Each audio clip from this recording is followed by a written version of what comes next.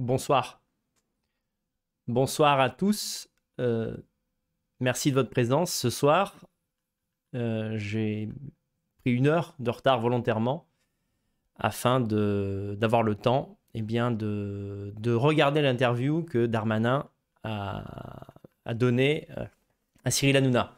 Voilà, donc c'est chose faite, ça va me permettre d'être raccord avec l'actualité. Merci bah, d'être si nombreux ce soir. Euh, je vais hum, rester une piste Lola, évidemment, évidemment. Euh, je vais lancer une musique d'introduction euh, que je vais commenter ensuite. Et le live va pouvoir commencer. Je vous invite à partager le lien de cette émission sur tous vos réseaux et d'envoyer ça peut-être aux amis auxquels vous tenez et qui ne sont pas encore peut-être convaincus par la justesse de nos idées. Et tout simplement, bah, il, va y avoir beaucoup de vidéos YouTube qui, euh, comment dirais-je, qui vont être faites sur Lola. Ça a déjà commencé. Et comme je pense que celle-ci sera de qualité et peut-être importante, eh bien, euh, je vous propose de la faire euh, eh bien, réussir. Voilà, j'ai du mal à trouver mes mots parce que je suis assez ému, assez fatigué, parce que je dors très mal depuis vendredi, enfin depuis samedi, depuis qu'on a appris cette, ce meurtre horrible. Je vous passe cette musique et ensuite on se retrouve tout de suite. Voilà.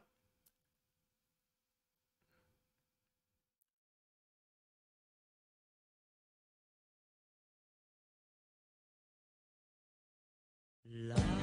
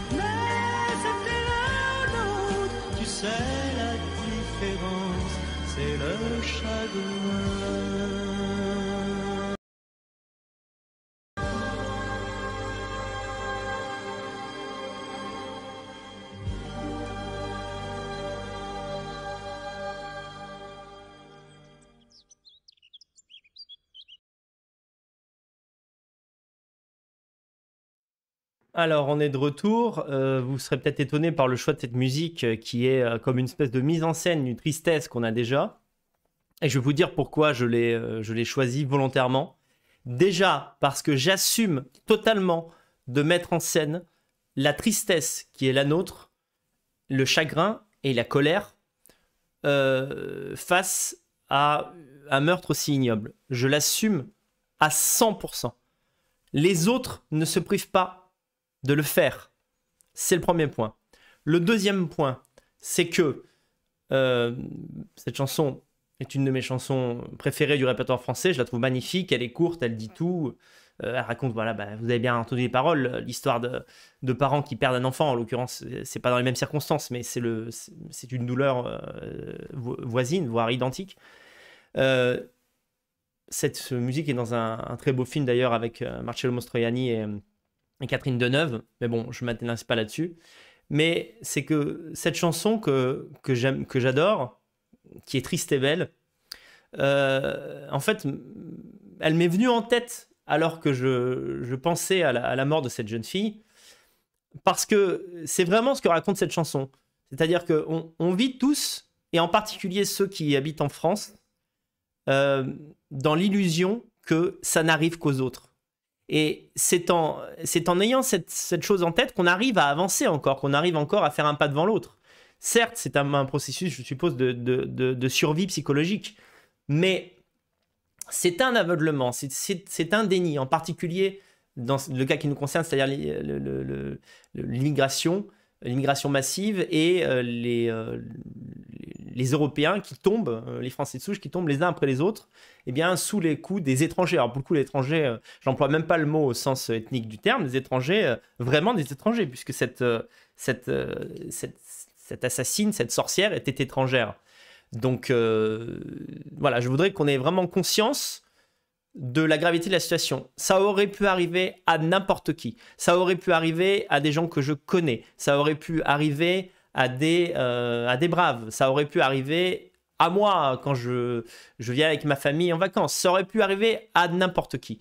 Et considérant et que c'est la pire chose qui puisse arriver à des parents, on ne peut être qu'en empathie évidemment avec, ce, avec, euh, avec cette famille qui a perdu la, petite Lola.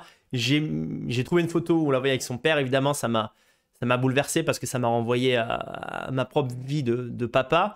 Et, euh, et voilà, j'ai- voulu commencer par cette chanson. Certains trouveront le, le procédé putassier, mais, mais je m'en fous. Voilà.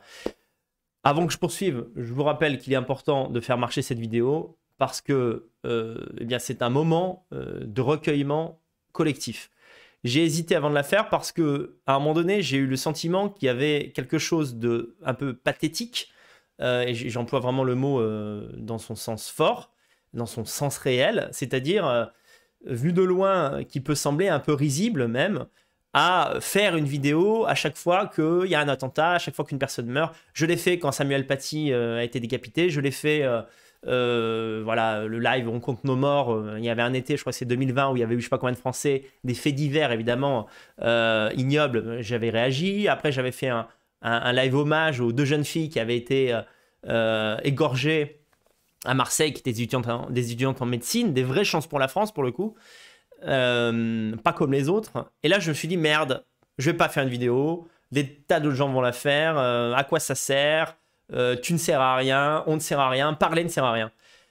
Et finalement, je me suis dit, c'est pire de ne rien faire. C'est pire de ne rien faire. C'est pire de faire comme si on s'y était habitué et que ça ne nous touchait pas comme au premier jour. Surtout que là, ça m'a touché comme aucun autre attentat euh, ne, ne m'a encore touché. La laideur, la violence, la, la cruauté de cette, cette, cette mort m'a touché par-delà les mots. Euh, vraiment, et j'ai d'ailleurs attendu quelques jours pour faire cette vidéo parce que euh, je n'avais pas le, courage de le faire avant. Euh, mais au-delà de ça, je vais formuler la chose comme ça. C'est un moment, je vais le redire en fait, c'est un moment de recueillement collectif entre personnes qui savent que ces drames auraient pu être évités et que malheureusement, il y en aura sûrement d'autres. Parce que euh, ce qui se passe depuis une semaine m'a en partie réconcilié quand même avec la droite. Jusqu'au prochain clash, on, on se refait pas. Euh, et parce qu'il y a toujours à critiquer. D'ailleurs, c'est pas parce qu'on critique quelqu'un ou euh, quelque chose qu'on déteste tout. C'est parfois on veut des changements, on veut du changement, on veut que ça bouge. Euh, si la droite n'avait pas fait tout un foin, j'allais dire, si la droite n'avait pas fait buzzer, excusez-moi du terme un peu grossier, cette histoire, les autres Français et la gauche des médias en auraient rien à foutre. Voilà. Donc, qui, sinon nous, et les parents évidemment de la victime, les proches, euh, vont pleurer euh, Lola et vont euh, eh bien, se recueillir, se, voilà, essayer d'unir leur cœur, même à distance, comme je le fais aujourd'hui avec vous, pour eh bien, se plaindre.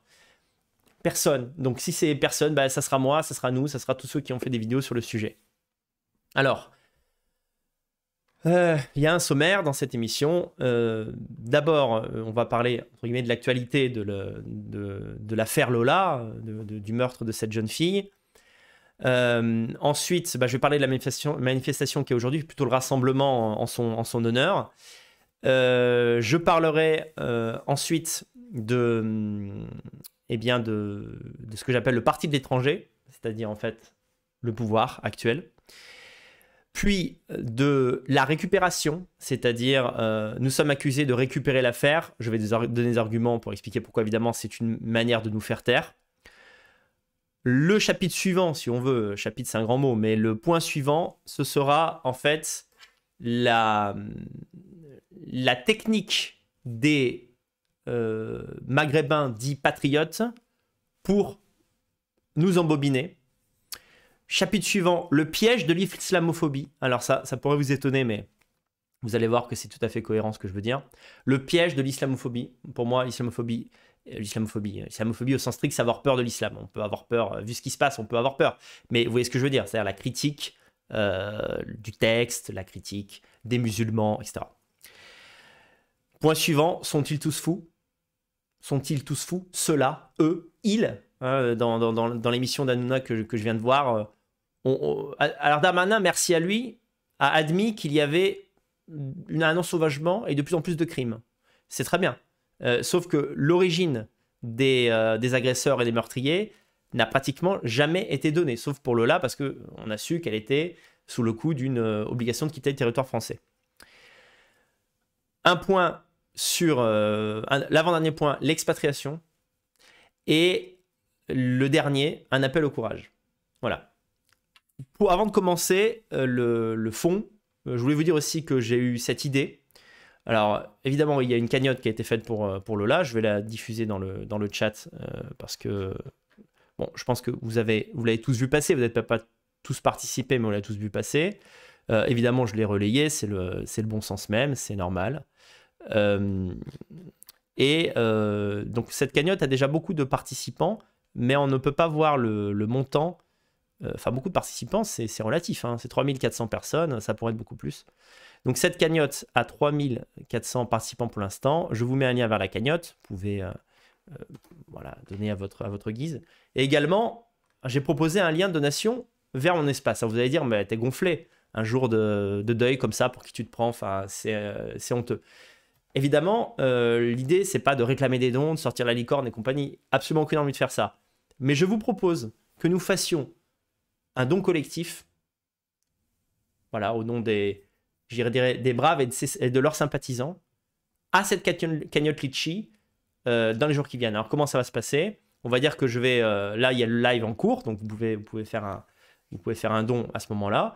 Et demain, en milieu de journée, euh, je vais faire un message sur Telegram pour dire bon, on arrête là, et je vais faire les comptes, et euh, je vais envoyer d'un bloc cette somme euh, en notre nom à tous. Le but, c'est quoi? C'est de dire, en gros, on peut se mobiliser. Un geste symbolique.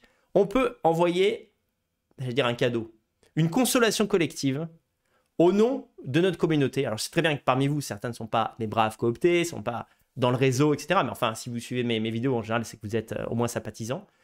Eh bien, euh, que vous aurez le, désir de participer à ce mouvement collectif. Alors, les gens vont dire, mais oui, d'accord, mais ouais, c'est, on fait toujours des cagnottes, on fait toujours des trucs comme ça, à quoi ça sert? Il n'y a pas de réaction pour l'instant. Il n'y a pas de réaction euh, de la part du, comment dirais-je, des Français.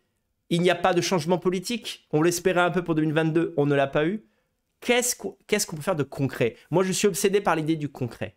Eh bien, le concret, c'est que cette famille n'est pas à s'inquiéter de son destin financier, n'est pas à travailler exagérément, au moins pendant quelques temps, le temps d'oublier. Et peut-être, et peut-être, nous, ça ne suffira pas, mais il y aura, je pense, d'autres donateurs, des donateurs particuliers également, que ces gens n'aient plus à s'inquiéter de comment nourrir leur autre fils, puisqu'ils ont un, deuxième enfant qui est toujours vivant, et qu'ils quittent ce quartier de merde. Alors les gens qui disent oui, mais c'est pas concret, oui, mais euh, enfin ça suffit pas, oui, mais c'est rien, oui, mais c'est une goutte d'eau, oui, ceci, mais cela. Je peux vous assurer que si vous vivez dans la situation de ces gens-là, eh bien, euh, c'est tellement difficile de mettre un pied devant l'autre. Imaginez quand vous avez des malheurs, quand vous déprimez un petit peu, c'est dur d'aller au travail quand même, c'est dur de faire reset en société, c'est dur de, sourire, c'est dur en fait tout simplement de continuer à exister. Eh bien quand vous n'avez pas à vous inquiéter de l'avenir financier, au, moins hein, pendant quelques temps, et que ça vous permet peut-être de vous réinventer, euh, de, changer de, ville, de changer de région, de changer peut-être même de pays, eh bien euh, c'est un soulagement énorme et c'est au moins ça de prix. Et j'estime que la France le doit en réalité. Euh, la France et les Français le doivent à la famille de Lola. Alors évidemment, il est probable que à la suite du procès, les parents ont une réparation. Ça ne leur rendra pas leur fille, mais ils auront une réparation peut-être de l'État. Je ne sais pas honnêtement quel en sera le montant. Mais un soutien populaire, c'est pas de trop. Voilà. Donc, euh, ils ont, dit, ils ont dit qu'ils allaient déménager dans le Nord. Eh bien, faisons en sorte qu'ils partent avec un petit cadeau, vous savez. Euh, voilà, j'insiste pas là-dessus. D'ailleurs, je vais quasiment pas en reparler jusqu'à la fin de l'émission. Vous avez le lien en description de la vidéo. Vous avez la cagnotte Litchi. D'ailleurs, je la remets. C'est un quartier de merde, le, 19, le 19e. Mais il y a combien de quartiers de merde à Paris? Il y a combien de quartiers de merde? Il y a que ça, franchement. Il y a absolument que ça. Bon, voilà, je ferai un point en, fin d'émission. J'ai oublié de dire que si vous voulez euh, faire un commentaire, eh bien, au moment où vous faites votre don, vous pouvez mettre un commentaire. Et à la fin de l'émission, je vais essayer, ça dépend combien il y en aura, de lire tous les commentaires. Voilà, je vais essayer, on, va prendre le temps. Si c'est excessif, j'arrêterai, mais je vais essayer. Voilà, alors si vous voulez simplement soutenir, même un euro, même... Euh, euh, voilà, peu importe, vous pouvez. Mais si vous voulez mettre un message, bah, vous pouvez également. Voilà. Alors maintenant, je vais commencer l'émission. Les liens sont en description de la vidéo, c'est-à-dire sous la vidéo au moment où je vous parle. Euh, alors attendez, là il y a eu un petit souci. Euh, attendez, qu'est-ce qui se passe? Tchouk. Ok. Donc là, je vous mets le lien aussi dans le chat. Et euh, je vais commencer à parler de Paris est un trou à merde, comme Grenoble, nous dit Alexis. Comme pratiquement toutes les villes françaises aujourd'hui. Alors, Darmanin a parlé, pendant près d'une heure. J'ai arrêté parce qu'ils changeaient de sujet, après ils allaient parler d'autre chose. Et euh, ce que je retiens de cette... Euh, je vais pas m'emballer parce que c'est quand, même, euh, c'est quand même le ministre de l'Intérieur, donc c'est quand même quelqu'un qui est important, c'est quelqu'un qui pourrait nous nuire, nuire même à notre communauté s'il le souhaitait. Donc je vais essayer de tâcher d'être factuel et simplement dire l'impression générale que ça m'a faite. Aujourd'hui, il est moins venu pour proposer des solutions aux gens que pour dire, en gros, je fais le maximum, je sais que vous m'en voulez et c'est normal parce que j'ai pas réussi à sauver cette petite, mais croyez-moi, je suis comme un canard, c'est-à-dire dans l'eau j'ai l'air calme, mais sous l'eau je me bats très fort pour essayer de changer les choses. Donc il a essayé de se mettre du même côté des gens. les gens le voyaient de l'autre côté de la barrière, il a essayé de sauter de leur côté en disant, regardez, je suis avec vous, moi aussi, euh, l'insécurité, ça me dérange. Euh, moi aussi, euh, j'ai eu à subir dans ma famille, quelqu'un est mort. moi aussi, ceci, moi aussi, cela. Première, stratégie qui a plutôt bien fonctionné, je veux dire, dans, la manière qu'il a eu de le faire. Deuxième, a la deuxième a consisté à être technique, c'est-à-dire à, à, expliquer en gros, vous croyez que c'est facile de faire ça, mais c'est pas facile. Vous croyez que c'est facile de sécuriser nos villes, vous croyez que c'est facile d'arrêter l'insécurité, vous croyez que c'est facile de faire mon boulot, eh ben c'est pas facile. Je me dit que c'était facile d'être mis à l'intérieur. Mais évidemment, quand on s'interdit la possibilité d'arrêter l'immigration, alors que les statistiques ethniques sont interdites, mais l'accumulation des faits divers nous permettent quand même, on a une mémoire, je veux dire, on n'est pas des poissons rouges. Euh, à un moment donné, quand il y a eu 20 attentats et que ils sont tous commis par des, euh, arabo-musulmans, des gens qui ont des noms arabo-orientaux, bon, on n'est pas complètement débiles non plus. Euh, au quotidien, on les oublie parce qu'il faut bien vivre, mais on le sait. Mais dans l'émission, ni lui ni Hanouna n'ont mentionné l'origine de 90% des, criminels dont il s'agissait. Euh, d'ailleurs, même je suis étonné, même ceux qui ont pris le micro, euh, fois, euh, littéralement, le mec qui était le fils d'une victime, il n'a pas, pas pu dire. en fait, oui, mais mon père a été tué par, j'en sais rien, je me souviens pas, un Soudanais, un Algérien, un Éthiopien. Il n'a pas pu le dire. Voilà. Est-ce qu'on leur a interdit de le dire avant? Je ne sais pas. Mais le fait est qu'on n'a pas cette information. Et euh, donc déjà, on n'a pas qui sont les, qui sont les criminels, c'est dit le moins possible. Encore une fois, là, on, on en a parlé pour l'affaire Lola parce qu'il y a une preuve, il y a une image, les gens sont tombés sur euh, son TikTok à la, meurtrière. Euh, et on a su qu'elle était en situation régulière. Donc là, bah, quelque part, elle n'avait pas à être sur le territoire. Donc forcément, ils ont été obligés d'y répondre. Mais pour les autres, on, on, c'est l'insécurité, en fait, c'est apparemment c'est un pays. les gens se font tuer par un pays qui s'appelle l'insécurité. Ah, d'accord, étonnant. C'est vraiment curieux. Et par ailleurs, il s'interdit.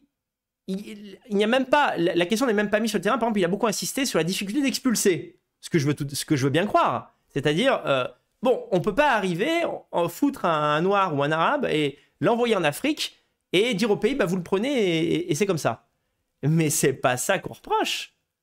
Ce qu'on reproche, la remigration n'y est pas encore. On verra un de ces quatre. Mais d'abord, c'est pourquoi c'est aussi facile de rentrer chez nous? C'est ça la vraie question.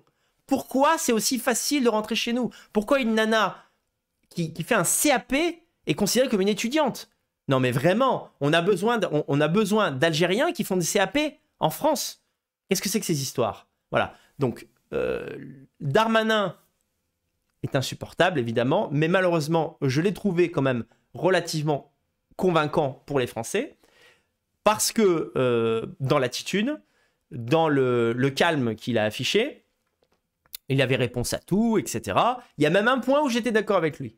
Le point où j'étais d'accord avec lui, c'est que chaque fois qu'un ministre de l'Intérieur, quelle que soit sa couleur politique, euh, essaye, formule quelque chose, ou essaye de mettre, une, de mettre mesure un petit peu rigide, protectionniste, plutôt, on va dire, du côté de la police que des, que des criminels, on a toutes les associations de gauche, tous les antifas, etc., qui défilent dans la ville.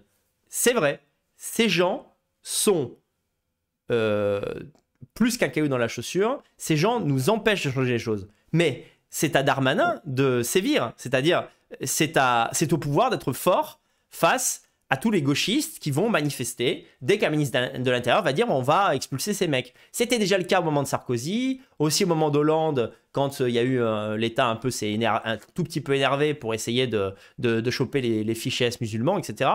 Euh, mais Darmanin va dire mais c'est ton problème, c'est pas le nôtre. Mais je reconnais, c'est vrai que la pire engeance de ce pays, ce sont les associations antifascistes, gauchistes, militantes et violentes. D'ailleurs, au passage, euh, j'ai pas d'image là, mais j'ai appris que le, je sais plus comment il s'appelle, Yorgué ou Jordan, euh, euh, le, mec qui a repris Livre Noir suite à la démission, le média Livre Noir suite à la démission d'Éric Tegner, eh bien, s'est fait agresser par des antifas ce soir. Bah, écoute, malgré toutes les oppositions que j'ai envers Livre Noir, euh, parce que je les trouve pas corrects avec moi, etc. Bon, je ne vais pas revenir là-dessus.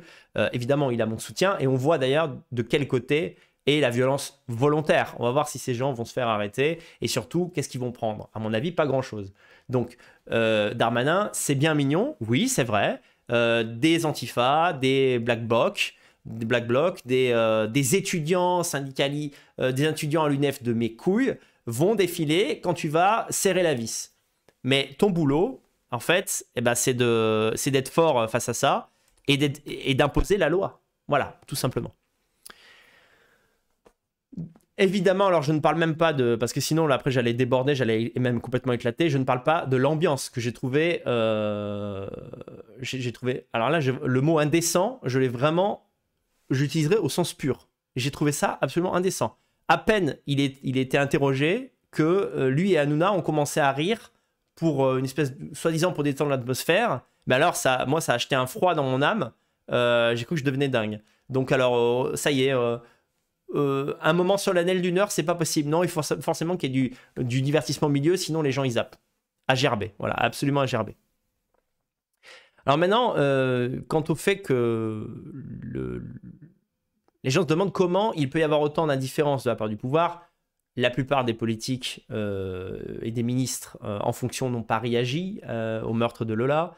Ou alors on, on réagit pour dire ok c'est horrible ce qui lui est arrivé mais c'est pire la récupération de l'extrême droite on, se dit, mais pourquoi ils ne font pas un minimum semblant même de euh, d'en avoir quelque chose à, fou- à foutre de nous? C'est vrai que c'est une question qu'on peut se poser. Eh bien, euh, pour moi, la réponse est simple, et je vais m'appuyer sur un tweet. euh, plus exactement, ça a été publié sur, ah, excusez-moi, sur Facebook d'Emmanuel Macron. Donc ça, c'était, si je ne me trompe pas, hier. Ça marque deux heures, mais en fait, c'était hier. Voilà. Voilà, bah oui, c'était hier, le 19 octobre. Il y a un siècle, le 19 octobre 2022, euh, 1922, notre nation affirmait au monde qu'on pouvait être français et musulman de la manière la plus manifeste et la plus durable en posant la première pierre de la grande mosquée de Paris. Hier, hier. J'ai- Je bois un petit peu et je vous laisse euh, un peu euh, réfléchir là-dessus. Ça, trois ou quatre jours après le meurtre de Lola par une Algérienne. Alors, vous allez me dire, une Algérienne n'est pas forcément musulmane. Ouais. La symbolique. La symbolique. Alors, on se dit, mais qu'est-ce qu'il fait? Il est fou. Alors, effectivement, c'est, entre guillemets l'anniversaire. Si c'était le 19 octobre 2022 et qu'hier on était le 19, euh, 19 octobre, excusez-moi, si c'était le 19 octobre 1922 et que c'est 100 ans après, c'est 100 ans après. Mais évidemment, si j'avais été président, je n'aurais pas communiqué là-dessus. Je n'y serais peut-être même pas allé. D'accord? Vous n'allez pas me dire qu'il va y avoir une révolte euh, des musulmans euh, si Macron ne va pas au centenaire de l'ouverture d'une grande mosquée pour envoyer quelqu'un d'autre, pour envoyer un sbire. On n'est pas obligé de communiquer là-dessus. On peut peut-être respecter un petit peu la colère des vrais Français. D'accord? Bon, apparemment, c'est pas possible. Alors, c'est vrai que quand on voit ça, moi le premier, je me suis dit, putain, mais c'est, démoniaque, franchement. Euh, rien ne va dans ce pays. Ils veulent vraiment que les gens deviennent fous. C'est vrai, je me le suis dit. Mais au fond, tout cela est logique. Je vais vous expliquer pourquoi. Révoltant, oui, mais logique. Parce que le parti de pouvoir et les autres, notamment la gauche, la gauche islamo-gauchiste, la gauche Mélenchon, la gauche les socialistes, ont choisi pour l'avenir les étrangers. C'est-à-dire que il y a la souffrance, il y a deux peuples. Il y a le peuple français de souche blanc, on va dire. Je m'inclus dedans, je suis à moitié italien, mais je fais partie de ce peuple. Le peuple blanc de France. Et on a les autres, on a les étrangers, en particulier les arabo-musulmans. Il y a deux peuples. Il y en a un qui a le vent en poupe, et il y en a un autre qui est un peu down. Il y en a un, y a un qui, qui est pas très en forme, qui fait pas trop d'enfants, à qui on tape sur le museau, d'accord? Euh, Qui de toute façon, même s'il était en pleine forme, je veux dire, euh, en pleine santé psychologique, ne ferait jamais autant d'enfants que les autres. Donc les courbes, elles existent. Statistiques ethniques, elles n'existent pas, mais enfin, euh, ces gens-là, on peut leur reprocher tout, sauf d'être bêtes. Ils savent bien que l'avenir appartient à ceux qui, aux immigrés africains, orientaux, et à ceux qui les soutiennent. Ils le savent. Ils le savent parfaitement. Donc, évidemment, c'est d'un cynisme extraordinaire. Mais de leur point de vue de scélérats, c'est logique. Quel est le message qu'ils envoient? Le message qu'ils envoient à tout le monde, mais en particulier à leurs électeurs et leurs futurs électeurs du monde de demain de la France remplacée, c'est je suis de votre côté. Chaque fois qu'ils prennent la parole à la télé, ce qu'ils disent, c'est oui, les Français, oui, non, mais bien sûr, bien sûr. Vous savez, c'est le. Euh, euh, bien sûr, oui, oui. Euh, vous êtes, vous travaillez, je sais pas, dans le tertiaire, vous avez un client qui vous casse les couilles, vous êtes poli avec, mais en fait, dans votre tête, vous en avez rien à foutre. Voilà. Donc, ils sont là, oui, non, bien sûr, non, mais votre fille a été tuée, mais oui, mais c'est terrible, mais on se... Ah, mais où on va? Où on va? On se le demande. Ben, on te le demande à toi, c'est toi qui es politique. Non, non, mais vraiment, ça ne va plus, là, c'est une catastrophe, c'est une catastrophe. Oui, oui, d'accord, ok, ok. On va, vous allez voir, on va serrer la vis, voilà. Mais là, je suis occupé, j'ai un spectacle de Jean-Paul Roux, va aller voir alors qu'il avait appris la mort de Lola, euh, Darmanin a tweeté sur un spectacle de Jean-Paul Rouve qu'il est allé voir. À ma connaissance, Macron n'a même pas réagi sur ses, sur ses hum, réseaux officiels à cette mort. Je peux vous assurer que dans le pays où j'habite en Roumanie, ce serait un deuil national. Et vous savez comment je le sais? C'est qu'en fait, une histoire similaire est déjà arrivée, sauf qu'elle n'avait pas cette dimension ethnique. Dans tous les pays, il y a des serial killers. une, fois, tous les 10 ans, tu as un mec qui s'illustre. Il y a un, Roumain, je vous la fais très courte, hein, euh, assez âgé d'ailleurs, 50-60 ans, euh, plus de 60 ans, euh, il me semble, bon, s'en fiche, qui violait et tuait des filles qui faisaient du stop. Il a, a en série parce qu'il en a tué 3 ou 4. Et en fait, on s'est rendu compte qu'il en a tué plusieurs on, quand on a fini par le choper. Ça, c'est arrivé l'année où je me suis installé en Roumanie, c'est-à-dire en 2018, je crois que c'était, je ne sais plus exactement, mais c'était en 2018. C'était une histoire horrible, une jeune femme qui a fait du stop, qui a la vingtaine d'années, voilà. Malheureusement, elle est tombée sur le mauvais mec. Euh, ensuite, euh, ils sont allés, euh, voilà, il l'a ramenée chez elle. Bon, je vous fais pas un dessin. Je vous jure que les médias roumains en ont parlé pendant des mois, voilà. Et je ne parle pas la langue, mais chaque fois que j'allumais la télé et je regardais une chaîne d'infos, on parlait de ça. Tellement ça arrive pas souvent. Voilà. Donc, alors, à plus forte raison, une petite fille euh, qui se fait tuer par un étranger, un étranger de papier, un étranger au sens euh, euh, ethnico-culturel du terme, mais ce serait, je ne dis pas que ça restera la révolution, faut pas exagérer, mais il y aurait un retentissement dans le pays qui serait incroyable. Et, et, si les politiques n'avaient pas de mots là-dessus, en particulier le chef du gouvernement, enfin le président, le peuple exigerait sa démission. D'ailleurs, euh, je ne sais pas si vous avez remarqué, mais euh, quand j'étais enfant, quand j'avais 5-10 ans, j'ai encore connu une époque politique en France où quand tu faisais des conneries, tu te faisais virer. Voilà, de temps en temps, eh bien, euh, voilà, Chirac allait dissoudre l'Assemblée nationale. De temps en temps, tu avais un ministre qui changeait, etc. Un, un ministre de l'Intérieur, tout ça. Là, Darmanin a un bilan exécrable. Les chiffres de la criminalité, parce que c'est à un moment donné, on juge sur les chiffres. Les chiffres montent. Les chiffres montent depuis qu'il est là. Il reste. À aucun moment, à aucun moment, euh, euh, Macron va dire, bah, attends, je vais peut-être quand même le changer, ne serait-ce que pour faire semblant, putain, ne serait-ce que pour faire semblant que quelque chose de nouveau va arriver euh, dans ce pays. Pourquoi ne le font-ils pas? Ça va au-delà quand même du je m'en foutisme, c'est que c'est un choix tactique de leur part. Ils savent qu'il y a deux France et ils ont choisi leur camp. Pas pour des raisons mystiques, euh, je dirais, même pas par racisme anti-blanc. La plupart de ces dirigeants sont blancs, apparentés, euh, enfin, ils sont, oui, ils sont blancs, ce sont des blancs de gauche, mais ce sont des blancs. Je ne dirais pas est-ce que Darmanin se, se hait lui-même d'un point de vue racial, etc. Je ne crois pas du tout. Surtout que Darmanin, en plus, a des origines, euh, apparemment, des origines un peu algériennes, si j'ai bien compris. On s'en fout à la limite. Mais je ne dis pas que Macron, je dis même pas que Macron est raciste anti-blanc. C'est que par électoralisme et par choix d'aller vers, euh, de- comment dirais-je, de foncer vers le futur comme ça, euh, en restant au gouvernement, il regarde les courbes des naissances, il regarde les prénoms, il regarde toutes ces stats que nous on regarde et qu'on trouve seulement sur F de souche, et ils se disent, bah, objectivement, qui est-ce qu'il faut flatter? Les nouveaux, les remplaçants. Les remplacistes flattent les remplaçants. Et la dynamique fonctionne si bien qu'il faut que ça continue. Et puis, en renfort avec leurs meilleurs potes, les médias, convaincre les Français que le pire danger, c'est pas les remplaçants, mais c'est l'extrême droite. Donc il y a une partie des Français qui se laissent berner, et hop, le tour est joué. Ni vu ni connu, je t'embrouille. Donc voilà. Et pour terminer sur ce point, avant de passer au, su- au suivant, qu'est-ce qu'on voit une nouvelle fois aussi à travers ce, je dirais, cette, quasi-indifférence des, des politiques les plus importants du pays, ceux qui ont vraiment la main, ceux qui ont l'exécutif, c'est que évidemment tout ce qui était dit dans le camp national, euh, je, je, rementionne ER parce que pendant dix ans, euh, et même encore aujourd'hui, ER a diffusé son idéologie et les gens l'ont gobé comme ça, comme si c'était la Bible des nationalistes en quelque sorte. Pendant des années, Soral et ceux qui le, partageaient et partageaient ses idées ont dit que le pouvoir voulait la guerre civile.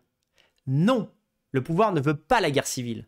C'est pourquoi il fait tout pour distraire, tuer, adoucir la colère légitime des autochtones, c'est-à-dire des Français, face à ce qui leur arrive. Non seulement ils sont remplacés, mais comme si ça ne suffisait pas, ils sont remplacés et ils sont terrorisés par ce genre d'acte pour fermer leur gueule face à leur, euh, eh bien, au drame de leur remplacement.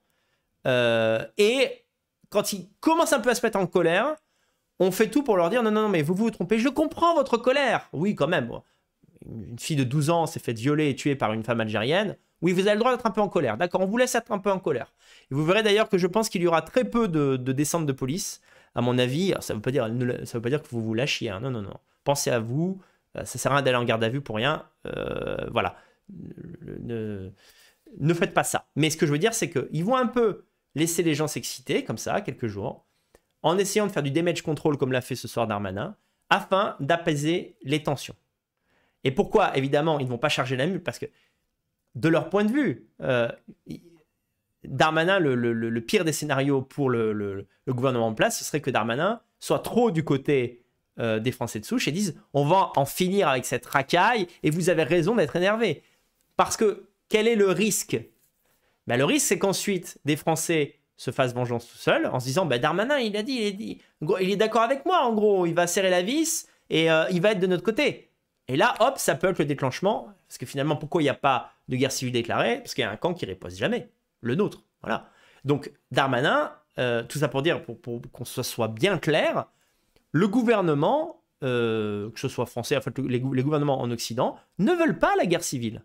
Ils veulent un remplacement de population progressif et mais qui aboutisse à la fin au remplacement total et que lorsqu'il y a comme ça des, des comment des sautes de brutalité de violence eh bien que la société des autochtones ne réagisse pas trop vivement Ils, essayent de gérer le chaos, en. Ils essayent de gérer le chaos comme ça pour que ça tienne et que finalement on, survive sur un modèle entre le Brésil et l'Afrique du Sud. Alors vous allez me dire, mais comment ils peuvent vouloir un, modèle aussi à chier? Parce qu'ils n'en souffrent pas de ces choses-là. Là, pour le coup, les, trucs, euh, ils sont hors sol, les globalistes sont hors sol. C'est une vérité. Je veux dire, euh, il y a encore des gens qui vivent heureux au Brésil. Il y a encore des gens heureux, même peut-être euh, en Afrique du Sud, même des Blancs. Encore que, de moins en moins, parce que là, il y a un niveau d'insécurité qui est, euh, qui est dingo. Mais quand même, quand vous avez les relations, quand vous habitez dans les bons quartiers, quand vous avez toujours un chauffeur pour vous rendre de là à là, eh bien finalement, peu importe. Vous pouvez, euh, vous pouvez surfer comme ça sur cette montagne de merde et de chaos. Donc, euh, qu'il soit clair que le pouvoir veut l'immigration, évidemment, mais, et l'encourage, et ne fait rien pour que ça s'arrête, bien au contraire, mais ils ne veulent pas l'affrontement des communautés. C'est pas vrai. Ils, veulent laisser les, euh, les prolos euh, euh, français eh ben, se, faire, se faire plomber un à un sans qu'il y ait de réaction du côté des Européens. Parce que là, c'est le pire cauchemar. Évidemment, c'est le pire cauchemar pour eux. Dans le cas d'une guerre civile ethnique, on ne sait pas qui peut gagner, mais si c'est le camp des gens que le- le- les différents gouvernements successifs ont baisé depuis 30 ans, ça va pas bien se passer. Hein voilà. Alors, deuxième point, sur la, la, la récupération.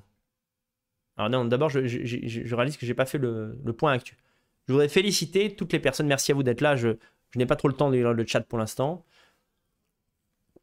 Quelqu'un a demandé plus haut euh, jusqu'à quand la cagnotte? Mais en fait, la cagnotte euh, pour euh, la cagnotte Litchi de pour les parents de Lo- Lola. Et vous inquiétez pas, Litchi est bien fait. On peut reprocher ce qu'on veut à Litchi, mais c'est bien fait. C'est que ça, c'est marqué que le nom du bénéficiaire, ça sera elle et ça va aller à elle. C'est-à-dire que ça ne peut arriver que sur le compte en banque de la maman euh, de la petite Lola. Ça, c'est clair. Maintenant, je vous ai proposé qu'on fasse un don collectif euh, en, notre, en notre nom. Euh, on va pas non plus en faire des caisses. Hein. Je ne veux pas dire envoyer à la maman, regardez le don qu'on vous a fait. Je ne suis, je suis pas un abruti. Mais on va, pour nous faire plaisir à nous, d'abord, on va le faire. Donc ça, c'est jusqu'à à peu près à midi demain. Il faut, bien, trouver une fin. Mais vous pouvez après, bien sûr, vous pouvez euh, de votre propre chef envoyer de l'argent à la Canon Litchi. Voilà, sans problème. Alors déjà, je voudrais, euh, je, voudrais féliciter les personnes qui ont participé aux manifestations aujourd'hui. Euh, voilà, donc il y a eu une manif, enfin un rassemblement, il faut bien, dire les mots. Il y a eu un rassemblement à, à Paris, place d'Enfer Rochereau, et plusieurs centaines de personnes y ont participé. Alors c'est vrai qu'on peut dire que c'est pas beaucoup, mais c'est en semaine, à une heure où les gens travaillent encore, on peut le comprendre. Euh, il y a eu un peu une précipitation, mais qui est, exigée par les circonstances. Et en plus, ils ont eu bien du courage parce que, euh, eh bien, il, a- plu, il s'est mis à pleuvoir à un moment donné. Euh, je crois que c'est le collectif Némésis qui a publié cette pancarte. L'État m'a tué, quand même fort. hein. Donc là, vous pouvez être sûr que ça va faire la une des, journaux dans, dans- pas si longtemps que ça. Je ne sais pas si vous l'avez vu, mais, euh, mais bravo à elle, c'est quand même audacieux. Euh, une attaque frontale de l'État comme ça peut sembler audacieuse, mais après tout, euh, un, meurtre qui est commis par une femme qui n'a pas été sur le territoire, qui est responsable? Si c'est pas l'État, c'est qui? Bon. Euh, maintenant, je vais vous montrer aussi. euh, En fait, je voulais, passer euh, des vidéos, mais euh, je les ai pas préparées. Et elles sont pas. Elles sont pas extrêmement spectaculaires. On voyait simplement que des amis à nous, des braves, sont allés sur place. Alors les braves se sont, se sont réunis, euh, voilà, pour euh, participer. J'en profite pour vous dire d'ailleurs que c'est pas pas la fin des manifestations, hein, des, rassemblements. Il y en aura d'autres. La plupart d'ailleurs auront lieu, ce samedi. Donc je vous invite. euh, bah, d'ailleurs, je vais vous donner le, le lien du canal des braves, qui est un canal public, hein, donc vous pouvez le rejoindre. Euh, Touk, bougez pas. J'ai tellement de fenêtres ouvertes là, je, je suis un peu perdu. Voilà. Donc là, je vous mets dans le, chat. Euh, vous pouvez rejoindre le canal et vous pouvez euh, également trouver en commentaire les différentes dates des rassemblements qui auront lieu. Bien évidemment, nous soutenons ces rassemblements-là. Euh, si, les Braves ne soutiennent pas ça, qu'est-ce qu'ils soutiennent? Je veux on a tout à fait le droit de manifester notre émotion. C'est absolument logique. D'ailleurs, on remercie notre graphiste qui a fait un très beau travail. Je vous montre l'affiche, franchement, je la trouve, magnifique. On voit un enfant comme ça qui court euh, euh, avec une espèce d'auréole, enfin, je trouve ça très beau. euh, voilà, donc on avait certains de nos camarades qui étaient présents sur place. Je les félicite. Certains ont, posé une journée, de, congé pour y aller. C'était important et les éléments sont déchaînés. Il a plu, a même eu des orages. Malgré tout, vous êtes restés. Et encore une fois, si vous, vous n'aviez pas été là, ben, ce n'est pas les autres Français qui auraient pleuré et qui auraient voilà, eu cette pensée qui s'est concrétisée par ce rassemblement en y allant. Voilà. Donc bravo encore. On a aussi en, Italie, en Italie, on a eu des personnes qui sont, euh, eh ben en fait, le, un groupe nationaliste, voilà, qui euh, a défilé avec des photos euh, de Lola. donc voilà, je vous montre une photo également de ce, de ce rassemblement. Merci à eux. Donc les nationalistes en Europe se bougent. On a eu aussi en Ukraine. On m'a envoyé aussi une photo en Lituanie de gens qui ont qui ont, qui ont défilé apparemment avec une petite pancarte. C'est pas beaucoup, mais l'important c'est le, l'important c'est le, je dirais c'est le, c'est l'intention, voilà. Et alors peut-être ce qui vous plaira davantage, euh, une idée qu'ont eu apparemment, bon, il vaut mieux que je dise pas d'où ça vient, mais on va dire un groupe de droite euh, a une idée au Japon. Il est allé euh, vers l'ambassade d'Algérie et ils ont déposé devant l'ambassade d'Algérie un portrait de Lola. Ben, je trouve ça très bien. donc même jusqu'au Japon, pour vous dire vraiment c'est quelque chose qui a remué les gens en profondeur, il y a eu une, euh, mobilisation. Oui, euh, tout à l'heure, euh, écrivait un truc sur le groupe, je l'avais isolé par rapport à l'agression de, eh bien, du gars de Livre Noir, que c'est vrai que quand même, le niveau de dégueulasserie euh, morale et de dégénérescence mentale des antifascistes est quand même incroyable. Absolument incroyable. Parce que même, euh, donc je, lis le commentaire de Guzoin, euh, il s'est pris un bon bourre-pif. Putain, les antifas qui respectent même pas la mort d'une gamine, quoi. C'est exactement ça. Ils ne respectent même pas la mort d'une gamine. C'est plus que d'en avoir rien à foutre. C'est c'est empêcher les autres d'être tristes et c'est les taper quand ils manifestent leur tristesse et leur rage. Et d'où on prive des gens euh, tristes de leur, euh, capacité, de, de leur, leur droit en fait à la plainte. D'où? Absolument ignoble. Je diffuserai les vidéos qu'on m'enverra de, de, tous les rassemblements. Là, si vous participez à des rassemblements en région, euh, notamment samedi euh, pour euh, la, mémoire de Lola, et je pense qu'il y en aura d'autres. Ça va peut-être pas s'arrêter cette semaine-là, et j'espère que ça s'arrêtera pas. Bah, vous me les envoyez, soit par mail, danielconversano.com, tuta.nota.com, soit sur Telegram, et bah, je diffuserai pour montrer que vous étiez sur place, vous avez pris des vidéos, c'est important, c'est important. Encore une fois, le devoir de mémoire, il n'y a que nous qui le ferons. Voilà, tout simplement. Maintenant, évidemment, je vais entrer dans le sujet de la. Oui, oui, tout à fait. J'ai vu. Ah, c'est Georges Jordi, c'est comme ça qu'il s'appelle le, nouveau euh, boss, en tout cas, de Livre Noir. Bah oui, j'ai vu, oui. J'ai pas vu les détails, mais j'ai vu qu'il s'est fait éclater par les antifas. Ça m'étonne pas. Puis alors, toujours la même technique. Hein. Euh, ils attendent que vous défiliez, etc. Puis après, quand vous allez vous poser euh, dans un café 3 mètres, enfin, 30 mètres plus loin, c'est là qu'ils vous défoncent à 15, sur, à 15 sur 5, si j'ai bien compris. C'est signé. voilà, c'est signé. Alors, euh, maintenant, on va parler de la récupération. Hein. La, droite est accusée de récupérer comme ça. Apparemment, lorsqu'il y a une mort, eh bien, euh, il faudrait se taire. Je sais pas, attendre. Euh, d'ailleurs, Marion Maréchal, en interview, a dit Mais on doit attendre combien de temps en fait? C'est-à-dire qu'il y a, a un manuel qui nous explique qu'il faut attendre 10 jours pour parler d'une mort. Quand une mort a été commise par un, par par un étranger ou une étrangère, il faudrait attendre 10 jours pour le dire. Oui, c'est-à-dire en fait attendre euh, que, tout le monde oublie. C'est ça en gros l'idée. On va attendre, on va attendre que tout le monde oublie. C'est ce que voudraient euh, les médias, c'est ce que voudrait la gauche, c'est ce que voudrait le pouvoir. Bon. Euh, nous, on le sait, mais je vais quand même le rappeler parce que cette vidéo ne sera pas vue que par des gens qui le savent, mais et puis parce que la mémoire est parfois courte. La récupération, c'est ce que font nos ennemis en permanence. Eux passent leur temps à récupérer des crimes ou des accidents. Des accidents. Les accidents, c'est la faute de personne. Euh, arriver à des, euh, qui arrivent à des, à des non-blancs pour accuser les blancs d'en être responsables, voire même coupables. Je rappelle que le, le, le, garçon, enfin l'enfant Aylan, qui était euh, qu'on a retrouvé sur une plage, d'ailleurs, recherchez les détails et vous verrez qu'en plus, les journalistes ont tout fait pour prendre cette photo du cadavre. Ce qu'on n'a pas fait. Euh, J'aurais pas diffusé la photo du cadavre de, Lola, sincèrement. Mais la photo de son portrait, où on la voit encore heureuse et vivante, je vois pas pourquoi je la diffuserais pas. Enfin, je suis désolé. euh, déjà, je fais ce que je veux et je vois pas en quoi c'est insultant. Au contraire, c'est pour le coup, c'est vraiment devoir de mémoire. Alors eux, ils ont diffusé la photo d'Aylan sans problème alors qu'il était mort, la face comme ça sur le sable. C'est vraiment pour choquer l'opinion qu'ils ont fait ça. Alors que je rappelle, Aylan, c'est la base, hein, mais je le rappelle, Aylan, il n'a pas été tué par un blanc. hein. Il n'y a, pas un- y a pas un soldat ou un, ou un douanier ou un garde-côte blanc qui a mis son pied sur la gueule d'Aylan pour qu'il meure. hein. C'est-à-dire qu'il a essayé, euh, ses parents ont essayé de passer euh, en bateau dans une barque. C'est la faute du père, en fait. C'est la faute du père. Euh, tu, tu, traverses pas la mer comme ça dans une espèce de, de demi-gondole. C'est juste un débile. Voilà. Et en plus, ce qui pousse ces gens à partir, c'est pas vrai, c'est pas la famine. Ils veulent plus d'argent dans le phare du monde qui est encore l'Occident et l'Europe. Ne vous en déplaise. Donc alors, ils prennent des risques inconsidérés pour essayer de nous rejoindre, alors qu'ils ne sont pas poursuivis par un, ils sont pas poursuivis par un, ours maléfique. Hein. C'est qu'ils veulent aller habiter chez nous. Ils veulent aller habiter chez nous. Bon. Euh, et même ceux qui échappent à la guerre, il y a d'autres pays avant d'arriver en Europe. Non, non, non, non. Quitte à partir de pays en guerre, ils veulent aller dans des pays qui ne sont pas frontaliers en Europe. Ils essaient de traverser dans des conditions ridicules. Certains meurent. Quand c'est un enfant, c'est extrêmement triste et je m'en réjouis pas du tout. Mais les médias, derrière, font leur sauce pour dire, vous avez vu, hein, pour que les gens s'indignent. Voilà. Alors, eux, ils passent leur vie à s'indigner. Alors, je parle même pas de l'affaire. hein, Là, on va pas.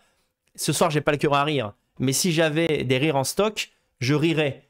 Vous vous souvenez pas quand c'était Hollande qui était président euh, Qu'il est allé au chevet de ce mec euh, voilà, qui avait pris un- un- une matraque dans les fesses? Alors, c'est vrai, quand on a vu ça, on se dit, putain, la police, quand même, euh, des matraques dans les fesses, euh, qu'est-ce qui se passe? C'est Robocop, tout à fait. Euh, tout, à, tout, tout à coup. C'est Robocop. Intéressant, on va voir ce que ça a donné. Évidemment, quand on a eu ensuite accès aux, euh, aux- caméras de, de surveillance, on a vu quoi? On a vu qu'en fait, c'est lui qui avait fait un refus d'obtempérer. C'est lui qui avait été violent le premier. Évidemment Évidemment, ça m'énerve rien que d'avoir à le rappeler. Comme si en France, tu avais des, policiers euh, qui prenaient des noirs au hasard et qui leur mettaient des matraques dans les fesses. Ça saurait, hein. Euh, voilà, ça saurait si c'était le cas. Non, donc François Hollande est allé au chevet d'un type qui était un délinquant pour dire en gros c'est scandaleux ce qui vous est arrivé. Est-ce que votre trou du cul il va bien quoi? Est-ce que votre trou de balle de délinquant il va bien? Voilà. Et euh, quelqu'un a fait un mème en disant franchement la récupération par l'extrême droite c'est vraiment dégueulasse. C'est quoi ça? Encore une fois c'est le même message de Hollande.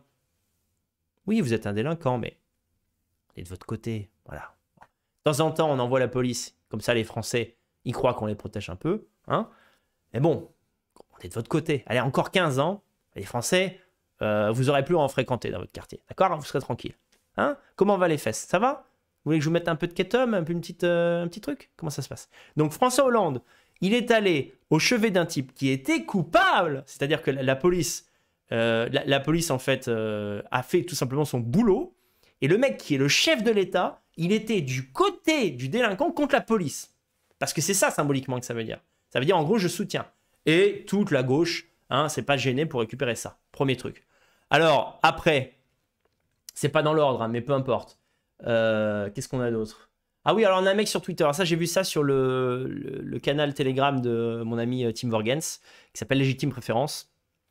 Euh, voilà, je, je crois que c'est chez lui que j'ai vu ça. On a un type, euh, on a Michel. euh, ah bah c'est pas un mec, c'est pas un mec de chez nous, hein. Vous en, vous en doutez. Alors, Michel, on prend son temps ce soir. hein. Michel Montponté qui nous dit au moment de l'affaire Floyd, donc en 2020, George Floyd avait quitté le Texas pour commencer une nouvelle vie à Minneapolis. Il est décrit comme un homme généreux et doux. Oh là là, la douceur. George Floyd, on a appris qu'en fait, il avait braqué un flingue sur le, le ventre d'une femme enceinte. C'est pas une théorie euh, complotiste d'extrême droite. Hein. C'est prouvé. C'est prouvé. Voilà. Il avait perdu son emploi pendant la crise Covid-19. Ah, c'est ballot. Il est mort face contre terre, le cou sous le genou d'un policier blanc. Et ce même Michel Montponté nous dit Je pensais que l'horreur absolue de l'assassinat de Lola avait empêché au moins pendant un moment toute récupération politique ou idéologique et allait imposer à tous un silence solidaire avec la famille. J'avais tort. Les vautours n'ont aucune, euh, euh, en gros, euh, aucune limite. C'est toi qui as aucune limite. Espèce de pourri. Alors eux, ils assument complètement. Et quand, évidemment, tu, tu leur mets en commentaire, euh, tu les mets en face de leur contradiction, ils répondent pas. J'ai rien vu, je suis pas au courant. Ouh. Ça me fait, vous savez quoi? Je l'ai pas trouvé là. Et puis de toute façon, c'était trop humoristique pour la soirée. Donc, euh, donc en fait, je l'ai pas mis. Mais il y a une vidéo exceptionnelle. Attends, attendez, je vais essayer de la trouver. Euh, ah oui, c'est une vidéo exceptionnelle d'un, d'un- Ça se passe, je crois que ça se passe au Nigeria, à l'Assemblée nationale Nigeria. Faut croire qu'il y en a une. Euh, Il y a un type qui est accusé d'avoir détourné des fonds, euh, détourné de l'argent. Euh, même en ces circonstances, ça rien me faire rire. Et donc en fait, il est accusé en gros d'être un voleur. hein. et il fait semblant de s'évanouir pendant, pendant l'accusation. Il fait semblant. Voilà, il, il a genre, Ah, je m'évanouis. Je vous retrouverai ça, je vous, je vous montrerai la vidéo sur Telegram. Bah c'est pareil en fait avec les, les mecs de gauche. Tu leur dis, euh, ah ouais, pas de récupération politique? Regarde, on a le tweet. Tu t'es même pas fait chier à essayer de l'enlever de ton compte. Il est toujours là le tweet où t'as récupéré politiquement la mort de George Floyd. Et le, gauchiste est là. euh, Quoi? Euh, Une mouche a pété à Facholand? Enculé. Enculé ordure. Traoré, on en parle? Alors Traoré, c'est un mec, euh, bah c'est, euh, j'allais dire, c'est le frère de l'illustre, hein, l'illustre euh, Adama Traoré, qui est devenu une star depuis, forcément. Euh, son frère, en fait, était un délinquant. Il a eu affaire à la police. Il est mort. Ouais. Allez, j'allais dire allez le festival de Cannes pour rire, mais si je me trompe pas, elle y allée. En tout cas, elle a été euh, élue euh, femme de l'année, je crois, du New York Times ou je ne sais quel ou Vanity Fair, je ne sais quel truc américain. C'est le trio de l'enfer en fait. France, Angleterre, États-Unis, full gauchisme. Ouh, on est parti là à 200 000 km/h. Alors, ils n'ont pas récupéré eux, par hasard Traoré? Alors Traoré, euh, il, avait forcé un, homme en prison à lui faire une fellation. Ouais, perso, je trouve pas ça. Chez moi, on appelle ça un viol. Mais pour les gauchistes, encore une fois, je pense que c'est le même mec qui a fait un mème. La récupération, c'est vraiment une honte. Il faut dénoncer l'extrême droite. Alors, ils ont carrément mis des t-shirts. Et c'est des responsables politiques, hein. c'est des mecs de, la France Insoumise et tout. Donc, imaginez si euh, Jordan Bardella avait un t-shirt avec Lola. Mais pourquoi s'en priverait-il Pourquoi il s'en priverait Moi, je pense que c'est aux politiques de mettre la gauche dans le nez, dans le, nez dans, le caca. C'est-à-dire, en gros, vous savez pourquoi j'ai mis cette Lola? Parce que euh, c'était une vraie innocente. Moi, moi, j'aurais le coup de dire ça. C'était une vraie innocente. C'était une vraie innocente. Elle, ce n'était pas une délinquante. Et elle a été tuée dans un crime gratuit et odieux par une femme qui n'était pas une Française de souche. Donc, vous m'excuserez, mais lorsque vous dites que Derek Chauvin a commis un crime raciste en mettant son genou euh, sur le, le cou de, de George Floyd, vous partez du principe que c'est forcément un crime raciste. On ne sait pas, peut-être qu'il aurait fait la même chose sur quelqu'un d'autre. On ne le sait pas. D'ailleurs, euh, Derek Chauvin, sa femme était asiatique. Comme raciste, on a vu mieux. Mais bon, peu importe, ok, il est raciste. Et euh, une Algérienne qui va tuer euh, une enfant blonde, euh, je sais a les yeux bleus, mais blonde, oui, je crois blonde aux yeux bleus, française, c'est pas un crime raciste. Mais qui êtes-vous pour en juger de ça? Moi, je mets un t-shirt avec Lola, ou au moins, ou soit son visage, soit marqué Lola. Parce que vous, vous n'êtes pas privé de le faire. Moi, je, moi, je dirais, que ce soit un mec de Reconquête ou de Marine Le Pen, quelqu'un doit le faire, putain. Quelqu'un doit prendre les gauchistes et leur mettre leur nez dans, leur, merde. Euh, et encore, je suis gentil. Euh, en disant, mais vous avez fait pareil avec Traoré. Regardez chez la photo. Comme quand euh, Mario Maréchal a, parlé avec, a parlé, a débattu avec Valérie Pécresse. Toutes les casseroles qu'avait Pécresse, elle a montré, elle a montré les documents. Et ben c'est ça qu'il faut faire. Et d'ailleurs, elle avait gagné le débat haut la main. Et Reconquête a quand même été devant Pécresse. Donc c'est pas, c'était pas perdu. Qui est-ce qu'on a d'autre? Alors ça, je vais en parler plus tard. D'abord, je, je vais- euh, on va pas... Parce que là, euh, je pourrais passer la soirée. Hein. Euh, toutes les personnes de gauche qui disent qu'en gros... Qui en fait, c'est ce que j'ai expliqué sur Telegram. Je sais plus quand c'était parce que j'ai publié comme un fou sur Telegram depuis 3-4 jours. Oui, c'est une technique des médias pour enfumer les gens et pour leur faire oublier le vrai drame en cours. Ils rabâchent, ils rabâchent, ils rabâchent. Donc maintenant, c'est le mot récupération. Les journalistes ont des consignes pour dire récupération politique, récupération politique, récupération politique, de sorte que quand tu regardes euh, BFM, quand tu regardes toutes ces chaînes à la con euh, que tout le monde regarde, tu écoutes France Info, tu écoutes TV, euh, enfin, France 5, à la fin de la, journée, tu te dis pas, putain, euh, comment en France une femme, une jeune fille de 12 ans peut se faire euh, violer et tuer dans ces conditions? Non, à la fin, tu te dis, putain, quand même, la récupération politique, c'est quand même un truc dégueulasse. hein. Tous pourris, c'est politique, surtout l'extrême droite. Je peux pas résumer mieux la chose que, que Renaud Camus. Regardez. C'est parfait et c'est beau. Non seulement c'est vrai, mais c'est beau. C'est la combinaison du beau, du bien et du vrai. Renaud Camus résume euh, sa pensée sur cette soi-disant récupération en disant le bloc génocidaire, dont le gouvernement fait partie, euh, selon euh, Renaud Camus évidemment, pas seulement le gouvernement, mais c'est tout, un système voilà, occidental, le bloc génocidaire appelle récupération les larmes que font couler ces crimes. Sans commentaire. Sans commentaire. Avant de passer à la rubrique euh, suivante, parce que ce tweet est un petit peu entre les deux, je vais vous montrer un tweet euh, d'un type qui s'appelle Jimmy Defoy. Très populaire, même à droite. C'est pourquoi il est populaire? Dès que tu critiques un peu le féminisme à droite, t'es populaire. Tu dis, ah, mais en fait, c'est un métis, le mec. Il en a rien à foutre. Il a... Dès qu'il peut, il crache sur les fachos. Ouais, mais il a compris des trucs. Il est hors système, quoi. Il critique les féministes. Bah, ils en, faut pas grand-chose. hein. Ah là là, faut pas grand-chose, hein, les, amis nationaux. hein. Vous voulez quoi? Vous voulez un pamphlet contre le féminisme? Si j'en fais un, il sera meilleur que tous ceux que vous avez jamais lus. Mais je m'en bats les couilles. Voilà. Comment, comment, comment on, on vainc, comment on peut triompher du féminisme? En ayant une femme et des gosses. Vous avez une femme et des gosses, vous avez battu le féminisme. Bravo. Vous n'avez pas besoin de faire un bouquin de 300 pages.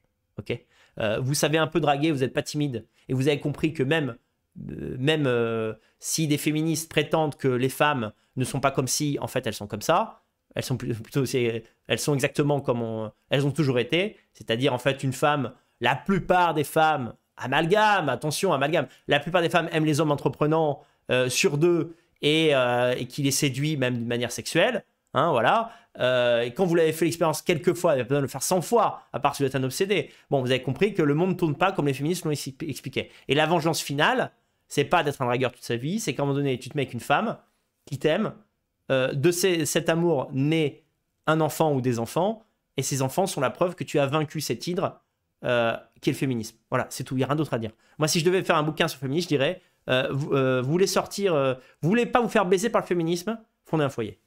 Point. Euh, donc alors, j'ai enlevé le truc sans le commenter. Bougez pas. Euh, non, je l'ai même pas mis en fait. Donc voilà, c'est un, un mec. Je crois qu'il vidéo sur YouTube. Je m'en fous en fait. J'ai même pas envie de vous le décrire.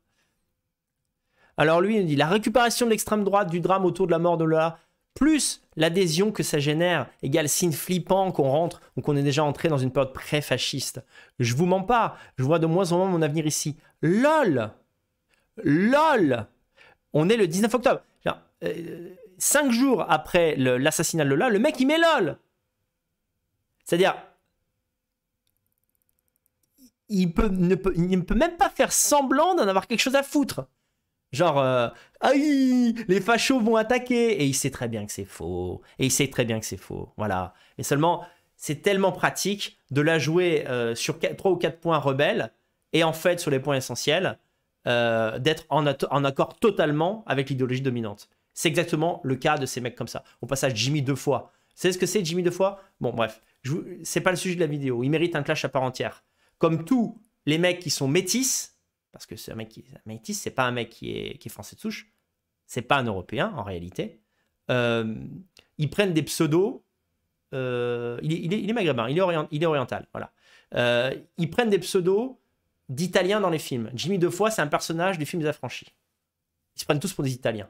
Alors, ils sont constamment en train de dire que les Italiens sont des Arabes, mais alors eux, en tant qu'Arabes ou demi-Arabes, leur rêve, c'est d'être Italiens. Mais bref, passons, on s'en fout de ça. Je vois de moins en moins, mon avenir ici, déjà perso- personne ne te retient. Euh, si tu penses qu'il y a moins de racistes au Maghreb, t'as qu'à y retourner. Euh, le plus tôt sera le mieux. Une période pré-fasciste, évidemment, tout ça, ils ne le pensent pas. Mais quand vous avez cette, euh, ligne-là, et qu'en plus, comment dirais-je C'est-à-dire que un mec comme ça va jamais se faire emmerder par le système. On est d'accord. Ok, alors si un jour il, il attaque personnellement une nana féministe ou, un type où il se comporte mal, là il pourrait aller en prison. Mais pour ce, genre, cette position politique, il ne risque rien. Et en plus, tout bénéf pour sa pomme. Tout bénéf pour sa pomme. Il a des dissidents de merde, donc des blancs, voilà, des blancs qui regardent en mode Oh, Jimmy Defoe, c'est intéressant, hein et ce que j'appelle les omnivores de la dissidence. Ils sont là le matin, ils regardent Conversano, à midi, ils regardent, euh, qu'est-ce que j'en sais moi, ils regardent euh, Valeurs Actuelles, et le soir, ils regardent Jimmy deux fois, quoi. C'est tout bénef. Pourquoi les, les, les, les Arabes patriotes, les, non-blancs, voilà, euh, vénérés par le mieux, pourquoi ils se feraient chier à être, être sur une ligne, euh, euh, comment dirais-je, de, réalisme biologique et racial Pourquoi ils se feraient chier? Vous les regardez autant? Vous les regardez autant? Si c'est pas plus? C'est vous qui les faites vivre, ces mecs-là? Bah oui, bien évidemment. C'est-à-dire, pourquoi la ligne identitaire, pourquoi elle est minoritaire? Parce qu'il n'y a que les identitaires qui relaient les identitaires. Alors que dans le camp dit identitaire, ou en tout cas dans le camp national, eh ben, les putains d'omnivores de la dissidence qui, qui matent 25 vidéos par jour peuvent pas s'empêcher de relayer du Stéron, du Jimmy Defoy, euh, du euh, Greg Toussaint et compagnie. Évidemment. C'est pas que pas que des noirs qui les regardent, hein. C'est pas que des étrangers. C'est des blancs de droite. Voilà. Petit coup de gueule. Alors maintenant, justement, puisqu'on parle des euh, des maghrébins dits patriotes, en tout cas, patriote n'est pas le mot. On va dire dissidents. Donc des gens qui sont considérés comme hors système, voilà, euh, des rebelles. Euh, tu vois, c'est pas euh, attention, hein, c'est pas n'importe quel arabe. hein. C'est un arabe qui est avec nous. Hein. Ouh là là, on va voir comme ils sont avec nous. Alors, je vous explique. La stratégie, et je dis bien la stratégie des Maghrébins, des Arabes francophones qui s'adressent au public français, consiste à faire toutes les analyses possibles pour dévier la colère des Français de droite, des droitards, euh, la colère envers les Arabes en tant que peuple, chaque fois qu'il y a ces attentats qui sont commis ou ces, meurtres, ce, meurtre est tellement ignoble de, la petite Lola que pour moi c'est un attentat. Voilà. Pas forcément au nom de l'islam, mais un attentat quand même. Euh, leur but, c'est de vous dire à chaque fois, ok, t'es en colère, mais c'est plus compliqué que ça. Tiens, tiens, ça me rappelle quelque chose. Ça me rappelle une autre technique. Ça me rappelle. Hmm, ça me rappelle quelque chose dont j'ai parlé il y a une demi-heure, en fait, à peu près. Ah, c'est marrant, ça me, rappelle le gouvernement, en fait. Ça me rappelle Darmanin, ça me rappelle tous ces gens. Donc, en fait, tu regardes les, les médias du système, tu écoutes les politiques, ils te disent comprends la colère populaire, mais il faut pas faire n'importe quoi. On va pas virer tous les étrangers. Tu tapes, tu zappes sur Radio Dissidence où tu regardes les analyses d'Aberkan et compagnie. Qu'est-ce que tu entends Certes, vous êtes énervé et c'est compréhensible et c'est un meurtre horrible, mais on va pas virer tous les étrangers. On va pas virer les Arabes juste parce que un Arabe, plus un Arabe, plus un Arabe, plus un autre Arabe, plus un autre Arabe, plus un autre, puis 200 en fait, euh, ont commis ces, ces crimes-là. C'est un peu plus compliqué que ça. Et puis peut-être que, alors là c'est la, je dirais c'est le nappage. Euh, euh, oui, Julien Bénu, c'est pas un attentat, c'est un acte de guerre. Je, suis quasiment, quasiment d'accord avec toi. Euh, le nappage, pour que ça passe, parce que c'est la cam les, les, les dissidents et les droitards, c'est le complotisme. C'est-à-dire, oui, c'est vrai que c'est une arabe qui a tué. On dit pas que c'est pas une arabe, on dit pas que c'est pas une arabe. Mais c'est une arabe qui était possédée par des forces supérieures. On dit juste que si c'était une arabe tranquille, qu'il n'est pas méchante, qu'il est juste dans un islam propre, elle n'aurait jamais fait ça. Alors que là, c'est une sataniste. C'est pour ça qu'elle est morte. Voilà. Donc, euh, bref, euh, c'est QF couille, euh, c'est pas l'islam. Voilà. Alors, par lequel on commence? Alors, on a Zora Bitan. Alors, elle, elle, a- été, invitée par Livre Noir. Je le dis parce que c'est arrivé. Apparemment, euh, Zora Bitan peut être sur Livre Noir, mais pas moi. Bah, je, soutiens, je soutiens contre les antifascistes Yorgé de Livre Noir. Par contre, je continue de dire que c'est une honte que des personnes comme moi, qui ont ou des gens qui sont porte-drapeau de ma ligne, ne soient pas invités sur Livre Noir.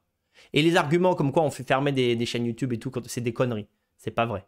Euh, Jusqu'à présent, moi, je suis jamais arrivé sur un plateau euh, et, le lendemain, la chaîne YouTube est fermée. Ça n'est jamais arrivé. J'ai quand même été invité à un certain nombre d'endroits avec des vidéos qui ont fait plus de 100 000 vues, parfois même de plus de 200 000.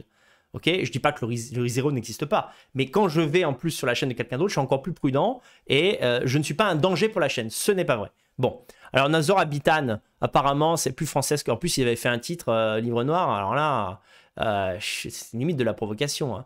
c'est le titre c'était, je sais plus, une Gauloise engagée, euh, quelque chose comme ça. Zora Bitan. D'accord, ok, euh, super.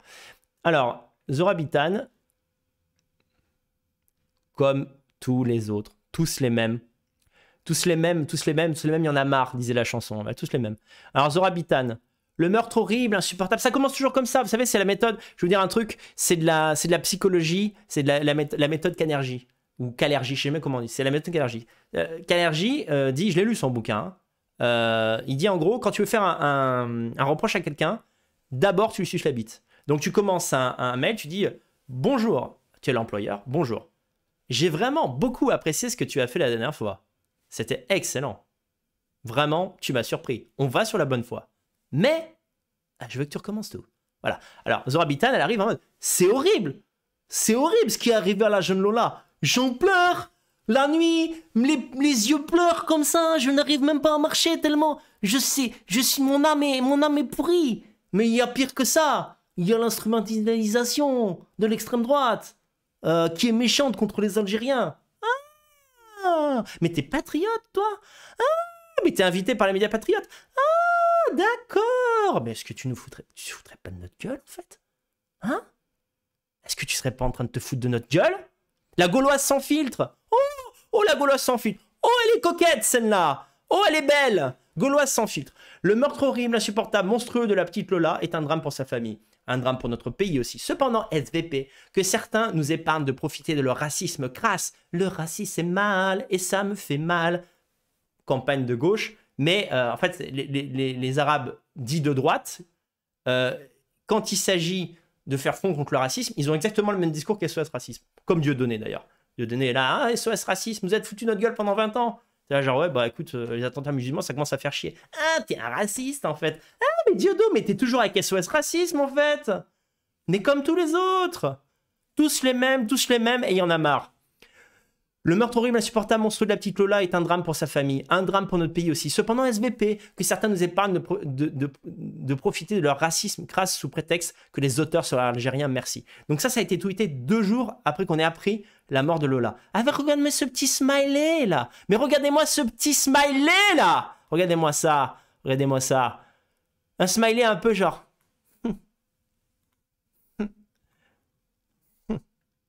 C'est vrai que vous souffrez les Français. hein. Franchement, elle a pas eu de chance cette petite Lola. hein.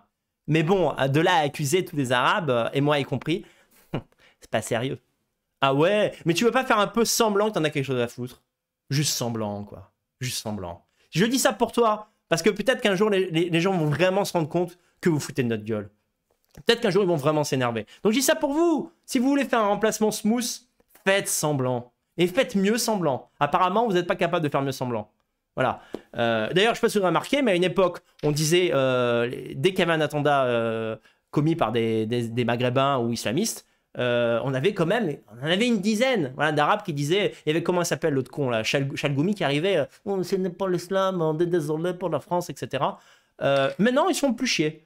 Ah, même pas pas d'amalgame. C'est-à-dire, euh, c'est quoi, c'est quoi pas d'amalgame? On n'est pas concerné.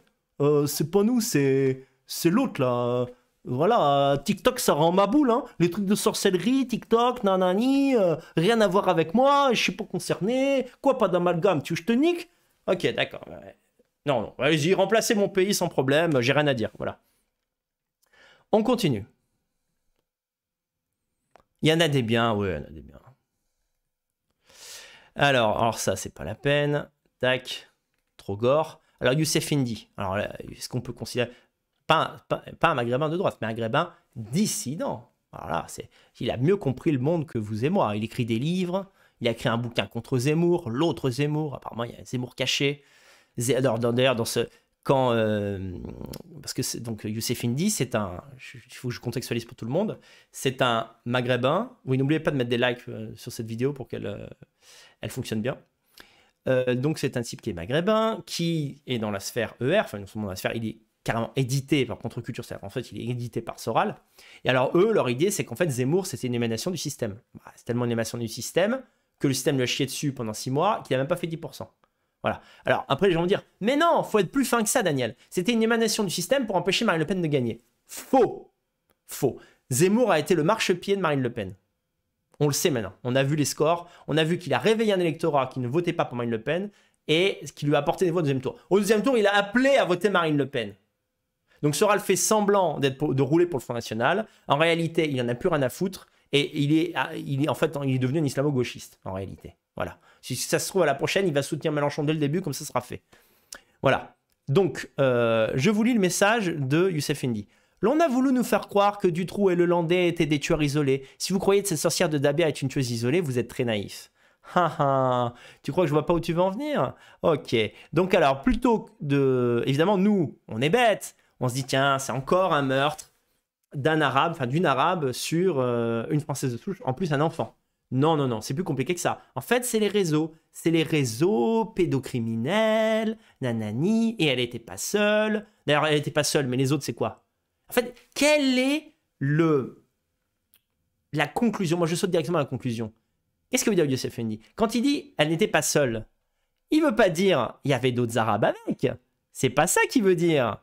Il veut dire il y a des gens au-dessus qui ont rendu ça possible à travers des financements, des réseaux, des nanani maçonniques, c'est-à-dire des blancs ou des juifs. Voilà. Donc Youssef Indy, il voit une Algérienne qui, qui, qui, viole, euh, qui, oblige une gosse, je suis désolé de le dire, mais c'est ce qui s'est passé à, Elle met la gosse, la tête de la gosse sur son sexe, qui donne envie de tout casser d'entendre ça, et de le formuler, et ensuite elle meurt asphyxiée dans une terreur ignoble, et lui il fait une analyse validé par ER et par cette saloperie d'Alain Soral, euh, pour euh, dire qu'en gros, c'est plus compliqué, il y a des réseaux derrière. En, comparant avec des mecs qui ont rien à voir, qui sont des, serial killers, euh, absolument rien à voir. D'ailleurs, entre parenthèses, ça c'est un argument. vous savez, les gens disent Ah oui, c'est un meurtre horrible et serial killer. On n'a jamais dit qu'il n'y avait pas de serial killer. Déjà, il y a combien de serial killers? Il y a combien de meurtres commis par des serial killers? Par rapport à, ce qui est causé par la délinquance du quotidien, les attaques, les viols, euh, le nombre de meurtres chaque année. Combien de cette proportion de meurtres euh, est faite par des serial killers Ensuite, on n'a jamais dit qu'un serial killer, même blanc, devait être libre dehors. Je vous rappelle qu'on est de droite. Moi, je suis pour exécuter les serial killers. Marc Dutroux devrait être mort. Il aurait dû être exécuté. Et pareil pour tous les serial killers. Mais un serial killer qui est né en France, de parents français, blancs, qui n'a jamais connu un autre pays que la France, on va pas le remigrer, ça n'a aucun sens. Bande d'enculés de gauchistes. D'accord? Par contre, une nana qui a un comportement psychopathique et criminogène, mais qui n'aurait pas dû être en, France, oui, on peut se plaindre. On peut dire Ah ouais, eh ben en fait, peut-être que elle aurait été comme ça dans un autre pays, mais ce serait pas un des nôtres qui serait mort. Ok? Alors peut-être qu'ils vont pousser le vice en disant, mais oui, mais alors, euh, dans, dans leur. Dans... Bah, D'ailleurs, je crois qu'il y a un mec, euh, je sais plus lequel, un youtubeur euh, gauchiste qui a dit, ben, en fait, si elle avait été, restée en Algérie, elle aurait sûrement tué des, enfants algériens, des enfants algériens. Alors qu'est-ce que ça change? Qu'est-ce que ça change Fils de putain? Qu'est-ce que ça change si que ce serait pas une, enfant française et que n'importe quelle personne bien constituée dans son cerveau a plus d'empathie pour euh, une nana de son peuple qu'une nana d'un autre continent, primo. Et deuxièmement, pourquoi ne pas envisager le fait que ce soit un crime raciste? Qu'elle n'aurait pas fait ça en Algérie parce qu'elle n'aurait pas tué un enfant algérien Putain, mais c'est fou, quoi C'est même pas conçu, c'est même pas concevable. Parce qu'en fait, il y a que les blancs qui peuvent être racistes. Pas les, euh, pas les maghrébins, pas les noirs. Donc en fait, quand ils tuent un blanc, c'est pas raciste. C'est juste qu'ils sont fous. Euh, voilà, alors il faut être ferme, hein. bien sûr, il faut être ferme. Encore heureux. Euh, parce qu'il faudrait, euh, faudrait quoi? Il faudrait la libérer. Peut-être qu'on arrivera à ça un jour. On arrivera à ça. Bon, je m'énerve. On continue. Ah, ça va pas bien se passer ce live, je vous le dis direct. Alors ensuite, on a l'aldostérone. Je sais que bah, beaucoup d'entre vous qui aiment l'aldostérone, euh, moi je l'aime pas. Voilà, et je l'aime. je l'appréciais il y a quelques années parce que j'avais une connaissance superficielle de son œuvre. Pour moi aujourd'hui, aldostérone, c'est un complotiste. C'est un type qui lutte contre l'islam du bout des lèvres, qui a des discours volontairement humiliant euh, et critique des racistes, et qui, à l'image d'un Youssef Indy, donc exactement, c'est la sainte union des euh, maghrébins dissidents, à l'image du Youssef Indy, qui va euh, remplacer la juste colère et la sainte colère des Français et des dissidents blancs par un nuage brumeux complotiste. Si Dabia se suicide, c'est que l'affaire se joue sur un autre niveau. Je poste ce tweet juste au cas où. Alors, euh, aux dernières infos, il aurait supprimé ce tweet. peut-être rendu compte qu'il avait dit de la grosse merde. Et peut-être aussi parce que je l'ai attaqué fortement sur Telegram. Vous avez un lien vers mon canal Telegram, je l'ai attaqué en disant que c'était scandaleux de dire ça. Parce que, évidemment, que.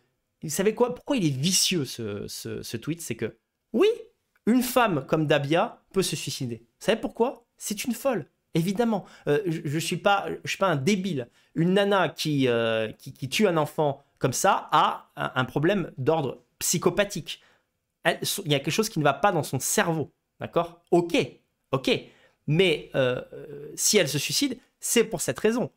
Et lui, il parle, il se dit tiens, admettons qu'elle se suicide, hein, et tout ça c'est du vice. Tout ça c'est de la taquia. Voilà, je vous le dis directement, c'est de la taquia. Et si vous n'êtes pas d'accord, vous verrez dans quelques années, vous serez d'accord avec moi. Euh, J'ai souvent raison avant les autres. C'est de la taquia. Il se dit, si elle se suicide, eh ben, les gens y croiront un petit peu ma version et ils se diront que c'est plus le crime d'un réseau euh, maçonnique caché, mystère, que d'une Algérienne sur une. Ah, Parce que ça sonne mieux, hein.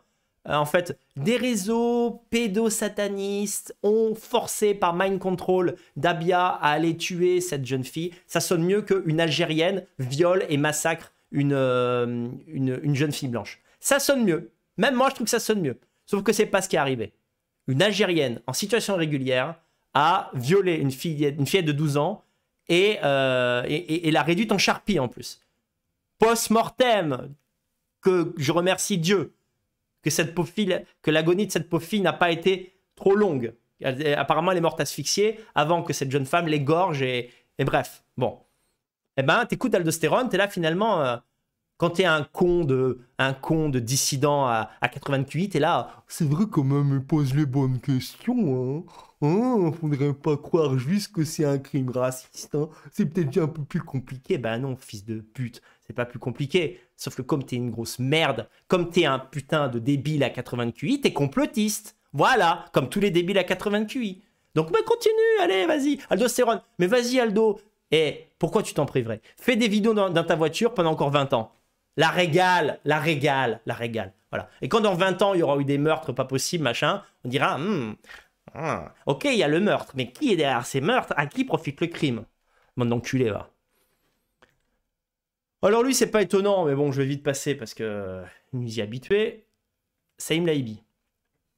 Évidemment, il est sur la même ligne. Évidemment. D'ailleurs, on se demande pourquoi Saïm Laibi et Soral sont fâchés. Ils ont la même ligne. Réconciliez-vous. Ah, c'est vrai que Soral avait euh, s'était réjoui, parce que Soral est la dernière des ordures, s'était réjoui de la mort du fils de Saïm Laibi.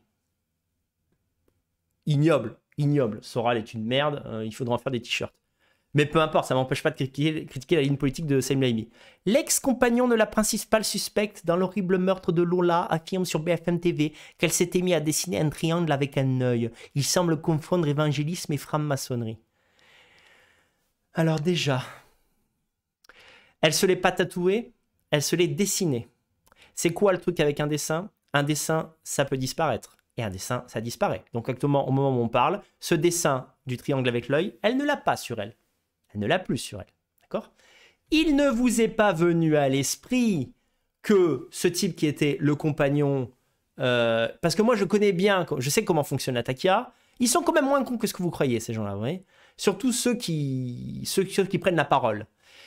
Euh, je, je la connais bien parce que j'ai fréquenté beaucoup d'Arabes euh, quand j'étais plus jeune, parce que c'était comme ça à Grenoble. Voilà, c'est les gens que je fréquentais.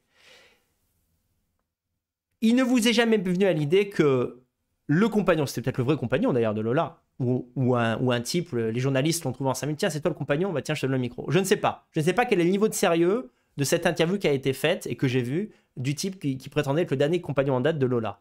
Il vous est pas venu à l'idée, je vais enfin réussir à le pondre, qu'il avait dit ça pour brouiller les pistes. Il vous est pas venu à l'idée que le mec s'est dit, je vais pas dire qu'elle a fait ça nom de l'islam, je vais dire qu'elle avait un petit truc, un petit œil franc-maçon. Ni vu ni connu, je te, je te, je te couscous la gueule, quoi, tu vois. Toi, t'es là, ah ah bah en fait, c'est pas elle, c'est les francs-maçons qui l'ont contrôlé pour faire ce rite satanique et pour, euh, euh, comment dire, monter les communautés les unes contre les autres. Bon sang, mais c'est bien sûr. Je vous parle même pas du fait que si, si elle avait vraiment eu ce truc, le nombre de, de symboliques avec un triangle et un œil, mais je t'en trouve 10 000. C'est-à-dire, Sur Internet, je t'en trouve 10 000 en deux secondes. en plus, l'arabe fait une confusion entre maçonnerie et évangélisme. C'est-à-dire qu'en fait, en gros, mais dans une semaine, on va nous dire qu'en fait, c'est une intégriste catholique, cette nana. qui a mal tourné. Euh, des trucs avec un œil, moi, des mains de Fatma où il y a une main, une main, un œil, un triangle autour, j'en ai vu 50 millions dans ma vie. D'accord? Bon, la même ligne, toujours pareil.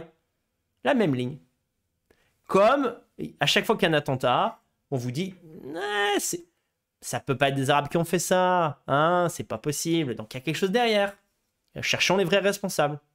Ok, on cherche, on cherche. Mais on a quand même vraiment l'impression que c'est ces gens-là. hein. Je sais pas, c'est c'est quand même un peu à chaque fois quoi. Alors, voilà, c'est un- une tweetos, euh, euh, une tweetos euh, basique où je montre même pas parce qu'elle est pas connue. Oma Shila, Oma Lisha, bah si, je peux montrer parce que c'est, on s'en fout. C'est une nana noire, voilà, sur, sur Twitter. Faites attention à vous, je vous assure qu'il y a un gros trafic d'organes en France que les médias essaient de nous cacher. Mais d'accord, mais je comprends pas la stratégie. Donc là, tu penses que donc tu es en train de suggérer que euh, Dabia faisait du trafic d'organes. Bah, elle est vraiment conne hein, pour une nana qui bosse dans, le- trafic d'organes. C'est-à-dire qu'en fait, euh, elle, elle découpe la jeune fille. Après, elle va se prendre un café, elle attend que la police arrive. C'est ça le trafic d'organes? Euh, Je comprends pas. Et quand bien même, quand bien même ce serait pour du trafic d'organes, elle est quand même responsable. Elle est quand même coupable. Elle a quand même tué cette fillette. Alors qu'est-ce qu'on s'en bat les couilles? Hein Nous, ce qu'on voit, c'est que c'est une fillette blanche qui s'est fait massacrer par une Algérienne. La con de vos mères. Voilà, voilà. Mais attendez, je vous ai réservé le meilleur pour la fin. ER.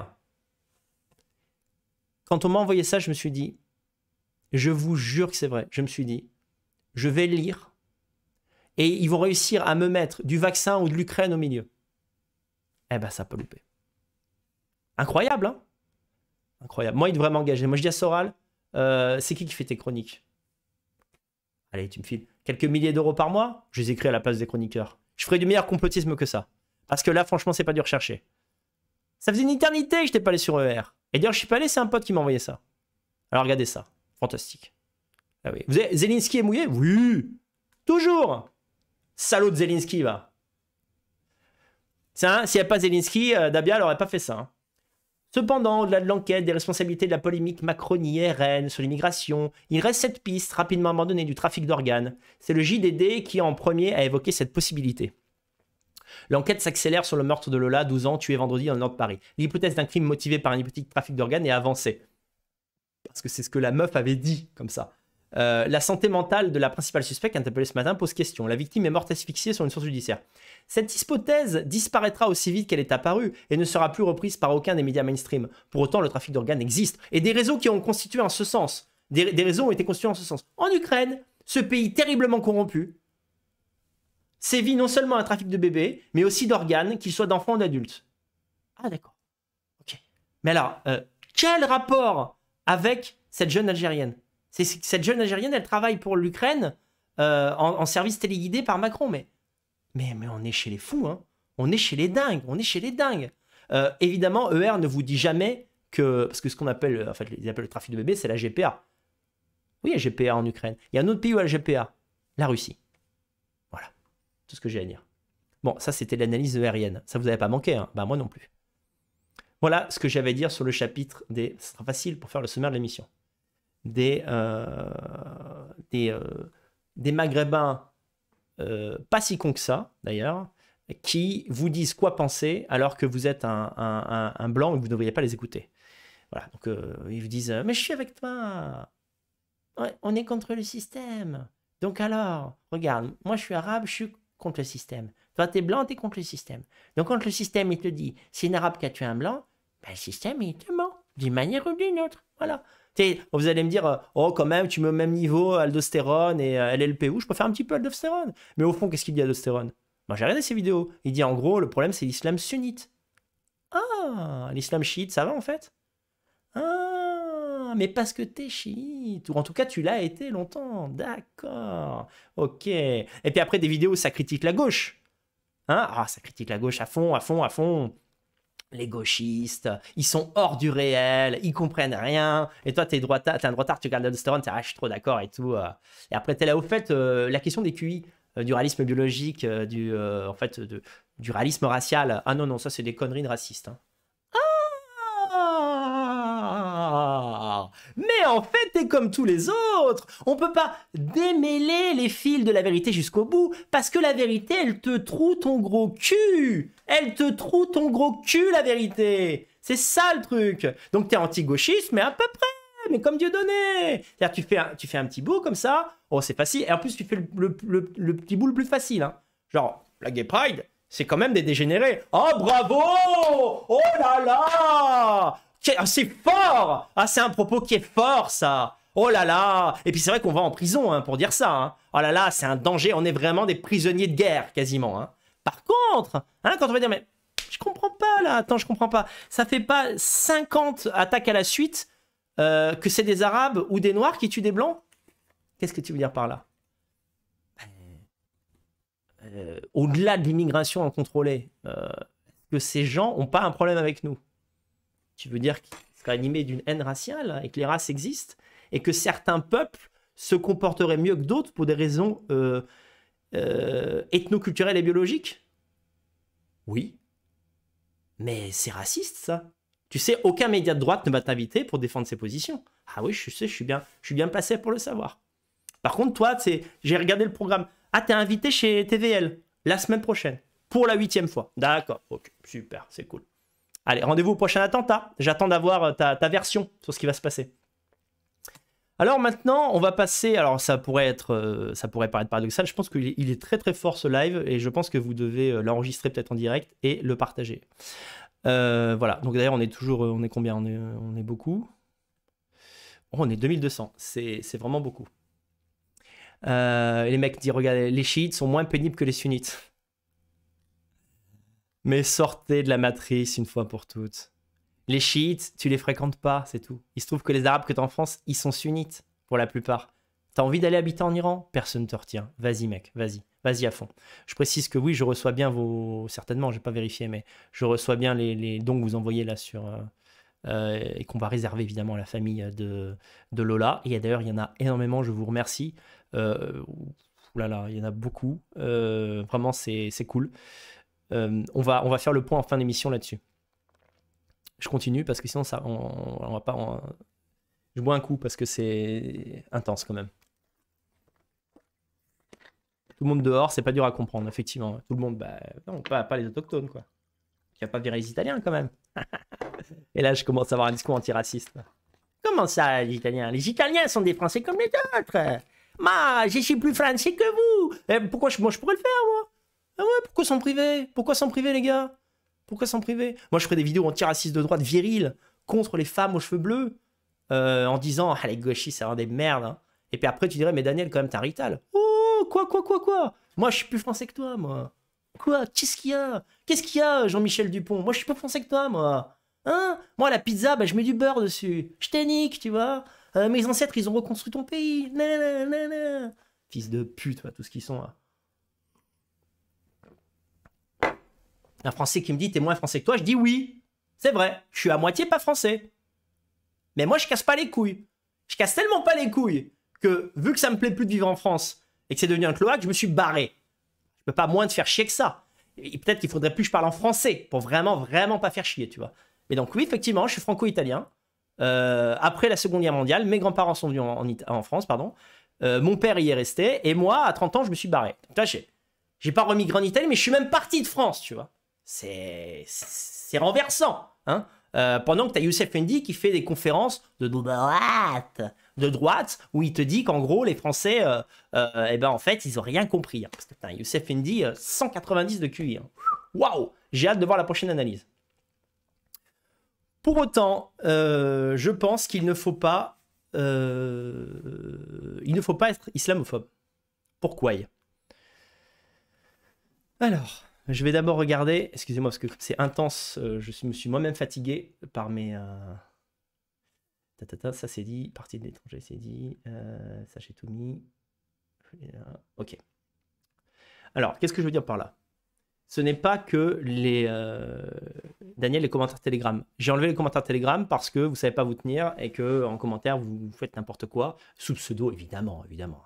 Ceux qui se lâchent le plus sont sous pseudonyme. Il y a toujours des trucs à la con, genre euh, vous allez voir, euh, vous allez voir ce que vous allez voir. Quoi? Euh, Vous pouvez répéter la question? Non, non, mais ça suffit, on a marre. hein. Moi, tu vas voir ce que je vais faire. Quand À quelle heure? Je suis pas au courant, je comprends pas. Parce que là, tu t'appelles Jean Bulbe, en fait. Je te soupçonne fortement d'avoir 17 ans et demi et de vivre chez ta mère, tu vois.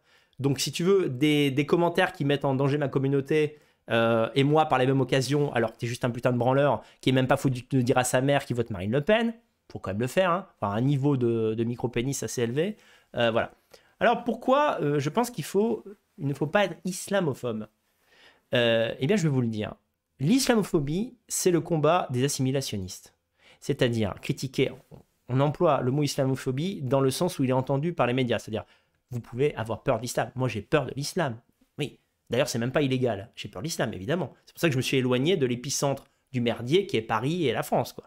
Euh, mais euh, je ne suis pas devenu islamologue pour critiquer le Coran ou je sais pas quoi. C'est un combat de laïcars, de républicains et d'assimilationnistes. Pourquoi?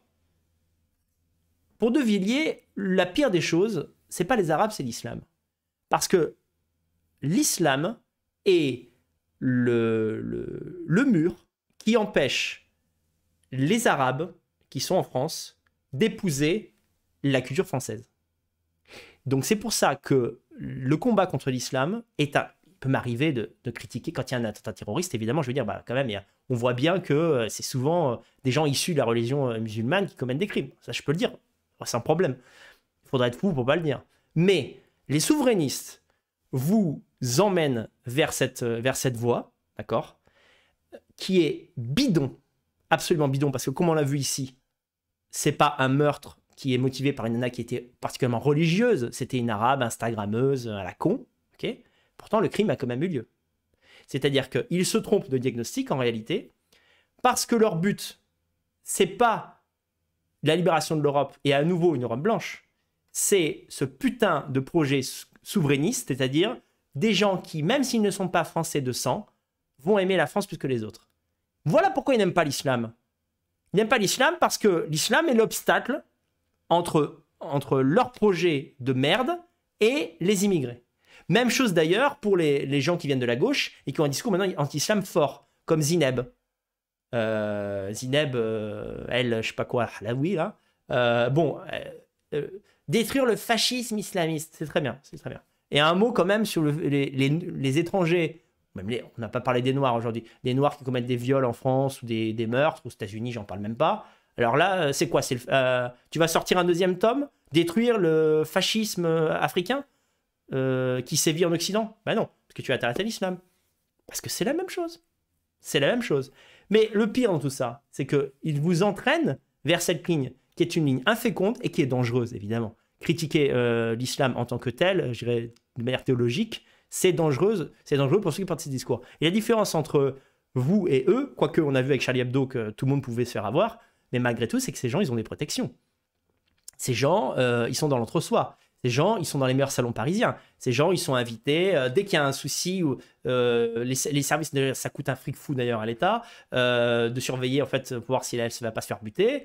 donc la France en fait paye pour ça. Vos impôts payent pour ça, payent pour la protection de Zineb. Mais moi je suis d'accord quand plus pour Zineb que pour les islamistes, c'est une évidence. Mais ça pour dire que en fait, le prix de sa liberté de parole, c'est je sais pas combien de policiers qui la protègent. Si vous, en tant que militant national, Zineb El Glaoui, vous faites la même chose, et que vous, par le hasard, vous faites trop connaître, qu'est-ce que vous risquez? Bah, La mort, évidemment. Vous n'allez pas vous faire tuer. Vous n'allez pas vous faire tuer en essayant d'expliquer aux musulmans que l'islam, c'est pas bien. C'est ridicule. C'est ridicule. Est-ce qu'il y a un seul musulman sur Terre qui a entendu un discours islamophobe, islamocritique fort, et qui s'est dit Ah ouais, c'est vrai, putain, j'étais con, en fait. Ah, mais non, je dois plus être musulman. Ah, si vous croyez ça, vous êtes dingue. Vous êtes dingue. On n'ôte pas la, religion d'un peuple entier et d'une ère de civilisation qui est l'Orient, simplement en faisant des critiques. D'accord? Faut juste être un, gauchiste mental pour croire ça. Faut être un gauchiste mental. Et, de la même manière, les Européens ont des convictions fortes. Par exemple, les Européens sont très attachés à la liberté. Tu n'arriveras jamais à expliquer à, un Européen qu'il doit troquer sa liberté contre autre chose. Tu, auras une difficulté folle à le faire. Avec d'autres peuples, c'est plus facile. Avec les Chinois, c'est un peu plus facile.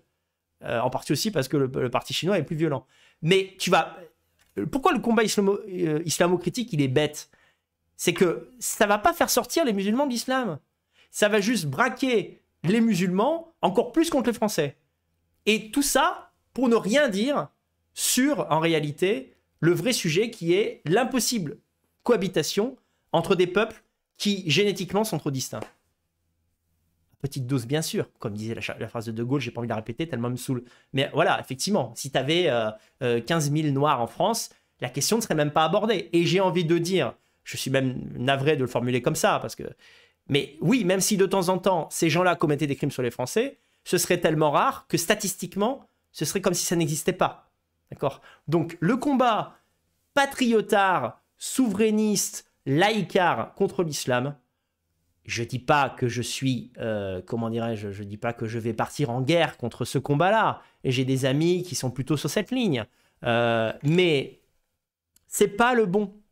Et c'est pas euh, et les jeunes, les jeunes de droite nationalistes qui habitent en France ne doivent surtout pas aller sur ce terrain-là. Alerte rouge, alerte rouge. Vous allez faire quoi? Vous essayez de prendre le Coran? Pour eux, le Coran c'est un livre saint. Et tu vas dire, il y a une faute logique à la page 4 et tu parles à des gens, euh, c'est pas Spinoza à qui tu vas expliquer ça, ok? Donc, et, la droite souverainiste vous pousse là-dedans. L'islam, l'islam, l'islam, l'islam. Est-ce que c'est le problème là? C'est un truc qui englobe l'islam. L'islam, c'est juste la religion de ces gens. Le problème, c'est ces gens. Voilà. C'est que je peux pas le résumer mieux que ça. Euh, il, faut il faut critiquer l'immigration massive comme phénomène et pointer du doigt ce que je vais faire tout de suite d'ailleurs, ça va être un moment assez, fort, le caractère atavique de leur violence qu'on retrouve euh, historiquement à travers toutes les époques. Donc, euh, donc voilà, avant d'aller sur le chapitre, ils sont tous fous, bah alors là, on va justement. Je vais vous parler un petit peu de la guerre d'Algérie. Alors, quand on parle de guerre, d'Algérie, euh, quand tu nous parles de, guerre d'Algérie, oui, parce que les gens disent oui, mais quand, quand j'ai eu affaire à Soral, j'ai pas dit on en a plein le cul de l'islam hein, à Soral. Hein. C'est pas ça que j'ai dit. J'ai dit autre chose. Quand on parle de la guerre d'Algérie, à force d'écouter Macron, etc., ben en fait, on a l'impression que euh, bah, les Français. Euh, pourquoi en fait les Algériens sont, sont énervés contre nous? Parce qu'en fait, apparemment, on les aurait tués euh, sans raison comme ça, on leur aurait fait du mal. évidemment, eux, des anges, hein. des anges descendus du ciel. voilà. Bah alors on va voir un petit peu, on va un petit peu de lecture ensemble, ok? Alors, Je vous demande euh, deux secondes. Euh, je fais un petit peu de ménage ici, tac. Euh, là aussi, tac, j'enlève. Ça plus tard, ça plus tard, ça plus tard, ça plus tard, ça plus tard, ça plus tard, ça plus tard. Ok. On va être bon dans pas si longtemps que ça. Alors, non, ça c'est plutôt autre chose. Ok. Ah, il faut absolument. Attendez, il faut absolument que j'en trouve un là. Parce que je vois que j'ai pas tout mis au même endroit. N'hésitez pas pendant ce petit moment de flottement euh, à diffuser la vidéo un peu partout. Je crois que malheureusement je l'ai pas noté celui-là. C'est Wikipédia, donc c'est simple, c'est Wikipédia. Ah merde, je l'ai pas celui-là. Regrettable. Regrettable. Allez, on passe à Edge. Vous inquiétez pas, pendant un moment vous n'allez pas me voir, c'est normal. Et là vous me revoyez. Petit moment de flottement, je vous prie de m'en excuser. Euh, non. Euh, pourquoi j'ai pas ça, tiens. Euh...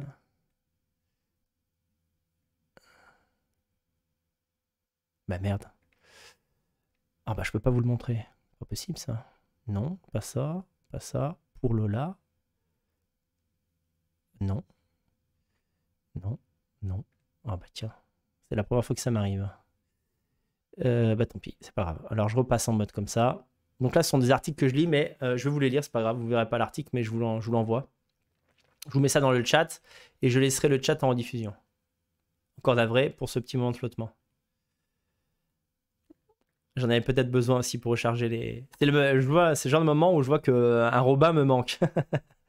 voilà. Alors, euh, l'article, vous pouvez lire en même temps que moi.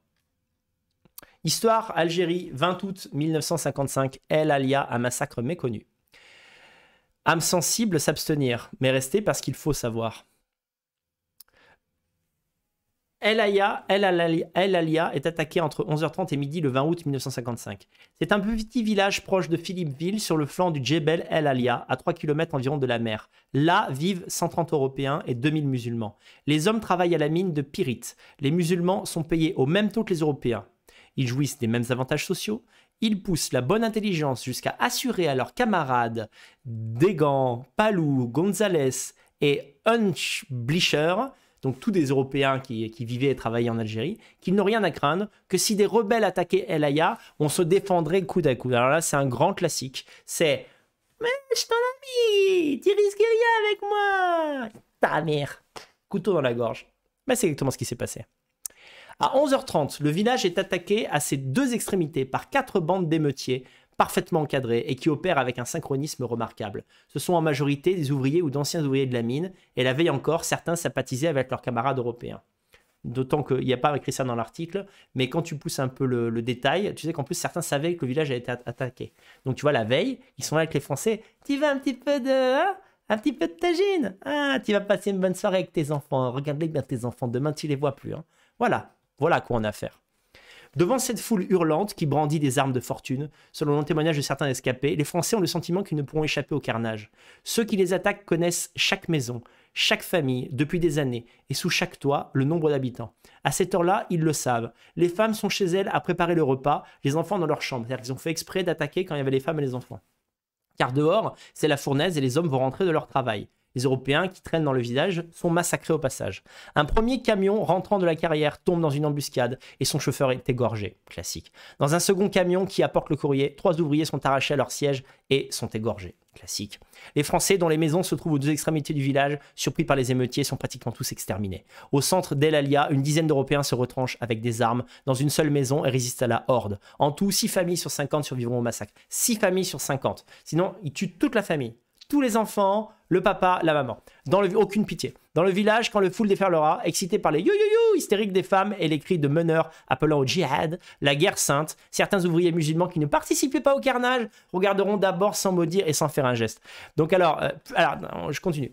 Puis les cris, l'odeur du sang, de la poudre, les plaintes, les appels des insurgés finiront par pousser au crime à leur tour. Alors la tuerie se généralise. On, fait sauter les portes avec des pains de chélites volés à la mine. Les rebelles pénètrent dans chaque maison, cherchent leur gibier parmi leurs anciens camarades de travail, dévalisent et saccagent, traînent les Français au milieu de la rue et les massacrent dans une ambiance d'épouvante et sanglante kermesse. Des familles entières sont exterminées. Les Hasley, les Brandy, les Hunchblisher, les Rodriguez, toute la famille. Outre les 30 morts, il y aura 13 laissés pour, pour mort et deux hommes, Armand Pucédu et Claude Serra, un adolescent de 19 ans, donc on ne retrouvera jamais. On peut deviner aisément ce qui lui arrivait. Quand les premiers secours arrivent, El Aya est une immense flaque de sang.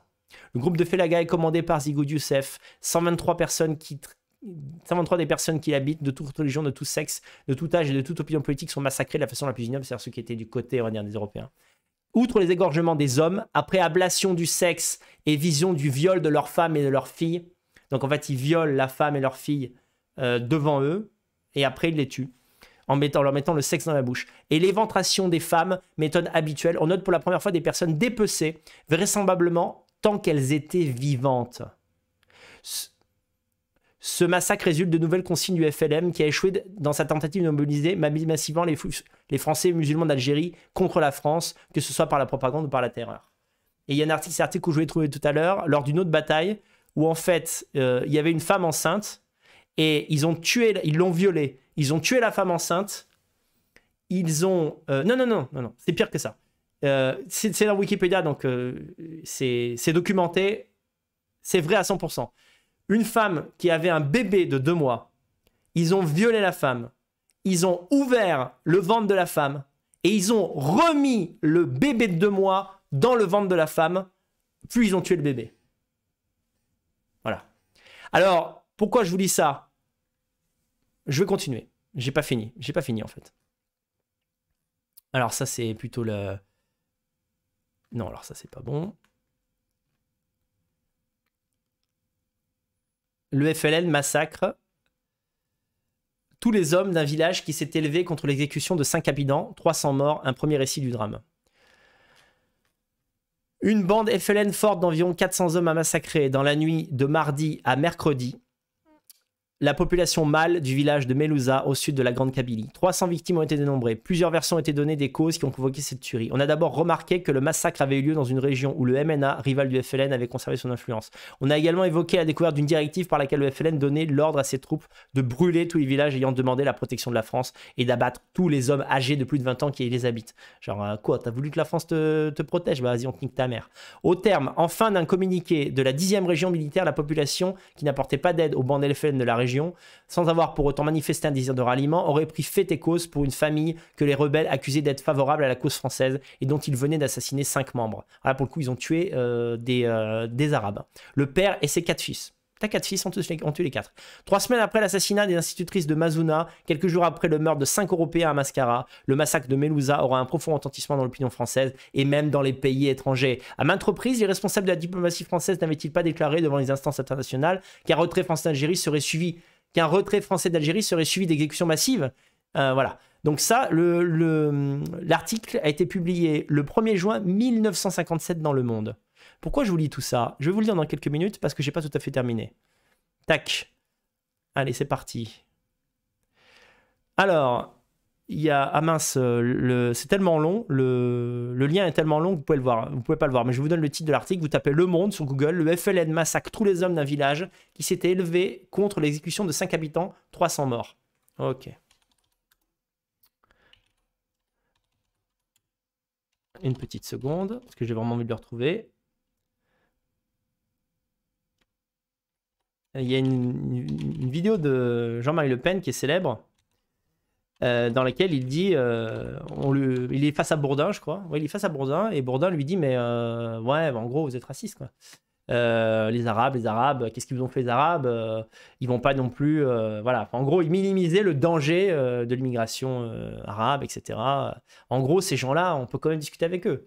Et Jean-Marie Le Pen a dit, pensez-vous, ils ont sodomisé notre consul. Moi, j'étais là, attends. Quand il a dit ça, c'était tellement fou pour moi que j'y ai pas cru. Eh ben en fait, si. En fait, euh, au moment de la guerre d'Algérie, le consul de France a été sodomisé par plusieurs, euh, par, par, par, des combattants algériens. Alors, j'essaie de trouver euh, exactement le. Attends, je vais lire celle-là, c'est pas, pas si grave.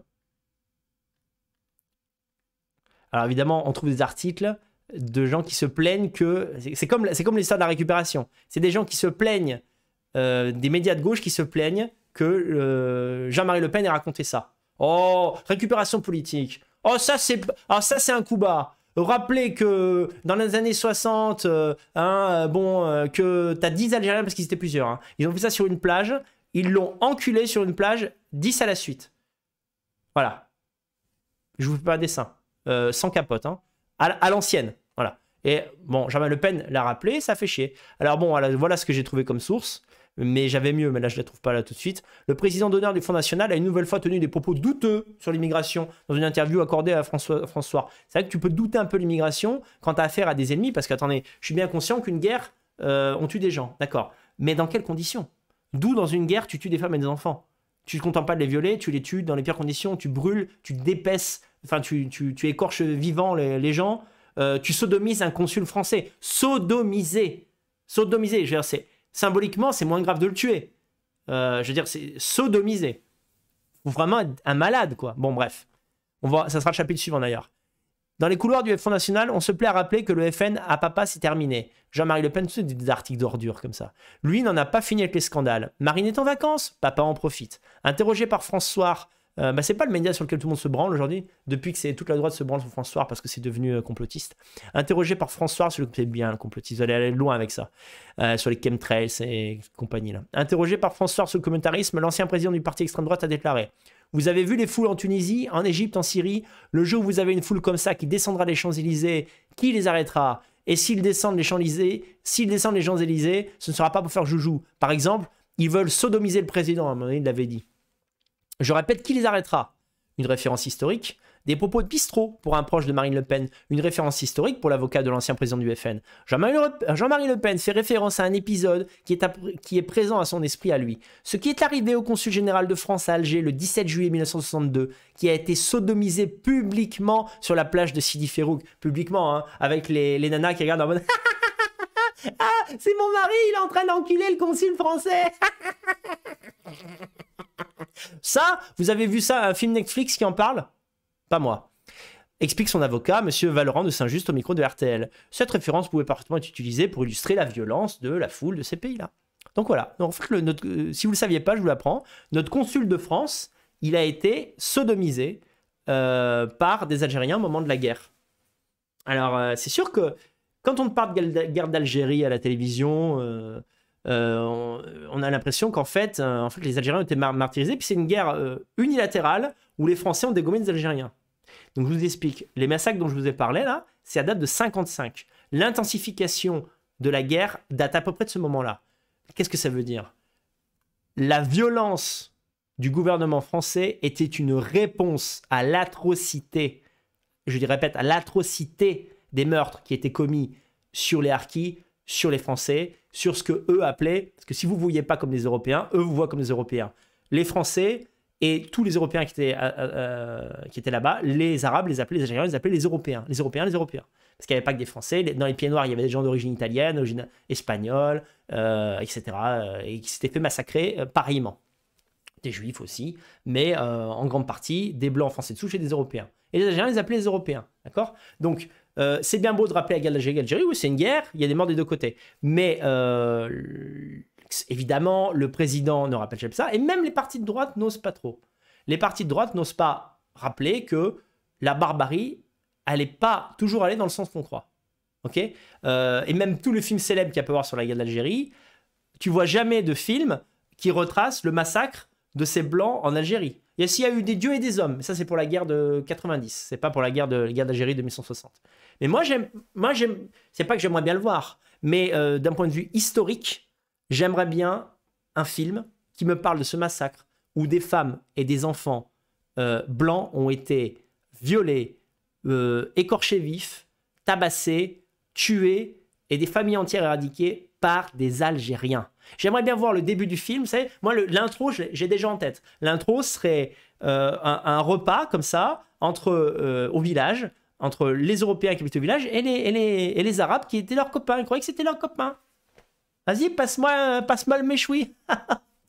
tu me fais toujours rigoler, Didier. Toi, tu es vraiment un, un, t'es petit farceur. Hein, Hein, t'es un petit farceur. J'ai pris l'accent chinois tellement je, je suis énervé. Euh, hein toi, t'es mon ami. Mon ami de toujours. Hein, mon ami, mon ami, mon ami. C'est comme la mafia. Mon ami, mon ami. Bravo. Le baiser de Judas. Va faire dodo, va.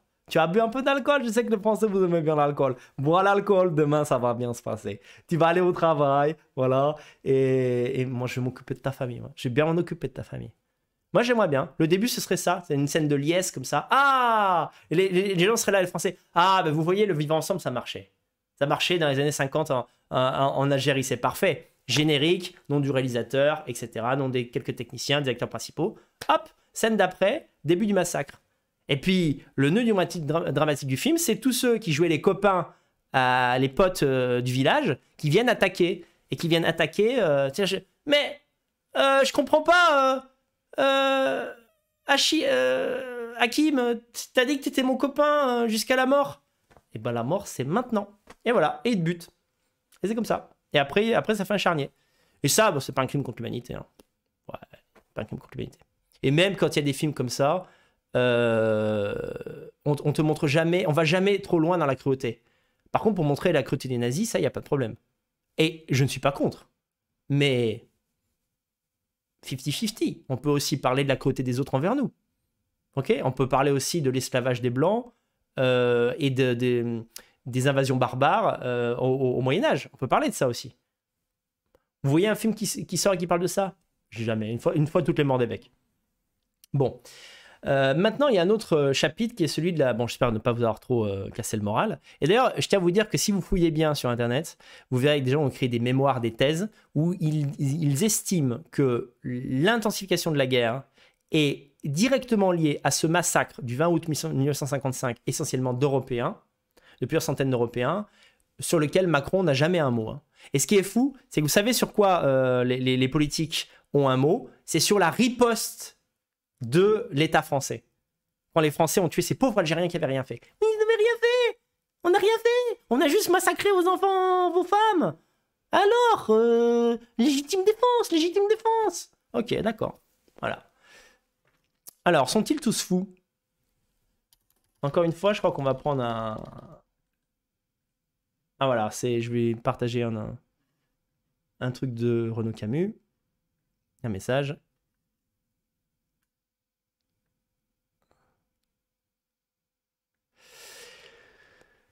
Alors là, il cite euh, en gros tous les journalistes, c'est un meurtre lié à la folie, non à l'immigration. Mais précisément, la proportion d'immigrés ou de clandestins ayant des pathologies psychiatriques lourdes, aggravées par des croyances magiques primitives est effrayante. Encore une fois, rien à enlever. Précisément, la proportion d'immigrés ou de clandestins ayant des pathologies psychiatriques lourdes, aggravées par des croyances magiques primitives est effrayante. Parce que c'est marrant, c'est comme un totem ce truc. Ils disent non mais ça compte pas, il était fou. Ça compte pas. Euh, je veux dire, la fille, elle est morte ou elle est pas morte? Elle est morte, ouais dans d'atroces euh, circonstances. Donc ouais, ça compte. Ça compte, ça compte, ça compte. Ça compte. Parce que quand, tu, quand un blanc commet un crime, on ne dit pas le premier truc, ouais, mais c'était un fou. Euh, en ce moment, il y a cette série qui buzz à mort, là, euh, Jeffrey Dahmer. Bah, Jeffrey Dahmer, t'es probablement fou. Pour baiser avec des cadavres, les bouffer et compagnie, il faut être fou. Mais est-ce que c'est ce qu'on te dit? Non, on va te dire c'est le, le sommet du mal, etc. Et je, je dis même pas le contraire. Mais est-ce qu'un jour, il y aura un film qui va nous expliquer que Dabia, c'était le sommet du mal? Non, on le ferait pas. Pourquoi? Parce qu'elle est folle. Ah Comme elle est folle, c'est pas de sa faute alors. Ah, c'est pas de sa faute. Pauvre bichette. Alors là, on a. euh, Alors attendez. Alors ça, c'est. J'en ris, mais qu'est-ce que tu veux faire d'autre? Alors, en France, les chiffres des, euh, des, en gros les stats des principales, euh, des principaux pays de provenance des gens qui ont besoin d'une aide psychiatrique et qui sont des étrangers en France. Regardez, 12% congolais, 12% Algérie, 6% Arménie, 6% Albanie, 5% kosovar, 5% nigérian, 4% guinéenne, 4% géorgienne, 3% congolaise république, voilà, marocaine, autres. Donc en fait, si tu enlèves l'Arménie, euh, le Kosovo, mais maintenant c'est musulman, le Kosovo, enfin la région que... En fait, que des pays africains et orientaux. Donc alors qu'est-ce qu'on fait si parmi ces gens il y a plus de fous? On vient de dire, Daniel, oh, t'as sûrement trouvé cette stat, euh, les mecs qui vont regarder ça et qui, euh, hein, qui, qui- passent leur journée à lutter contre le racisme. C'est vrai que c'est le- leur France, c'est ce qui désigne la France, c'est le racisme, hein, surtout des blancs.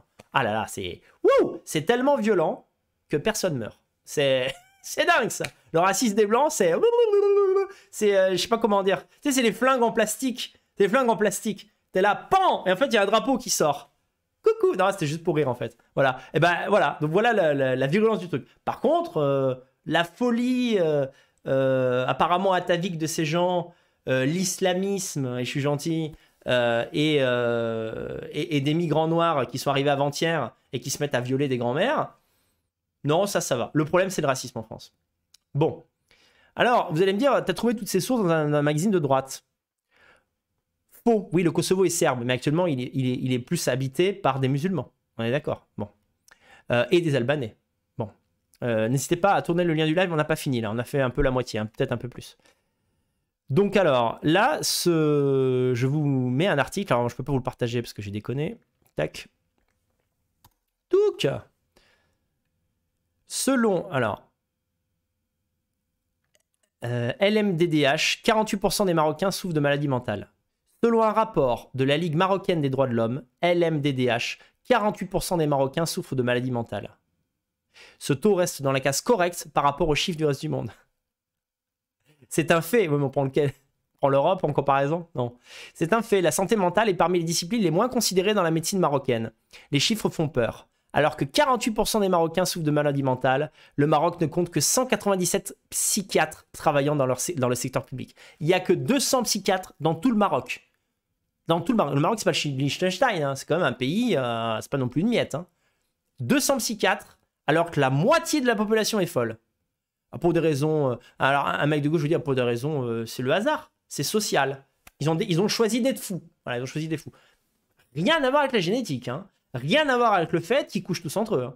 Euh, rien à voir avec le fait que si tu per- superposes la carte en fait euh, de, du nombre de fous par habitant, du, nombre de gens qui qui n'ont pas l'esprit par habitant, avec la carte des, euh, de la consanguinité, wow It's a match It's a match Wow Plein de consanguins en, en- en- en Afrique du Nord. Ok, information intéressante. Ah Plein de fous en Afrique du Nord. Oh Information intéressante. Mais à part ça, c'est nous les consanguins, hein. nous les racistes, qu'on veut que coucher entre blancs. Hein. On va m'expliquer la consanguinité. Alors moi, la consanguinité, je suis franco-italien, hein, euh, j'ai fait des enfants avec une femme roumaine. Apparemment, on est des consanguins. Bon, la vraie consanguinité n'est pas là où on le croit. Euh, voilà. Un chiffre faible, oui, 200 psychiatres pour euh, 48% de fous, c'est faible. Un chiffre faible compte tenu de la moyenne mondiale euh, et les normes internationales, explique le dernier rapport de la Ligue marocaine des droits de l'homme. Cela représente une moyenne de 0,63 psychiatres pour 100 000 habitants, contre une moyenne mondiale de 3,66 psychiatres pour 100 000 habitants. On va pleurer, tiens. Alors peut-être que c'est à la France, comme apparemment c'est aux Blancs de régler tous les problèmes des autres, c'est peut-être à la France de payer des psychiatres pour les Marocains. Bon, ok, moi à la limite, si, si, euh, ça les fait ne pas venir ici, pourquoi pas? Ok, alors j'ai pas, pas les chiffres de l'Algérie, mais cherchez-les à ma place si vous voulez. Bah si, je les ai, hein. mais j'ai pas un article aussi détaillé sur l'Algérie. Si vous voulez le faire ce travail, il n'y a pas de problème. Ça m'intéresse aussi, euh, je, publierai les résultats, il n'y a aucun problème. Donc alors, euh, cette excuse de la folie sur les réseaux, quand on vous dit ça, mais c'est une folle, eh bien, il faut écrire que faire si euh, la population d'un pays dont nous recevons beaucoup de ressortissants contient en son sein 48% de fous?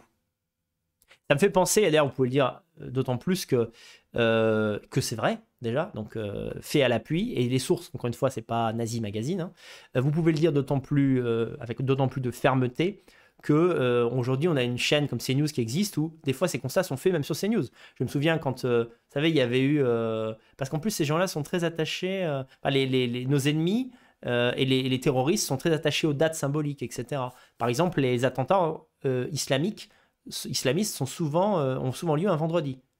Hein je vous rappelle que, j'ai oublié de le dire ça tout à l'heure, Samuel Paty, alors attendez, je vais lire ça, mais je vais le lire avant le commentaire parce que je crois qu'il est un peu salé, quoi. Euh, c'est où ça? Oui, alors, euh, quelqu'un avait mis sur Twitter quelque chose qui est tout à fait juste. Euh, je, suis, un peu chaud du coq à mais parce que sinon j'ai oublié de le mettre. Imaginez seulement qu'une Algérienne de 12 ans ait été tuée par quatre Français. Alors maintenant, on sait que c'est une femme qui était assistée d'une autre personne. On ne sait pas l'implication des deux autres. Mais au départ, il y avait quatre Algériens qui étaient en garde à vue. Après, viol et torture. Imaginez seulement les unes des journaux des médias du gouvernement de l'extrême gauche. Imaginez. Voyez à quel point une petite Française de 12 ans est une citoyenne de seconde zone. Mais c'est vrai. Lola, je, je, tu es une citoyenne de seconde zone. Et nos enfants sont des citoyens de seconde zone en France. C'est aussi pour ça que je me suis barré. C'est pas que l'immigration, c'est pas que le gauchisme. C'est que concrètement, on vaut de la merde. On vaut de la merde. On vaut de la merde alors que c'est notre pays. Et alors que nous sommes les gentils, putain. Il y a aucune riposte, putain. Dire, ce scénario est, même quasiment inconcevable. Déjà, premièrement, c'est pas, euh, pas avant que ce soit les médias, le gouvernement, ce seraient les, les Arabes hein, qui se vengeraient. hein. Peut-être pas le lendemain, mais ils se vengeraient. Donc voilà. Euh,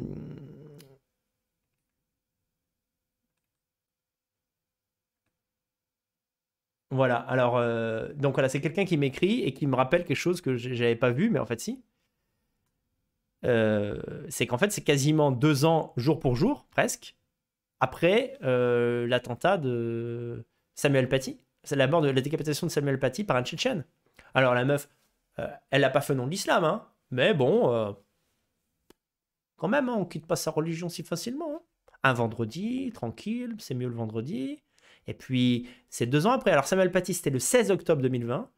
Et si je dis pas de bêtises, on est le 21. Alors, attends. Euh, non, on est le 20, 19, 18, 17. 18. C'est, euh, elle a été tuée le 14 octobre. Vous allez dire, c'est pas exactement le même jour. Ouais, c'est deux ans et deux jours après.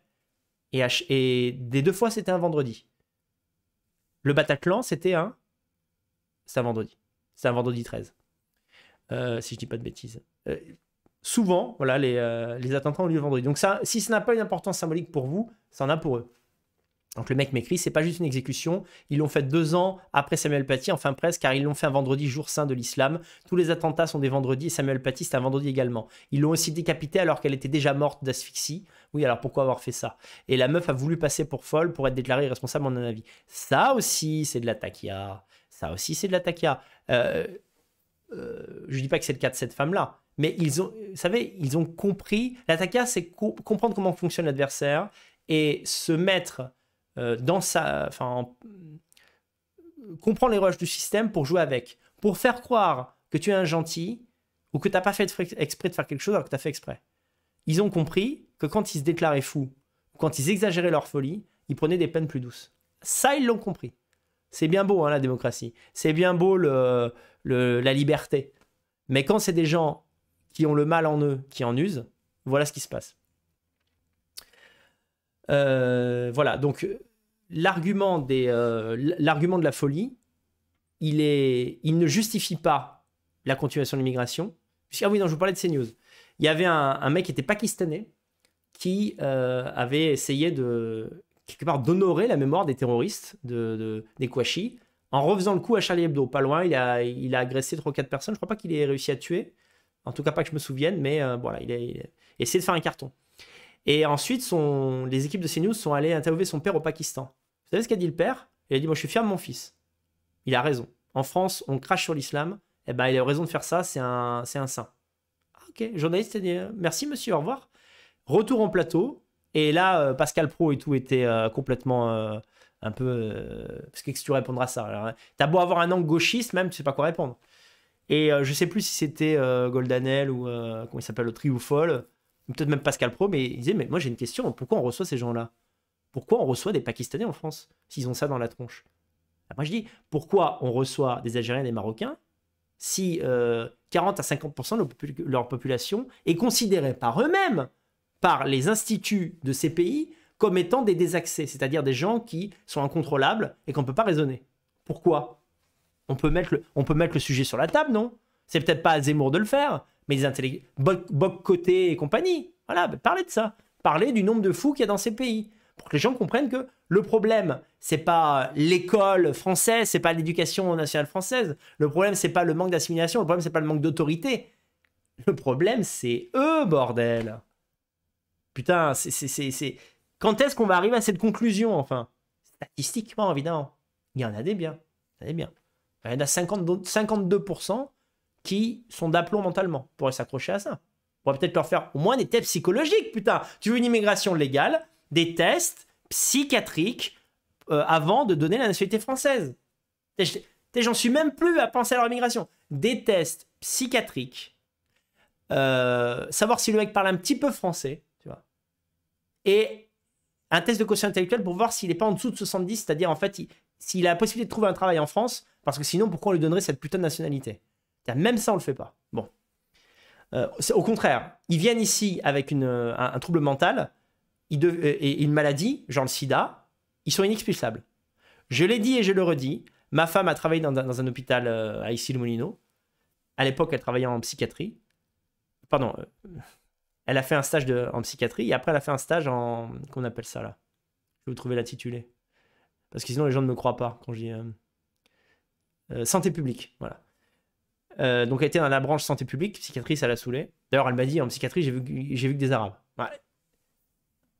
Copyright, Yulia 2015. Mais Daniel, j'en ai marre de faire psychiatrie. Il y a que des arabes. À croire qu'ils sont tous fous. T'es visionnaire. Elle m'a dit les dépressifs, c'est des blancs. Et les schizophrènes violents, c'est des arabes. Mais globalement, dans mon service, il y a 90% d'arabes. Bon, tu me diras, elle est en Ile-de-France. hein, mais bon.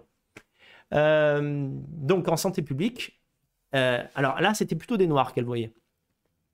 Et, euh, et là, alors là, elle m'a dit, ah, je savais pas, en fait, avec l'AME et tout.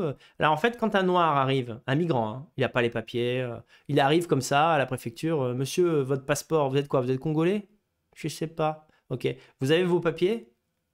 Il sort un- une feuille de PQ, il a marqué son nom, sur la photo, c'est pas lui. Ok, on va vous faire des papiers français. Euh, à part ça, niveau santé, comment ça va?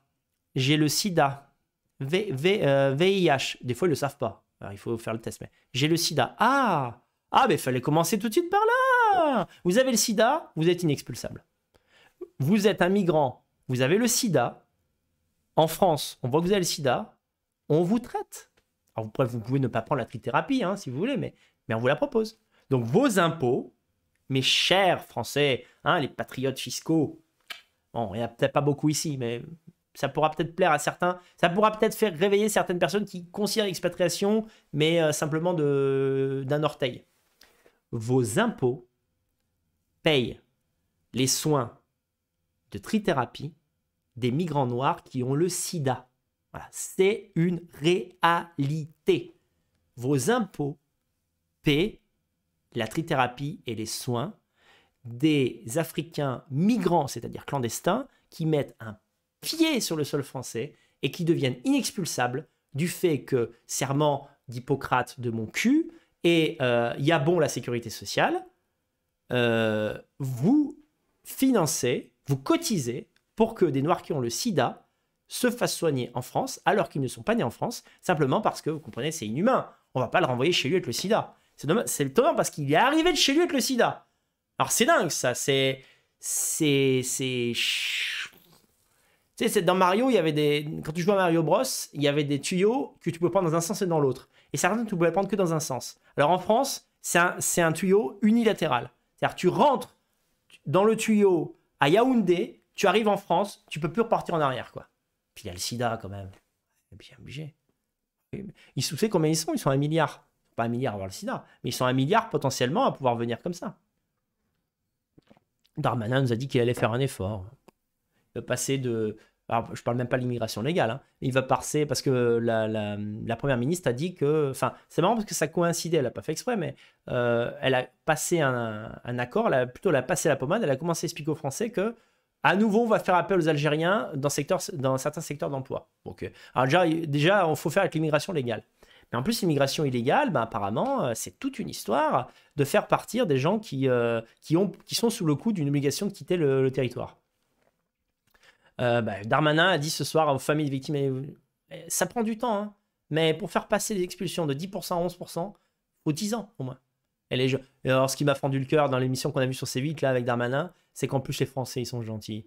Ils, m'énervent, mais, mais ils sont gentils. Alors ils sont là, ils sont victimes. Hein. Mon père, il a été tué quand même. Oh, euh, qu'est-ce que vous allez faire? Ben, Je vais essayer d'en expulser un tout petit peu plus. On prend son temps. Je comprends. Il y a même un qui a dit Vous êtes un homme intelligent. Je, sais que vous avez la situation en main, mais, quand même, euh, dépêchez-vous. Hein. parce qu'il n'y a pas que mon père. Il y en a d'autres qui pourraient se faire tuer. Ne vous inquiétez pas. On est là pour ça. Vous croyez que ça ne travaille pas? dit Darmanin Darmanin, il se couche le soir et ça le travaille. Et la merde, putain. Euh, c'est terrible. C'est terrible. Qu'est-ce qu'on peut faire, finalement euh, Gérard, c'est toi qui dois faire un truc. Enfin, c'est toi qui as le pouvoir. C'est pas moi. Si quelque chose me dit que c'était moi, on serait plus à, plus de 10% d'expulsion. Ouais, ouais. Et puis, euh, si, si on monte à 30% et que l'extrême gauche, elle, elle gueule, c'est ce que je fais? Je leur défonce la gueule.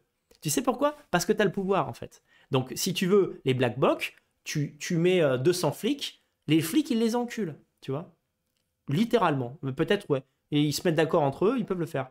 Ça, c'est possible. Tu as tous les pouvoirs, Darmanin. Arrête de nous faire croire que c'est euh, que c'est 200 euh, antifas boutonneux qui t'empêchent de mener une politique répressive. Tu ne veux pas une politique répressive parce que, je le répète comme je l'ai dit en début d'émission, le but de la République en marche et des partis du gouvernement depuis 30, euh, 40 ans et même plus, c'est d'anesthésier le peuple français le temps que le remplacement ethnique se fasse. Euh, et à plus forte raison maintenant. Alors, on va dire, par exemple, euh, ceux qui sont jeunes, même Macron finalement est jeune, hein, il a une quarantaine d'années, c'est pas lui qui a décidé tout ça. C'est pas lui. Euh, quand, Giscard d'Estaing a, comment dirais-je, lancé le recoupement familial et tout, bah lui c'est un enfant, il n'est pas responsable. Il prend le pays tel qu'il est. Qu'est-ce qu'il voit Macron? Il y a de plus en plus de noirs et d'arabes, il y a de moins en moins de blancs. Bon, bah, c'est comme, fait Mosinor là. Euh, Didier, euh, ben, en fait, on va, on, va être pour les, pour les Arabes et les Noirs. Quoi. Si on regarde les courbes, euh, mathématiquement, c'est ça qu'il faut faire. C'est ça qu'il faut faire. Bah, vous avez raison, monsieur le président. Bah oui. Alors, Macron, Mossinor pourrait faire une, comme ça une, une parodie d'un Macron qui dirait Didier, Didier, à votre avis, est-ce qu'il faut que, est-ce faut que je, comment dire, je compatisse avec les Français par rapport à ce qu'est Lola Monsieur le président, c'est pas votre cible. Votre cible, c'est les Arabes et les Noirs. Ah, c'est vrai, Didier. J'avais oublié, putain, je suis con, moi, je suis con. Si on veut rester au pouvoir, en fait, c'est pas eux qu'il faut flatter. C'est les gauchistes et c'est les immigrés. Ah, voilà, puis dire aux vieux qu'ils auront toujours de l'argent, alors que si c'est le Front National, leur retraite, elle va s'effondrer. Bah voilà. Voilà, c'est le, c'est le tiercé gagnant. Gauchisme, l'indignation, extrême droite, répugnant, euh, flatter les immigrés. Bravo Ka- Karim Benzema, Ah, t'es trop fort Bon, il y a une Algérienne qui a tué une Française ce matin, mais on en parlera plus tard. Et puis, les- en ce moment, ils sont pas concernés, mais euh, les, les boomers et puis les vieux. Genre, euh, vous allez quand même pas pour voter un parti d'extrême droite, quoi. D'extrême droite. Et d'ailleurs, si un jour il y avait un second tour, moi je suis pas inquiet d'un second tour euh, Mélenchon-Macron, ou ce qui suivra à Macron, parce que Macron va gagner. Bien sûr. Comment? Quel levier il va activer entre les deux tours? Monsieur Mélenchon, votre programme économique est ridicule. Vous allez ruiner les Français. Vous allez ruiner les petits épargnants. Vous allez ruiner les gens qui ont travaillé toute leur vie et qui utilisent et qui, maintenant ont la possibilité de jouir de leur retraite euh, pour passer des vieux jours tranquilles. Monsieur Mélenchon, j'apprécie certaines de vos idées. Euh, en tant qu'homme politique, je vous respecte. Vous êtes dans le paysage français et vous apportez parfois un angle sur les choses qui est très intéressant. Mais votre programme économique, il est non seulement mauvais, il est non seulement, euh, comment dirais-je, il est, il est idiot, mais en plus il est dangereux. Et c'est ça que je voulais dire aujourd'hui, monsieur Mélenchon. Ah, d'accord. Bah, allez. Le centre, à tout jamais. Vive le centre. Alors, euh, maintenant, je continue. Partie suivante, l'occu- l'occultisme. Faut-il voir du côté de l'occultisme? Alors, on a vu que les euh, maghrébins euh, dissidents avaient trouvé la solution. Voilà. Ok. C'est parce que c'était. On comprenait rien en fait avec ce qui se passait. On voyait une Algérienne de 24 ans qui était très gentille, qui a jamais fait de mal à personne, qui a pas d'antécédent judiciaire. Alors ça c'est le grand truc, c'est le pas d'antécédent judiciaire. Oh waouh, c'est censé être euh, une formule magique. On comprend pas, il n'y a pas d'antécédent judiciaire. Vous savez quoi? Avant que quelqu'un tue une autre personne, il en a tué zéro. Et alors? Et alors? On va, se toucher la nouille euh, deux heures dessus? Euh, Qu'est-ce que c'est que ces histoires? On s'en fout qu'il n'y ait pas d'anté- d'antécédent judiciaire. Et alors? Elle devait être expulsée du fait qu'elle était étrangère. Qu'elle n'a pas d'antécédent judiciaire, c'est c'est quoi C'est censé être une excuse? Genre, désolé, euh, on n'a pas pu savoir qu'elle allait faire ça, elle n'a pas d'antécédent judiciaire. Non, mais si vous ne veniez pas venir des millions de ces gens-là, vous aurez peut-être moins de gens à surveiller également. Bon.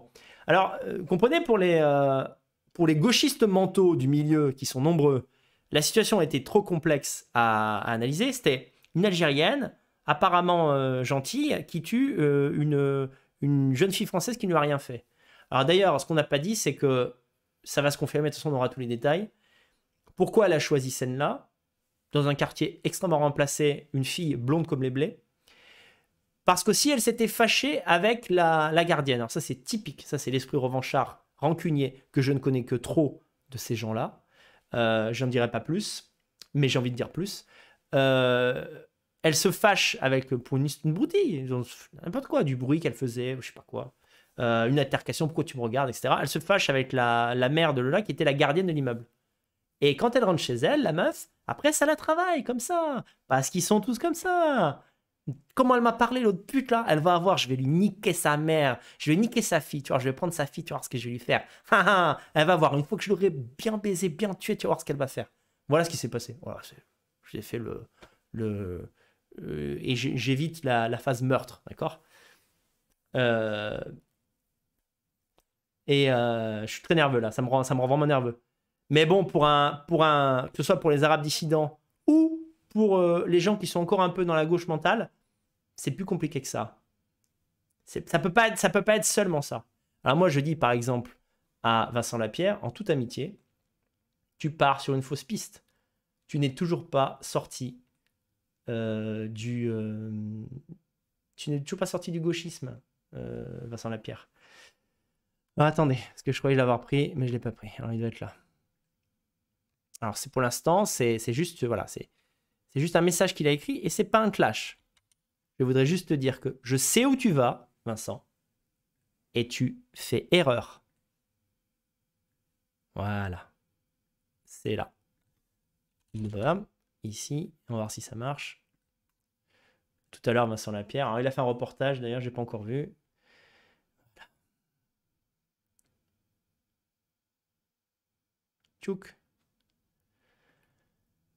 Le TikTok de la meurtrière de Lola laisse sans voix et montre que l'affaire est plus complexe qu'une simple droguée en haillon qui tue une enfant.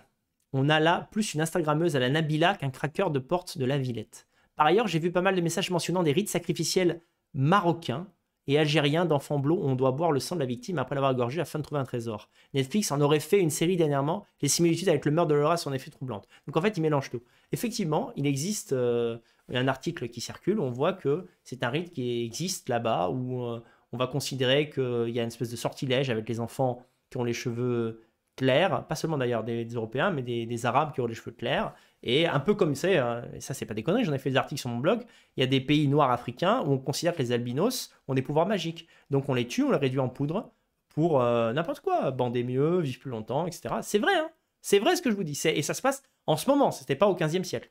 Mais il y a un mélange de tout, c'est-à-dire en fait en gros, Vincent, je veux que tu me dises,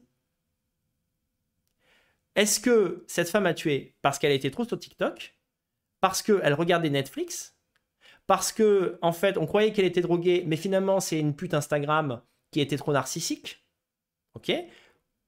Euh, Ou en fait, ça a rapport avec les rites sacrificiels Je comprends pas. En fait, tu vas vraiment essayer de créer un, lien artificiel avec tout ça? Vincent, elle est algérienne elle est algérienne. Tu veux que je te dise, le- le- le- comment dirais-je, ton analyse sociale, ton analyse psychosociale est une erreur. Tu vas aller nulle part. Tu vas revenir à ton point de départ à la fin. Ce qu'ils font comme métier, ce qu'ils pensent, leur religion, qu'ils soient pratiquants ou pas de l'islam, tout ça, ça n'a aucune importance. Samina Seri, un acteur, au sommet de. Tout le monde lui suçait la bite à Samina Seri. Il a flingué sa carrière. Pourquoi? Arabe comportement d'arabe. Voilà. Elle, effectivement, elle, a pas l'air d'a- elle allait pas à la mosquée toutes les semaines. Plutôt en mode euh, Instagram, TikTok. C'était son truc. Peut-être même qu'elle jalousait un peu les filles blanches qui avaient plus de succès sur TikTok et peut-être aussi euh, sur Viva en- entre nous soit dit. Euh, Viva Street ou euh, euh, sex model et tous ces trucs-là. hein. Parce que ces nanas-là, comment elles restent aussi J'en profite pour euh, lâcher aussi une petite perle à tous les nationaux qui, je comprends, je compatis totalement hein, avec la misère sexuelle qui règne en, France, Euh, mais sachez que quand vous consommez une prostituée euh, maghrébine, euh, vous pouvez aider en fait des nanas comme ça à rester sur le territoire français, d'accord? Je vous fiche mon billet que c'est une nana qui se prostituait ça. Donc, euh, donc tu as des petits blancs qui, parce qu'ils n'arrivent pas à accéder ou qui font pas les efforts nécessaires pour accéder à l'achat des femmes blanches, finissent à payer euh, 100, je sais pas combien ça coûte, 80, 100, 150 balles à des, à des Algériennes pour qu'elles leur sucent la bite. Alors c'est bien mignon tout ça. À la fin, tu as l'impression d'avoir retourné le système. Putain, vas-y, les Arabes, euh, je les aime pas trop, ben moi j'ai baisé une de leurs sœurs et euh, j'ai donné des, voilà, euh, compte de l'argent, mais j'ai joui. Bah oui, grâce à ça, elle reste sur le territoire. Pareil pour ceux qui baisent avec des, des prostituées noires. hein. J'ai lâché le morceau, voilà, et j'en connais. Donc, je rappelle que vous êtes responsable, faut pas exagérer, mais vous avez une responsabilité d'adulte. Tout ce que vous faites a une incidence dans le monde. Tout ce que vous faites, tout ce que vous faites, quand vous donnez de l'argent euh, à, à des personnes comme ça, vous les incitez à rester sur le territoire. Que ce soit dans les commerces, les gens qui continuent dans les, dans les kebabs, euh, ou que ce soit dans le marché du sexe. D'accord? Il n'y a pas de vengeance de quoi que ce soit. C'est ton fric, tu l'as perdu. C'est pas une vengeance. T'as donné de l'argent à une arabe. T'as donné de l'argent à une noire. T'as jamais pensé à ça? Oui, Daniel, mais avec les, blanches, c'est trop facile. T'es un radin. Tu veux taper une pute, t'as qu'à taper une blanche. Ça coûte deux fois plus cher. Et ben t'économises et tu vas te bosser un, tu bouges un peu le cul pour te baiser avec des femmes blanches. Avec des putes blanches.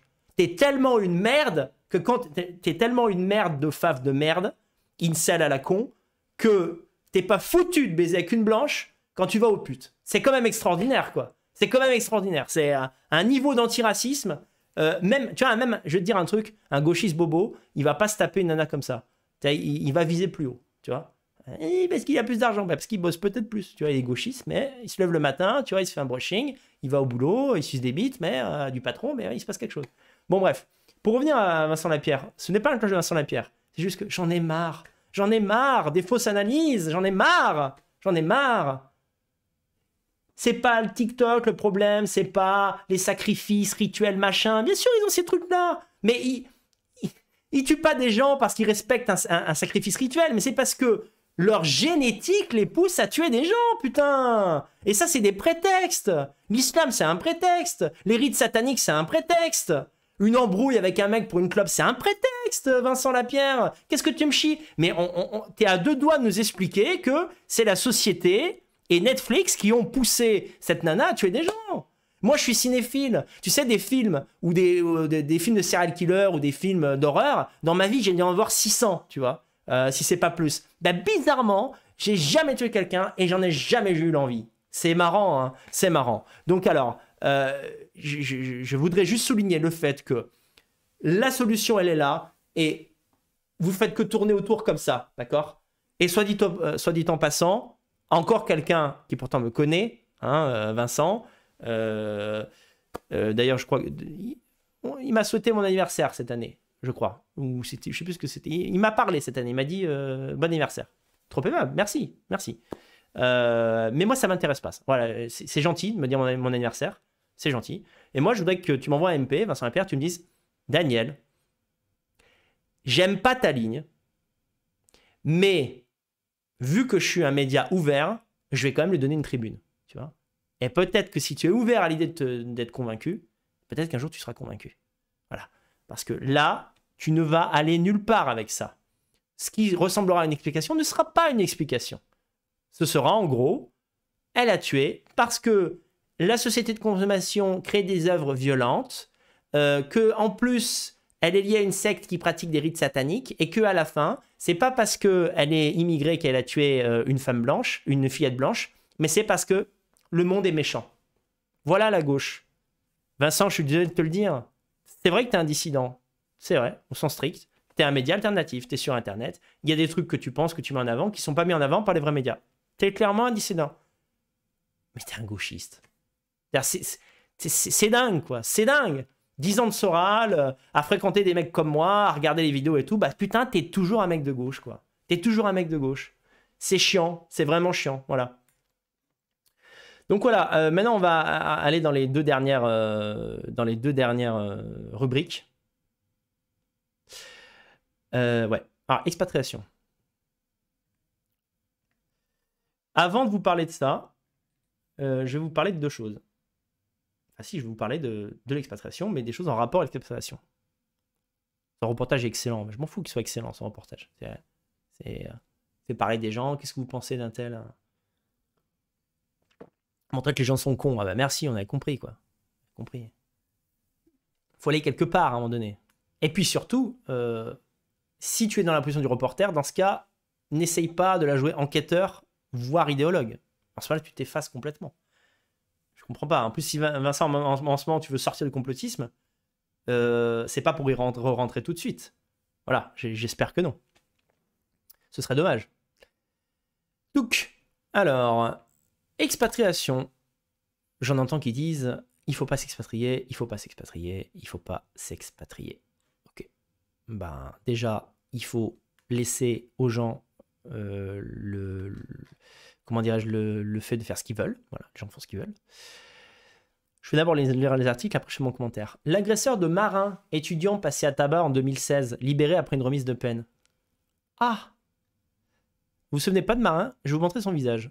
Je vais pas vous montrer vidéo parce que j'ai pas fait de test avant pour savoir si les vidéos étaient protégées, machin mes couilles. Marin. Agression, Lyon. Alors, Marin, c'est un jeune garçon qui s'est interposé dans une dispute. Plus exactement, en fait, il y avait un couple qui se faisait emmerder. Couple. Voilà. Et euh, Marin est intervenu. Il est intervenu et euh, il a réussi à résoudre la situation. Ça, c'est la première étape. C'est-à-dire qu'il a gueulé un petit peu, il dit Oh, oh, oh, faut pas taper des gens quand même, on est en France. Euh, on est en France, we are in France, uh, speak French. Et on tape pas les gens en France, monsieur. Comment t'appelles-tu Mouloud? Oh, étonnant, tiens. Un Mouloud qui, essaie d'emmerder un couple qui est en train de s'embrasser. C'est vraiment euh, inédit dans toute l'histoire de l'humanité. Alors, euh, donc, euh, il s'interpose et là, la bagarre s'arrête un peu. Donc, mec, le sauveur, Marin. Puis Marin, ensuite, il se dit euh, J'ai bien fait mon travail de citoyen. Il rentre chez lui, il commence à rentrer chez lui. Qu'est-ce qui se passe? L'agresseur du couple fonce dans son dos, lui donne un coup qui le, met KO, et le roue de coup, coup de pied, etc., coup de poing. Bon, je, je m'éternise pas. Et qu'est-ce qui se passe? Avec Marin Il n'est pas mort. Il a failli, mais il n'est pas mort. Coma, euh, mul- plaies multiples, etc. Et en fait, les fonctions cognitives sont atteintes. Marin, il, est plus autonome. Il peut plus s'habiller tout seul. Il est hémiplégique. Quand il marche, euh, il boite. D'accord? Euh, Vous pouvez regarder les vidéos, ça fend le cœur. Donc, ce gars a détruit la vie de ce jeune garçon qui avait, euh, je ne sais même pas s'il avait 20 ans, âgé de... attendez, on va lire l'article.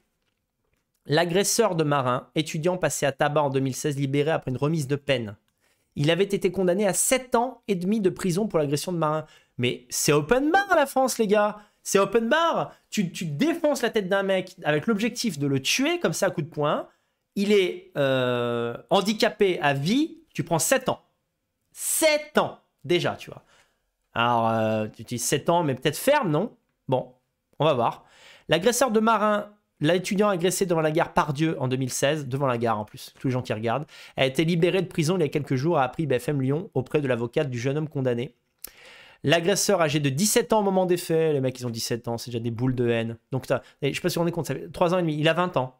Donc le mec qui a défoncé l'arabe, qui a pété la gueule de Marin, et qui a détruit son existence ainsi que celle de sa famille, il est libre, il a 20 ans. Donc, euh, donc en fait, il peut recommencer. Les dire, ah ben non, il va se réinsérer. Ah, c'est connu. Les gens qui sont violents comme ça à 17 ans, ils se réinsèrent à 20 ans. C'était connu. On continue. Avait été condamné à 7 ans et demi de prison pour l'agression de Marin. Selon nos confrères, il est passé il y a quelques jours devant le juge d'application des peines à Rouen et a bénéficié d'une remise de peine d'un an et demi. Il est, il est très gentil en prison, il se comporte bien. Il est autorisé à sortir avec un bracelet électronique en fonction des horaires de son emploi. Il va peut-être bien se tenir pendant jusqu'à la fin de sa peine, jusqu'au jusqu'aux 7 ans. Et après, il sera entièrement libre. Je ne sais pas quoi dire, on ne comprend pas cette décision vu le profil de l'agresseur, je suis choqué, explique-t-elle. Normal. La libération de l'agresseur de Marin intervient de plus à quelques jours de la remise du prix Marin, organisée avec la région Auvergne-Rhône-Alpes. Frappé et laissé pour mort. Alors là, c'est les faits. Le 11 novembre 2016, Marin avait été violemment frappé à coups de béquille. Carrément pris une arme, en fait. hein. C'est comme si. euh, euh, bon, moi, voilà, si je prends mon trépied et que je casse la tête d'un mec avec le trépied, euh, je peux le tuer. Voilà à coup de béquille et laissé pour mort alors qu'il s'était interposé pour défendre un couple pris à partie par un groupe d'individus dans la gare Pardieu. C'est-à-dire, C'est même pas le mec qui a appelé genre merde, je crois que j'ai fait une connerie, je l'ai trop tapé le gars, euh, s'il vous plaît les secours. Le mec s'est barré. Genre t'é- t'écrases quelqu'un sur le bord de la route, après tu pars, délit de fuite. Plongé dans le coma pendant une dizaine de jours, il s'était réveillé avec de lourdes séquelles physiques, neurologiques et psychologiques. Quelques années plus tard, il était revenu sur son agression avait dénoncé un acte de violence gratuite et de méchanceté humaine. Très bien décrit, Marin. Eh ben voilà, Marin. Voilà, c'est ça la France. Comment vous voulez pas détester ce pays, putain de merde Donc vous avez un jeune qui fait ce qu'il faut, qui prend son courage à deux mains, qui essaye d'aider un couple, euh, qui, se fait, euh, qui se fait violenter euh, sans raison, qui obtient sur le moment gain de cause, qui après se fait taper dans le dos à coups de béquille, qui est handicapé à vie par un mec qui ne cherche même pas à lui porter secours et qui se casse, il ne prend que 7 ans et à la moitié de la peine, il est libéré. L'État n'est pas contre nous, à part ça. Je veux et surtout, j'en reviens à l'expatriation. Oser, mais, mais quelle raison, pour quelle raison un jeune droitard, jeune, vigoureux, et qui a le bien en lui, qui est juste, pourquoi il resterait dans ce pays? Putain, mais tu aides des gens dans, le, dans, la détresse, donc tu te comportes en homme, et le gouvernement et la justice te punissent pour ça. En disant, ouais, ok, bah, tu sais, c'est la France, hein. Tu seras, t'es- maintenant, tu es 100% invalide, en gros. Donc, euh, bon, t'emmerdes pas, hein, t'auras euh, 1000 ou 1500 euros par mois. C'est cool. Et mon agresseur, au fait, il en est où? Oh, lui, on l'a libéré. Il va se réinsérer tranquillement. Il va se réinsérer, oui, oui, t'inquiète. Quoi? T'es pas d'accord? Facho. Voilà. Deuxième exemple. Ça, c'est plus récent. Ça donne envie de rester en France. hein. Ça donne envie de payer ses impôts. Ça donne envie de, de regarder vidéo de Rougeron et tout. D'ailleurs, Rougeron, je vais le désinguer, lui. Euh, en fait, et euh, Rougeron s'est permis de dire que les responsables, les co-responsables avec le gouvernement de la mort de Lola étaient les européistes identitaires. Euh, Bibi. Moi, Thomas Ferrier, Le Galou, mais comme ça. Donc alors, je vais pas le faire ce soir parce que c'est pas l'occasion d'un clash Rougeron. Je vais préparer ça aux petits oignons. D'accord? Mais ce mec est une saloperie. Parce que j'ai déjà critiqué Rougeron, parce que je n'aime pas sa ligne et je la considère toxique. Jamais je n'ai sous-entendu que Rougeron était responsable du Bataclan ou du truc comme ça. C'est un malade mental. On voit ici la psychologie de Rougeron. C'est une petite merde haineuse qui n'a pas aimé que moi et Thomas on lui envoie des, des, des euh, qu'on lui envoie des euh, comment on dit, euh, des scuds et qui réagit en essayant de fanatiser leur public d'abrutis à lunettes contre nous. C'est-à-dire que vous allez avoir des rougeronistes qui vont dire demain, mais euh, ce serait pas arrivé sans les européistes identitaires, cette histoire. Ordure.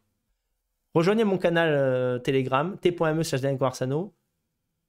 Euh, je dis pas que je vais le faire demain, mais quand je vais clasher Rougeron, il va avoir le cul en sang, c'est tout ce que je dis, quoi. Rhétoriquement, symboliquement, évidemment. Je suis pas maghrébin, moi. Moi, je sodomise pas mes adversaires. Je les sodomise rhétoriquement. Bon. Alors, viol à Soissons. Le vase de Soissons, ça vous dit quelque chose? Et le viol de Soissons? Vous connaissez pas l'histoire? Moi, je vais vous la raconter.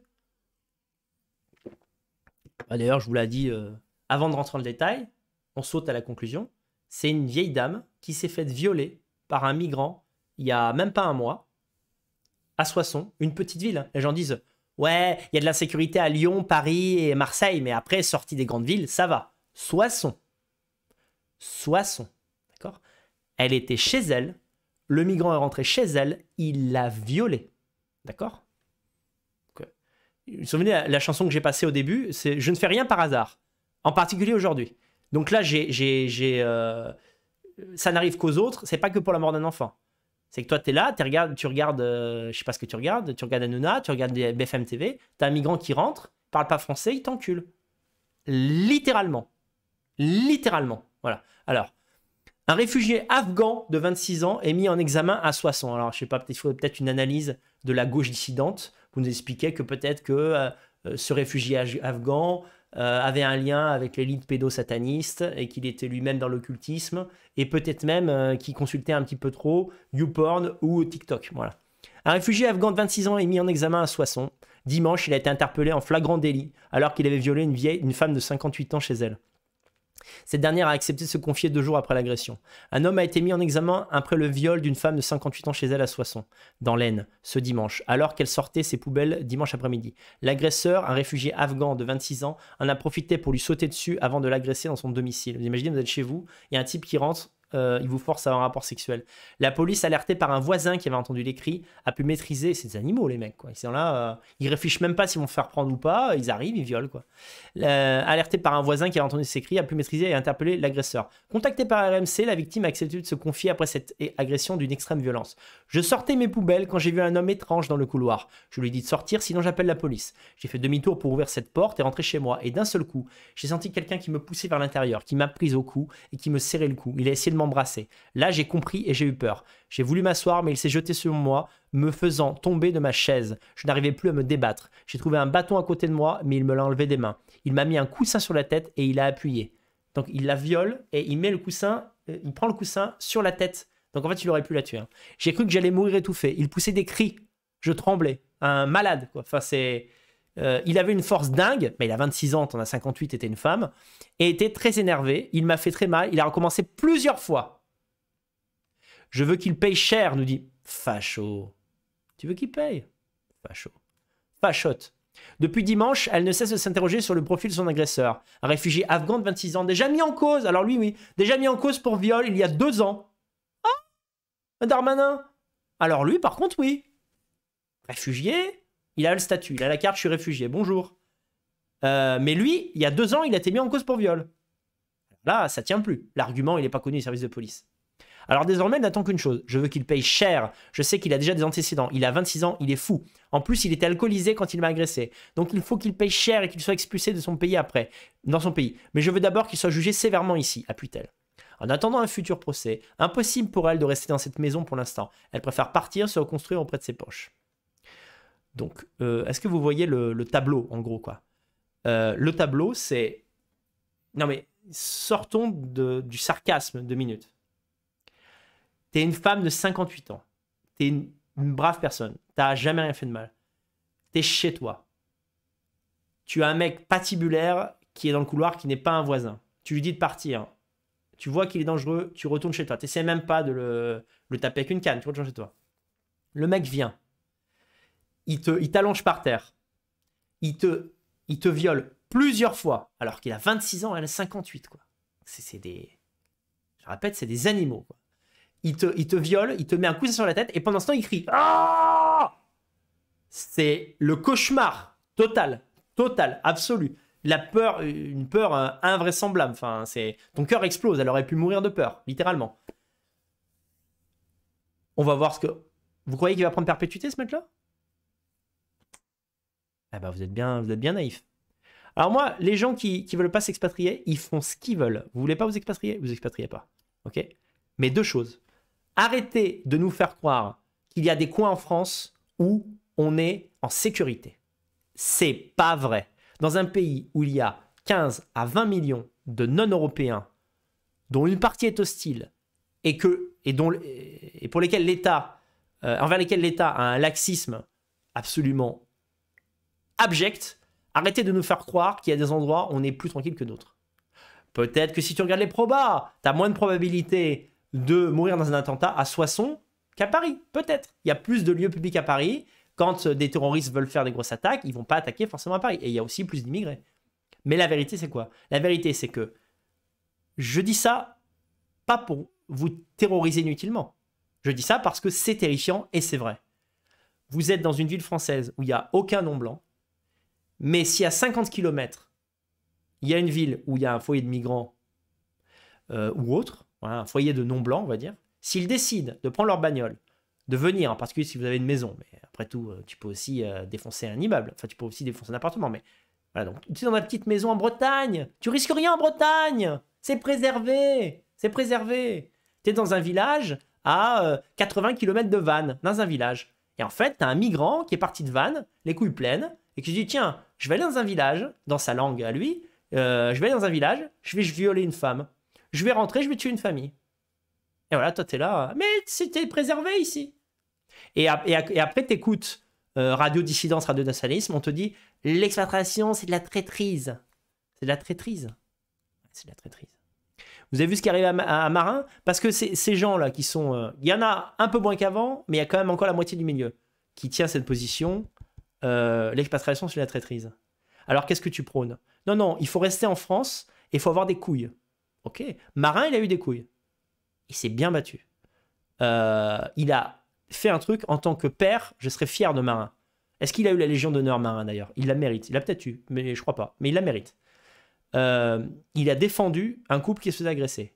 Résultat, l'arabe s'est vengé dans le dos et sa vie est flinguée. Et c'est pas terminé. L'arabe sort au bout de trois ans et demi.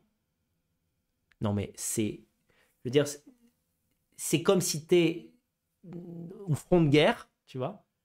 Donc t'es au front de guerre et en fait, parce que t'es trop efficace et que tu tues trop d'ennemis, c'est des mecs de tes troupes qui te tuent, quoi. Ils te tirent dans les jambes comme ça. Genre, non, attends, t'en tues trop là. Eh, ça commence à être inhumain, quoi. Mais euh, c'est des ennemis, en fait. Bah, la justice française, c'est ça. Genre, mais je comprends pas. Je suis venu en aide. Euh, mais comment ces gens font pour pas péter un câble? Je suis venu en aide à, la veuve et l'orphelin. Euh, ma vie est niquée. Et vous me dites que, le gars qui m'a fait ça est sorti. Donc, déjà, la dimension punitive, tu te la fous dans le cul. Euh, donc en fait, la, prison, c'est plus du tout pour punir. C'est en fait, c'est un, une salle d'attente jusqu'à ta sortie, quoi. Donc tu es pratiquement sûr, à part, ils l'ont fait pour Abdesalam, bah, enfin un symbole. Merci, trop aimable, encore une fois. Abdesalam, peine, peine perpétuité incompressible. Quelques gauchistes ont dit que c'était extrême, évidemment, c'est extrême. Tu ce qui est extrême aussi, le Bataclan, fils de pute. Voilà. Donc, et toi, tu es là, le mec, au bout de 3 ans et demi, il est réinsérable.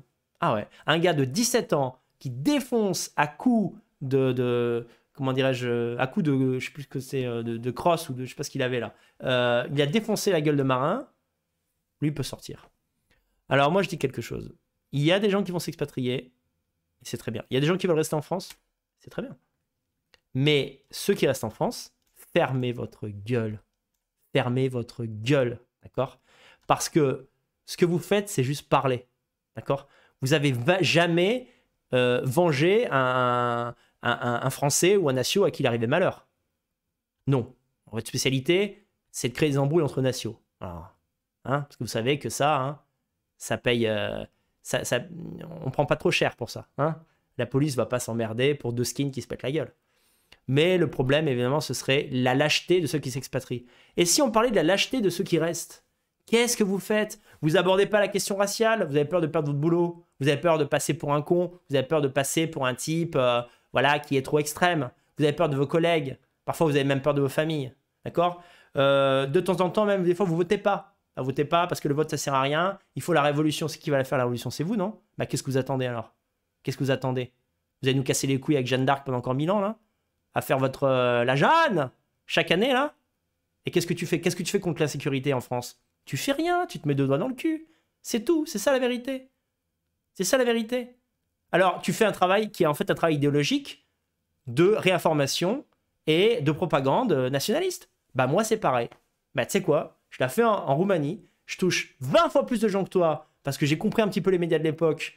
Euh, ok, je suis pas Norman ou Cyprien, mais euh, quand moi je fais des lives euh, qui touchent 50 à 100 000 personnes, toi tu fais des vidéos qui font 2000 vues. Donc les gens qui te disent, jusque-là, hein, qui te disent en gros l'expat c'est pour les lâches, et eh ben qui nous prouvent leur valeur en France, qui fassent un truc, un symbolique, et même un truc un, truc qui a une action dans le monde. Par exemple, vous êtes en France, bah alors faites des manifs constamment, comme sur le modèle des Gilets jaunes, pacifique, attention, j'appelle pas à la violence, oh là là là moi je suis expatrié, je suis plus concerné par ces histoires, moi. Moi j'ai fait mon choix. Faites des manifs jusqu'à ce que l'obligation de quitter le territoire français soit appliquée. T'es capable de faire ça? Ou t'es trop pressé, pressé, de rentrer chez toi pour discuter sur Internet du sexe des anges et savoir en fait si euh, Conversano il est proxénète en Roumanie? Fermez-la. Fermez-la. Les gens vous disent, quand on vous dit maintenant, euh, ceux qui sont expatriés ou qui vont le faire, vous êtes des lâches parce que vous partez, dites, et la lâcheté de ceux qui restent alors Elle va dire quoi? Qu'est-ce que vous voulez dire? Bah, La guerre civile, elle est où? Je comprends pas. Jeannot, t'as commencé la guerre civile? Jean Dupont Jean Dupont, royaliste. Elle est où la guerre civile? Je pas compris. La guerre civile, c'est. Euh, comment ça s'appelle? C'est. Euh, c'est. Voilà, c'est Lola qui se fait massacrer. Et toi, tu fais quoi? T'allumer une bougie, c'est bien, Coco, c'est bien. C'est mieux que rien. Mais me fais pas croire que t'es un, que es un type courageux. D'accord? T'es pas courageux. Le premier des courages, il est intellectuel. C'est dire les vrais trucs. La problématique en Occident et en, enfin, dans tous les pays qui ont opté pour l'immigration de masse, c'est le vivre ensemble avec des peuples qui, euh, ethniquement, sont trop éloignés. Point. Point qui soient musulmans, euh, sorciers euh, ou euh, américanisés, etc., en mode à regarder TikTok toute la journée, l'important c'est le résultat. Une blanche, quand elle est TikTokeuse, fan de son corps, et qu'elle vend des photos de ses pieds sur OnlyFans, eh ben, elle tue pas ses voisines maghrébines de 12 ans. Quand on a une Algérienne en situation régulière qui essaie de percer sur TikTok et qui n'y arrive pas d'ailleurs parce qu'elle n'est pas assez belle pour ça. Elle se fâche avec sa voisine, elle va tuer sa gosse de 12 ans, d'accord? 12 ans. Voilà, donc laissez les gens qui veulent s'expatrier s'expatrier. Et le dernier point, alors là c'est un commentaire qui a été lu, euh, enfin pardon, c'est un commentaire que je vais lire, est-ce que je l'ai encore d'ailleurs? Euh... euh non, non, non, non, non, non, non. C'est pas là. Ça, je le lirai juste après.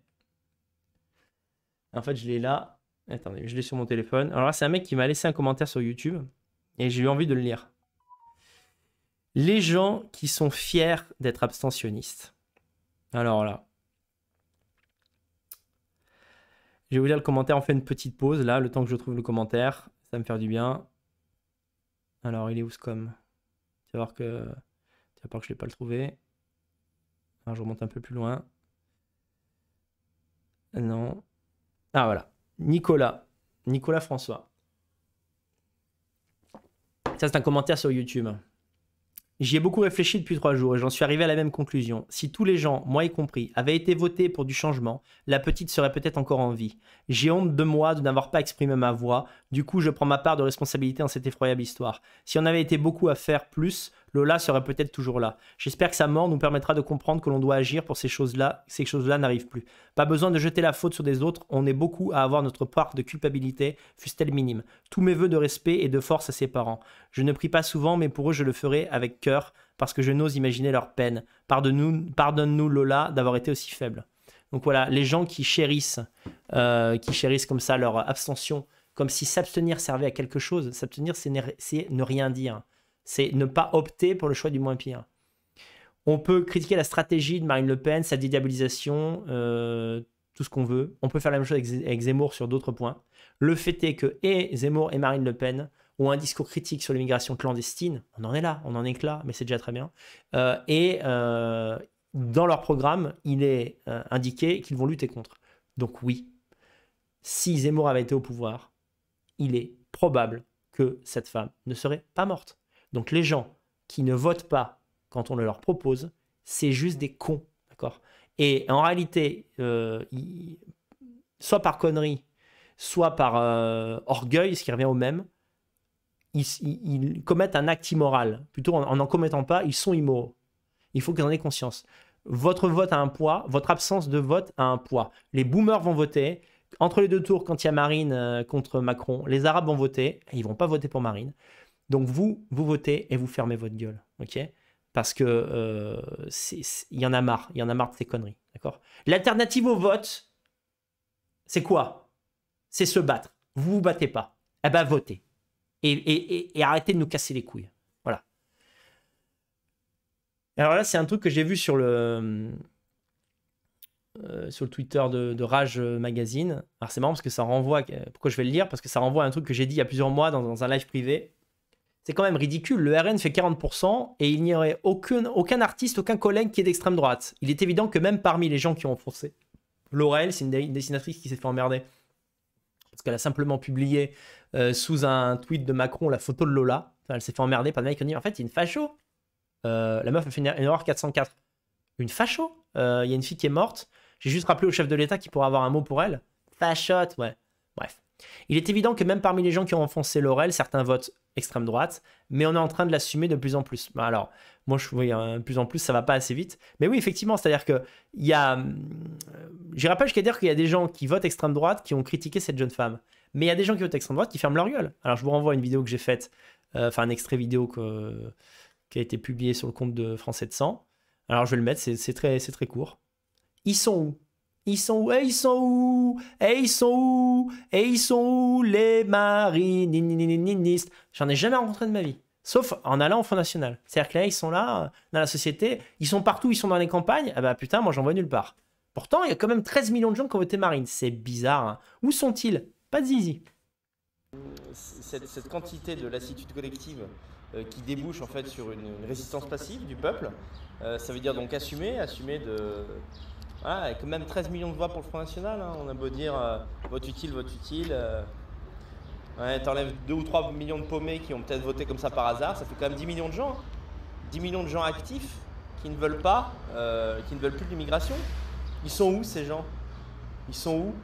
Bah ils, sont nulle part. Ils ferment leur gueule, ils vont au taf, euh, voilà, ils payent leurs impôts, ils ragent, et ils créent des comptes anonymes sur Twitter pour dire regardez ce qui se passe à Seine-Saint-Denis, c'est pas normal. Hein. Et après, il se passe quoi? Ben rien, rien. Donc, euh, arrêtez de mentir aux gens. Il euh, n'y a rien qui changera, ni Zemmour, ni Marine Le Pen, ni le suivant ne pourra changer quelque chose tant que les Français n'auront pas une paire de couilles. C'est ça la, vérité. Voilà ce que je voulais dire. pour terminer, on va dire l'aspect doctrinal de l'émission.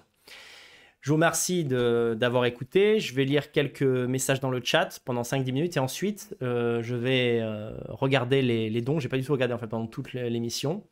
Et je vais lire les messages des donateurs, euh, donc des petits messages qui sont écrits pour Lola.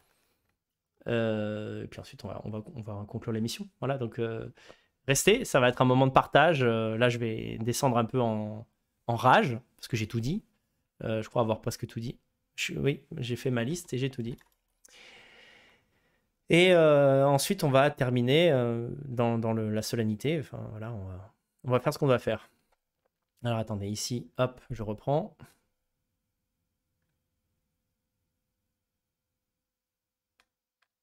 On a eu énormément de donateurs. Hein. Je vous remercie vraiment. Euh, Ah, parfois des, petites sommes, mais peu importe, ça, ça- c'est touchant et on va pouvoir offrir une belle cagnotte à, à la famille de Lola. Ah, moi, je garde espoir, il n'y a pas de souci. Mais je veux garder espoir en partant sur une ligne qui est la bonne. Voilà. Sinon, euh, c'est-à-dire qu'à un moment donné, si tu veux gagner le Tour de France, il faut aller vers la ligne d'arrivée. Il faut pas rester au, au même point ou repartir dans l'autre sens pour aller dans l'étape d'avant. Euh, voilà. Daniel, reviendrais-tu en France si un président d'extrême droite était élu? Non.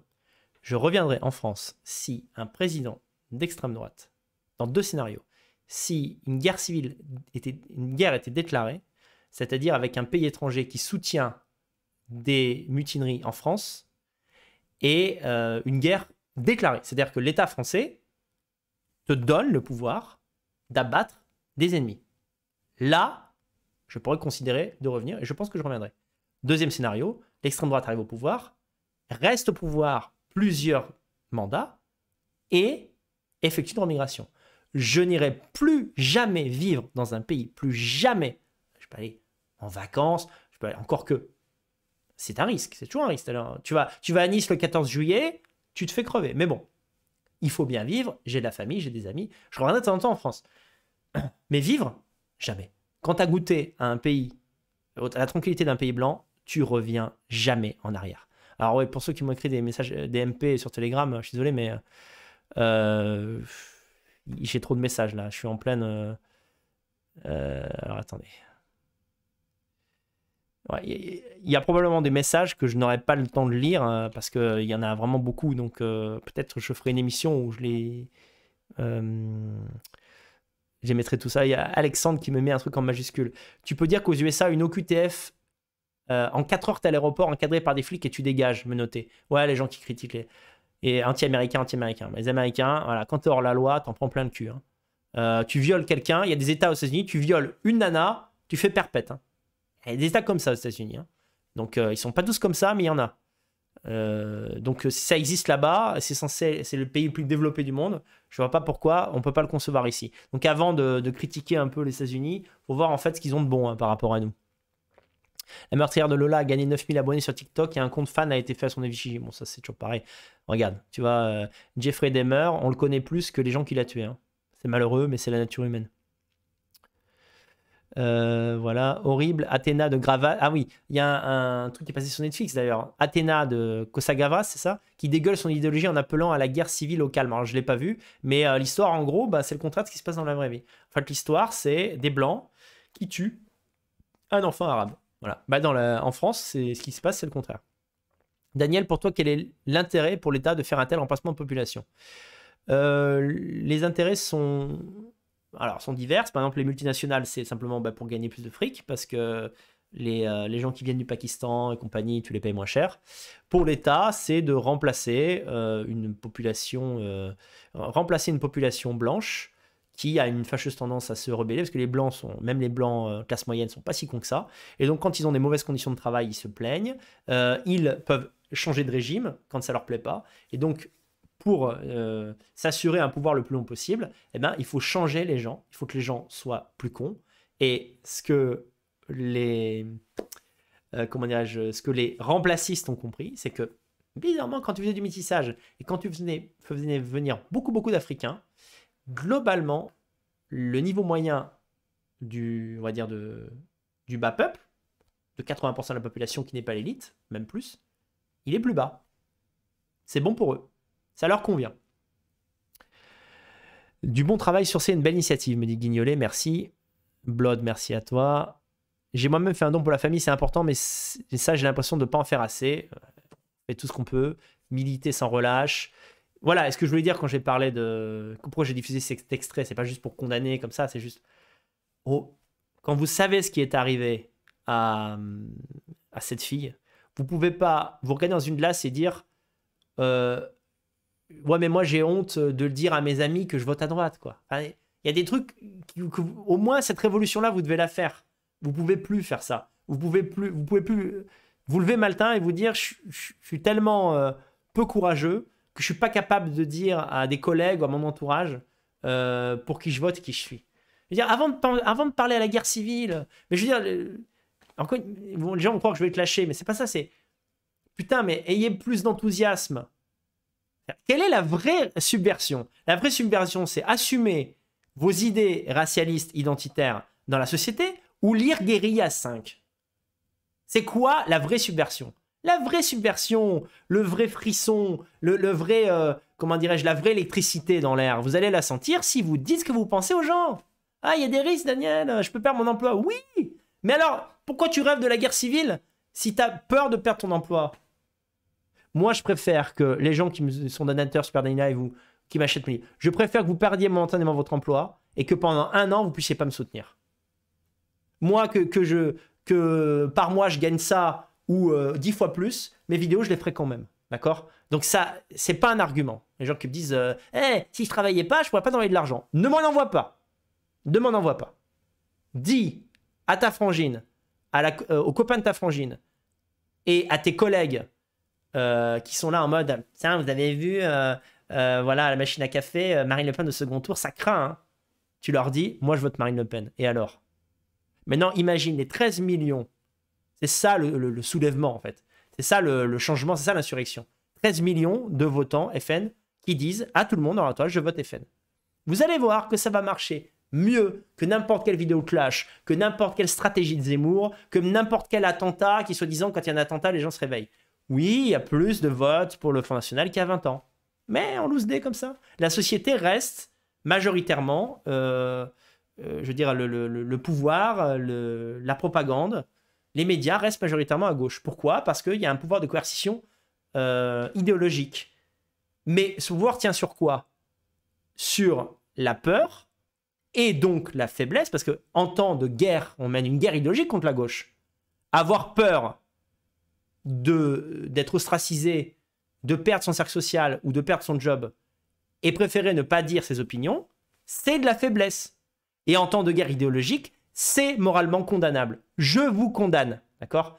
Voilà, si vous n'avez pas les couilles de le faire, au moins barrez-vous, vous ne financerez plus euh, le remplacement ethnique des Français. Voilà, je ne sais même plus quelle était la question, mais euh, voici ma réponse. Très bonne expérience, dit Frédéric Markovic. En privé, je connais plus de gens qui regrettent ne pas avoir voté Jean-Marie Le Pen en 2002 que l'inverse. C'est vrai, j'en connais aussi quelques-unes. Tu as raison, j'ai fait mon coming out, coming out droitard avec mes potes que du bien. Par contre, au taf, à éviter, c'est compliqué ça dépend quel taf. Vous pouvez avoir des stratégies, c'est-à-dire, tu es dans une fac qui est très gauchiste, tu peux attendre d'avoir fini tes études. Mais il faut que, je l'ai déjà dit, mais je, ne fais que me répéter de toute façon, euh, obligatoirement, parce que c'est pas toujours les mêmes qui regardent la vidéo. Tu dois orienter ta vie pour pouvoir dire ce que tu penses, d'accord Et que ça ne détruise pas complètement ta vie, et qu'en même temps, tu fasses avancer la cause. C'est exactement, Bousquet, les... je suis pas d'accord avec tout pour Bousquet, mais c'est c'est clairement un intellectuel. Son bouquin Courage, il est très bien parce que il fait, encore une fois, le rapprochement avec la communauté homosexuelle. On en pense qu'on a vu des homosexuels. Être homosexuel dans les années 50, même en Occident, c'était la, c'était la merde. Voilà. C'était la merde, tu devais cacher ça à ta famille, à la société. Euh, si on, te voyait te embrasser un autre mec, en c'est complètement exclu. Soit dans le meilleur des cas, c'est oh, c'est horrible. Euh, et dans le pire, quand tu tombais sur des loupards, ou les primo racailles, enfin les premières racailles qui des années 60, bah, tu te faisais défoncer la gueule. Je l'ai déjà expliqué, mais euh, moi, mon père m'a dit qu'au début des années 80, surtout quand tu as eu le sida et tout, les, les, gays qui étaient dans les parcs et tout, les, parcs de gays, là où ils se rencontrent, ils se faisaient défoncer la gueule. Ils se faisaient exploser la gueule. Comment les homosexuels se sont fait accepter? Ils ont milité avec leurs couilles de gays. C'est-à-dire, en gros, euh, bah ouais, maman, je suis homosexuel. Bah ouais, la société, je suis homosexuel. Ça va même trop loin, là. C'est waouh. On a vu, c'est bon, c'est bon. Euh, calme-toi, calme-toi. Garde la, garde, garde la Gay Pride, mais si on pouvait rester dans, le, dans un code vestimentaire à peu près normal, les, les journalistes seraient pas ben, c'est pareil, les nations. Tant qu'il n'y aura pas des un coming out des. Euh, comme il y a eu 4 millions d'électeurs, euh, Zemmour, et les 13 millions de marines, ça avancera pas, si vous croyez. Qu'est-ce que vous croyez? Pourquoi tous les journalistes, comme ça, ils, ils sont contre les droitards Parce qu'ils savent qu'en face, on ferme notre gueule, c'est tout. Euh, pour un Conversano, combien de mecs silencieux? Voilà. Pourquoi continuer à utiliser le terme immigration? Pourquoi ne pas imposer le terme colonisation qui est beaucoup plus factuel et impose le cadre du réel dans sa globalité? Je pense que les deux fonctionnent, mais que colonisation. Pourquoi Non, les colonisations, je pense que les gens ne veulent pas becter. C'est une colonisation, clairement. Mais les gens ne veulent pas becter le terme parce qu'il sous-entend que le pays qui nous envoie ces migrants le fait exprès à un plan et qu'en fait, on n'est pas assez fort pour. pour euh, En fait, on est colonisé, mais on est victime. Non. C'est nos gouvernements qui. euh, comment dirais-je Qui organisent l'invasion, euh, enfin, le- la colonisation de, des territoires français et de l'Europe plus généralement, de l'Europe de l'Ouest. Donc c'est difficile. au sens strict, c'est une immigration. C'est une immigration massive qui change le- qui, qui change en fait le paysage ethnique de la France. Euh, les questions que vous me posez sont trop techniques. Je ne vais pas passer un. Je, je j'ai l'air énervé, mais je suis fatigué. Euh, je vais pas. euh, Xena Martel, c'est une bonne question. Je ferai d'autres vidéos sur l'expatriation. J'espère que tu la regarderas. Tu me dis, j'ai 22 ans, comment je fais pour m'expatrier? Ben, D'abord, tu viens ici, tu viens finir tes études ici, d'accord? Tu me dis que tu as 16 000 euros d'économie? 16 000 euros d'économie, tu tiens 4 ans ici.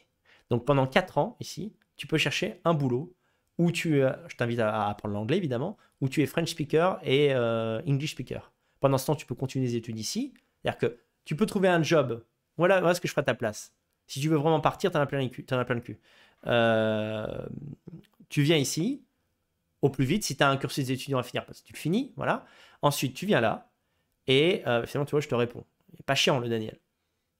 Tu prends un appart ici, tu as un studio pour 200, 250 euros par mois, tu as un studio, donc tu vois, tes économies, elles vont pas partir vite. Tu prends un boulot alimentaire. Pendant ce temps, tu apprends le roumain. S'il faut continuer de reprendre des études ici, tu le fais ici, tu peux. Tu- ah, Il y a une inscription à l'année à l'université, tu la payes, elle n'est pas, si, est pas si chère. Tu finis ton cursus ou alors tu en prends un autre ici. Et après, tu cherches un emploi quand tu auras appris la langue locale euh, ou tout simplement tu auras trouvé une orientation dans euh, un secteur porteur en Roumanie. Tu postules pour un job euh, où tu vas gagner, allez, euh, disons 1500 euros par mois à Bucarest, ce qui est très bien. 1500 euros par mois à Bucarest, c'est à peu près euh, c'est 2500, 3000 à Paris, à peu près. Disons 2500. Tu vois Il n'y a pas de problème, il n'y a que des solutions. Le problème, c'est la France. Un gogol qui met tu trouves un taf à 400 euros par mois, pauvre connard. Qu'est-ce que t'en sais? T'habites en Roumanie? Il y, a, il y a 30 braves qui habitent rien qu'à Bucarest. Qu'ils ont tous, un, boulot à 400 euros par mois Faites chier. Sortez-vous sortez les doigts du cul. Vous voulez qu'on vous donne de vrais conseils? Vous inscrivez sur le site des braves. Vous voulez des vidéos régulières sur l'expatriation? J'ai un putain de programme qui s'appelle Super Danny Live. Euh, entre 2 et 4 fois par mois, je vous parle d'un pays étranger avec un local. J'ai- fait 30 é- émissions sur l'expatriation. Pas dans 30 pays différents, parce que des fois on fait 2-3 fois sur le même, mais dans plein de pays d'Europe centrale, d'Europe de l'Est. Vous avez toutes les infos sur ces pays-là. Vous pouvez contacter directement les personnes qui y habitent. Vous pouvez poser vos questions. Non, évidemment, gros nigo. Les, les Français euh, expatriés en Europe de l'Est, ils vivent pas ici avec un salaire de 400 euros. Mais euh, voilà, parce que vous avez des idées préconçues de FAF, et que vous êtes con et inculte, et que en plus vous êtes fier de ça. Voilà. Puis vous écoutez tous les connards comme Rougeron qui vous disent que l'Europe de l'Est, en gros, c'est le Yémen. Alors voilà, le pire des boulots qui est fait par euh, un membre de la section que je connais, c'est call center. Et c'est combien il gagne? 900 euros. 900 euros, c'est au-dessus du SMIC roumain, juste parce qu'il parle français et anglais. Tu touches 900 euros. Ici, tu survis avec 900 euros. T'as pas une femme et deux enfants, mais seul, tu survis avec 900 euros. Donc, de grâce, quand vous ne savez pas quelque chose, fermez votre gueule. D'accord? Parce qu'il n'y a jamais été question de dire aux Français, venez en Roumanie pour travailler dans le McDo roumain. Et ça n'a jamais été ça le projet. D'accord? Encore que si les Roumains vivent avec 500 euros, tu peux le faire aussi. Parce que je suis désolé, hein, moi j'ai eu aussi euh, 25 ans. Avant d'en avoir 36, j'en ai 25. Euh, Jusqu'à 26-27 ans, tu peux accepter un haut niveau d'inconfort. Eh bien, je l'affirme, il vaut mieux être dans l'inconfort en Europe de l'Est avec un, petit boulot à la con que de vivre à Paris. Attends, mais tu peux. T'es jamais tranquille, quoi. Faut toujours que tu regardes derrière toi. euh, tu sors, si t'es trop ivre, tu peux te faire dépouiller, etc. Tu peux te faire éclater la gueule. Euh, je ris, mais c'est pas. J'ai un pote, euh, euh, il se reconnaîtra peut-être, il habite en Pologne. Chaque fois qu'il vient à Paris pour faire la teuf avec des potes, il se fait défoncer. Il se fait péter la gueule. Après, il y a une embrouille dans une, boîte, toujours avec les mêmes. Après, un coup, il se fait voler son portable. Après, euh, il se fait voler son, portefeuille. Après, il s'embrouille avec un taxi arabe, évidemment. Voilà, quoi. Donc, euh, tu es beaucoup plus heureux ici en tant que jeune. Après, c'est vrai que quand tu as 40-50 ans, tu vis pas avec peu. Tu as besoin de plus de confort. T'es plus fatigué, c'est normal. Euh, voilà, j'ai dormi dans des conditions quand j'avais 22 ans. Aujourd'hui, pour rien au monde. Je préfère euh, prendre un hôtel et après ne pas bouffer derrière pendant 3 jours que me faire chier à dormir à même le sol. Mais quand tu as 25, 26, 27 ans encore, tu peux accepter ce niveau d'inconfort. Donc bref, tout ça, c'est on sort du sujet. Allez, on reste sur, euh, sur le là. Je vais. Alors là, putain, ça va être long là. Je vais vous lire. Est-ce que je. Oh là là, ça va être très très long. Allez, bah, je, vais, commencer par en lire certains. On verra combien de temps ça prend. À partir de maintenant, ceux qui font des dons, je n'aurai pas le temps, je pense, de lire vos, commentaires, mes amis. Alors, je reviens au début. Tac. Oh là là là là. Je me donne un peu de temps là. C'est, c'est, je m'en plains pas, hein, c'est, excellent, hein, je vous remercie. euh. On a eu des dons euh, assez importants d'ailleurs. Euh, oh là là. Ah voilà, ça, je suis revenu là. Ah voilà, bah, j'étais exactement là. J'ai vraiment eu une chance folle. Ah non. Mathieu. Ah bah tiens, je tombe sur, je, tombe sur le Feral Drag par hasard, c'est dingue ça. Tac. Lui, euh, si j'en oublie, c'est vraiment que j'en ai beaucoup. hein. C'est... Je, je m'attendais pas à ce qu'il y en ait autant et je, et je vous remercie. Voilà, alors je vais commencer à lire les dons. Euh, puis je vais mettre une petite photo de Lola en fond, comme ça. euh, Bah, celle avec son papa, tiens.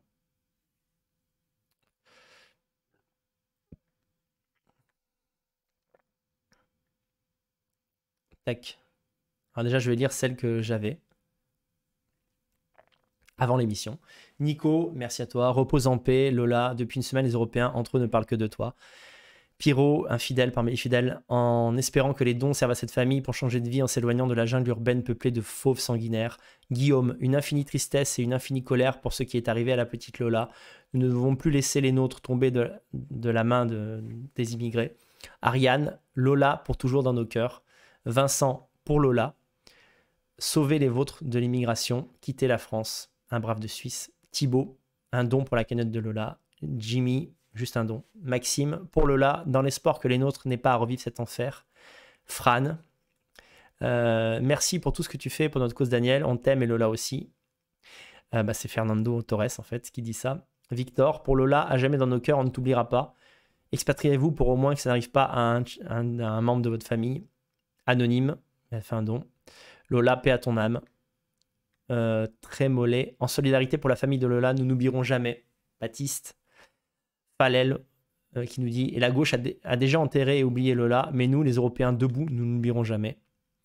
Adrien, la France pense à toi, elle ne t'oubliera pas, Lola. Adrien B. Julien, pauvre mignonne, je suis révolté, la vie et la bienveillance est de notre côté. Eux n'ont que la mort et la laideur morale, il ne faut rien lâcher et ne rien oublier. Médric, belle initiative, papa de bientôt deux enfants, je suis très choqué par le meurtre de la petite Lola et je compatis à la douleur de la famille. Piotr, encore infidèle. Euh, Quelqu'un qui nous dit pas de question, juste un merci à Daniel pour son travail. Signé SD, un abonné SD Live. Courage à la famille, vive la réémigration. Gabriel Chirac, vivement la réémigration. Robin, mon modeste don pour la famille de Lola. J'espère que ça les aidera à quitter la région parisienne pour un coin plus tranquille. Anthony Bataille. Mathieu, un deuxième don pour moi, car il faut tenir compte du fait que les gauchistes humanistes ne donneront strictement rien, c'est clair. Thomas, courage à la petite, à la famille de la petite Lola, nous ne l'oublierons pas. Maxime, je voulais simplement apporter ma petite contribution, signé formerly known as Maes H, qui a changé de pseudo. Euh, Romain, Quentin, qui nous dit pour Lola. François, pas de question. Je prévois de partir dans six mois à peu près de la France, ça me semble encore très long. Ludo, repose en paix Lola. Mathieu encore, on a beaucoup de Mathieu. Quentin, Costard, qui nous dit pour Lola. Felipe, je crois, qui nous dit l'histoire des domaines internet avec le nom de Lola est un parfait exemple de l'hypocrisie, de la bassesse morale des antiracistes. Ils font mine d'être choqués par les noms de domaine de euh, les, gens qui ont pris un nom de domaine au nom de Lola, comme s'ils ne comprenaient pas que cela a seulement eu un but logistique et d'organisation. Ça me révolte. Je n'étais pas au courant de cette histoire. C'est intéressant. Donc apparemment les gauchistes se fâchent parce que euh, on a des, des nations voilà, qui euh, ont, ont pris le comment dirais-je voilà, qui ont pris le- les noms de domaine lola.fr, ce de truc, mais certainement pas le lola restinpeace.fr, etc. C'est même pas un sujet, pourquoi on parle de ça? Franck, euh, bravo Daniel de Francopole, bravo Daniel pour ton travail. Non, nous ne sommes pas fous, l'immigration est en train de tuer la France et la classe dirigeante et les gauchistes sont complices. Je prie pour que tout ce merdier s'arrête. Reste in peace Lola et pensez à sa famille. Euh, Rémi, c'est dans les moments les plus graves que nous, l'extrême droite devons être les plus solidaires car nous savons que demain il y aura une autre Lola. Fabien, bonsoir Daniel, merci pour ton travail. Je ne sais pas trop quoi dire si ce n'est que la sauvagerie de la diversité n'a d'égal que le cynisme de Macron. Je ne sais pas pourquoi, mais je me sens coupable. Pardonne-nous Lola, profite du paradis blanc que l'on n'a pas pu t'offrir ici. Il est très beau ce commentaire, il m'a ému. Mathieu, encore une fois. Jeanne aussi, un commentaire, enfin un, don son commentaire. Maz, Mazomor, pour Lola, on ne t'oubliera jamais. Merci les gars. Vous savez quoi? C'est que le début. C'est pas fini du tout, du tout. Ah, salut le lapin du futur. Je sais pas si t'es le vrai, mais je te salue et je te félicite ton travail, pour ton travail. Ça continue. Quand je vous dis qu'il y en a beaucoup, euh, il y en a beaucoup, beaucoup. Hein. Thibaut, je n'ai pas les mots pour exprimer ma peine et ma douleur face à l'assassinat abject de ce petit ange insouciant. Je n'ai pas les mots pour exprimer ma haine face à ces envahisseurs accueillis à bras ouverts qui agressent, violent et tuent quotidiennement. Ni oubli, ni pardon, repose en paix, Lola. On a euh, aussi euh, Jimmy. Voilà, un don pour Lola. Merci à toi, Jimmy. Euh, je, fais gaffe parce que des fois, vous vouliez pas que je dise les noms, alors j'ai peur de. on a Michael. Non, non, pardon, on a Alexis, en hommage à Lola. Merci à toi. on a un autre don. Une arabe enlève, viole, tue et décapite une fillette qui n'a rien fait. C'est horrible, mais on n'écrit pas de belles histoires avec des protagonistes euh, qui viennent de ces pays-là. Soyez les héros de vos récits entre blancs et barrez-vous. Euh, Dimitri, merci à toi. Euh, alors, ah, oula, ah, attendez. On a eu un don assez, assez, important, un don à trois chiffres, assez important. mais malheureusement, j'ai pas le. Pour Lola, sauver les vôtres de l'immigration. En fait, euh, c'est celui du Brave de Suisse. Je l'avais lu par ailleurs, mais je l'avais isolé parce qu'il était important. Euh, Stéphane, euh, Stéphane, merci à toi. Je lis pas le nom de famille parce que je sais pas si tu veux. On a également un don, modeste don pour la famille de Lola, de la part de Julien. Adrien B également, qui a fait un don. Merci à lui. On a aussi Nicolas Le Barbu, qui a fait un don en hommage à Lola. On continue. Euh, hop. On continue, voilà, parce que c'est pas terminé, je vous dis. Merci à tous, vraiment, c'est très beau. D'ailleurs, vous savez quoi, je vais mettre un peu de musique. Euh, ça va rendre l'instant plus, plus beau. Alors, attendez, j'attends un peu. Parce y en a tellement, en fait. Euh, donc, Jeanne, je l'avais lu. Voilà, celui-là. Ah, voilà. Euh, on a Montcalm d'Épernay. Cher Daniel, je suis Montcalm d'Épernay, l'auteur de l'article Le progrès constitue la plus ancienne tradition occidentale dont j'ai fait une lecture ici, auquel tu as consacré une vidéo. Ce meurtre me révolte. Il est évidemment la manifestation de la prédisposition génétique de certaines populations au crime. Puissent nos modestes contributions aider à apaiser la douleur de cette famille? J'ai lu ton mail, hein, j'ai lu ton mail. Euh, mais je, suis d'accord, hein, je suis d'accord pour qu'on travaille ensemble. J'attends tes, tes articles. Je suis d'accord avec tout. Il n'y a pas de souci. Tu m'écris ce que tu veux, je le publie. Fred, Lola, 12 ans. C'est c'est comme si c'était ma fille qui était morte. J'ai eu la même sensation. Oui, c'est également ma fille, Lola. Depuis sa mort, j'ai l'impression d'avoir échoué quelque part en, tant qu'homme blanc. En un homme blanc, non seulement n'a comme seule limite les étoiles, mais ne tolère en aucun cas ni aucune circonstance la mort des enfants. Aucune. Nos enfants sont notre raison de vivre. Euh... Je, il me dit libre à toi de lire la, la phrase suivante. Je peux pas le lire, je peux pas le lire, c'est pas légal, je peux pas le lire. Mais je te remercie. Merci à toi. Je pense qu'il serait bon d'afficher la tête de la tueuse de Lola partout. Ce n'est ni un crackhead, ni une CSDF, c'est une maghrébine soignée. Il faut que les blancs comprennent qu'ils peuvent tous être dangereux de par leur idéologie anti-blanc, qu'il faut se méfier de tous. C'est pas faux, c'est un bon commentaire.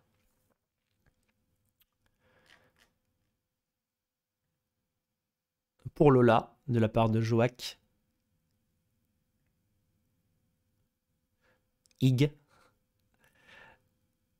Euh, Lola, nous t'aimons, nous te. Je peux pas lire. Tu es nous et nous sommes toi. C'est armé de la tristesse, d'une saine colère et de notre volonté indéfectible que nous accomplirons cette tâche immense qui est de reprendre le pays. Puisses-tu reposer en paix au paradis des petites championnes. Très beau. Oh, excusez-moi, je me suis trompé. Je ne m'attendais pas à ce qu'il y en ait autant. Vraiment, c'est. Euh, ça me touche. Alors attendez, voilà. Lancelot qui a fait un don également. Kevin. Ok. Je vais lire encore cette page et puis après on va... Allez, on va en lire deux. Merci pour l'ensemble de ton travail, Dani, pour la famille de Lola. Vous inquiétez pas, ce que je vais faire, c'est que tous ceux qui ont fait un don avec un message, je vais le publier sur mon compte Telegram, d'accord? Un don encore, ou un don, euh, un don de qualité de, David. Voilà. Merci à toi, David. C'est pas, c'est pas une petite somme. Lucas Grassi euh, nous a fait également un don. Euh, Uranos, je n'ai rien à dire que ce que nous disons de plus que ce que nous disons depuis des années. Pensez à Lola, prenez soin de vous. Merci à toi. Ayrton, merci à toi. Emma également, beaucoup de femmes qui ont donné. On voit que évidemment, c'est forcément ça touche quand on est une femme, ça touche quand on est un être humain, tout simplement. Euh, pour Lola, ce n'est pas une marche blanche, c'est une marche des blancs. Joli commentaire de Quentin. Les braves avec les parents de Lola. Merci à toi, Laurent. De la part du colleur d'affiche qui rentre d'un collage. salut, euh, salut euh, Simon. Ah putain, tu colles encore des affiches, toi? C'est dingue. Euh, le meilleur élément de reconquête. Salut Marion. Merci à toi pour ton don. Merci pour Lola. Repose en paix, Lola, on ne t'oubliera jamais. Merci Godon. Exiger de ne pas faire d'amalgame, c'est intimer de ne pas constituer de catégorie, donc de ne pas penser. Emmanuel Dion. C'est vrai. Au plaisir de se voir bientôt. Euh, au plaisir de se voir bientôt en France. Allez, je vais lire quelques-unes et puis je vais mettre une musique un peu de recueillement. Euh, que, que j'aime bien, que je trouve belle. Et après, moi aussi, j'ai fait un don et j'ai fait un petit hommage. Je vous lirai ça. Ah, attendez, je suis perdu là. Excusez-moi, j'ai une fatigue incroyable. Il est presque 3h du matin en, Roumanie. C'était très long en fait. Euh, je vais mettre euh, une musique. Vous me dites si ma voix est, est trop faible par rapport à la musique, ce qui arrive souvent.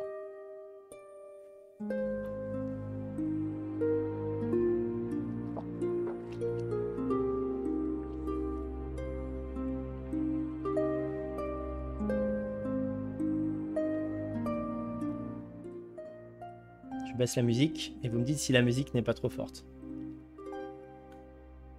Je suis attentif à vos commentaires, d'accord? On continue. On prend notre temps. On prend notre temps pour Lola, on prend notre temps, euh, on fait ce qu'on veut en fait un hommage, euh, ben, faut prendre son temps pour le faire. C'est belle cette musique, hein Musique un peu religieuse, mais j'aime bien. Vous me dites si c'est trop fort, hein Je suis métisse. J'aime la France et j'ai honte que nous n'ayons pas pu protéger cet enfant. Nous sommes tous responsables du futur de ce pays. C'est un déchirement et je pense que Lola serait soulagée que ses parents aient le problème financier en moins. Ok, merci. Romain, Lola pour que ta famille puisse fuir ce cloaque. Le maître de guerre, don à la mémoire de Lola. Bravo Daniel pour ton travail et ton initiative. Ils ont ma haine. Nous dit. Euh, excusez-moi, je suis allé trop vite, je suis un peu dans l'émotion là. Steph apparemment. Michel nous dit pour la cagnotte Litchi de Lola, merci. Don pour Lola de Jérôme. Merci à toi. Dany, un mec qui s'appelle Dany qui a fait un don. Merci à toi. Et ça continue. Bertrand, merci pour, merci pour toi. Merci pour tout. Un don de Voram. Un pseudo sûrement. Repose en paix Lola, dit Florence. Petit soutien pour la famille. Elle est belle cette image, hein C'est euh, le graphiste qui. Enfin mon graphiste Ludo que je salue qui a fait cette image. Ça émeut tout de suite avec la musique, c'est alors Lucas qui dit petit, soutien, petit soutien pour la... Excusez-moi.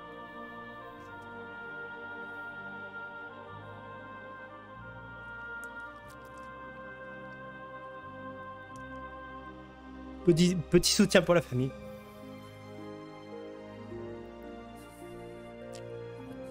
Soutien à cette famille de la part, nous dit Laurent. Ah, je m'étais promis de pas pleurer.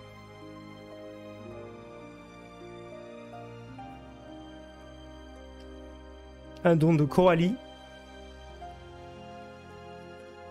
Pour Lola. Merci Daniel, nous dit Gonzalez. Désolé si hein, je le rate peut-être certains. Pseudo, Pango Live, un petit don pour Lola. Tu étais parfait ce soir, Dani, merci d'être là. J'ai l'impression que j'en rate plein, je désolé. Ah ouais, ouais, d'accord, c'est bon là. Merci pour ce don. Également, il n'y a pas de nom, donc je sais pas quoi dire. Ah, pardon, j'ai merdé.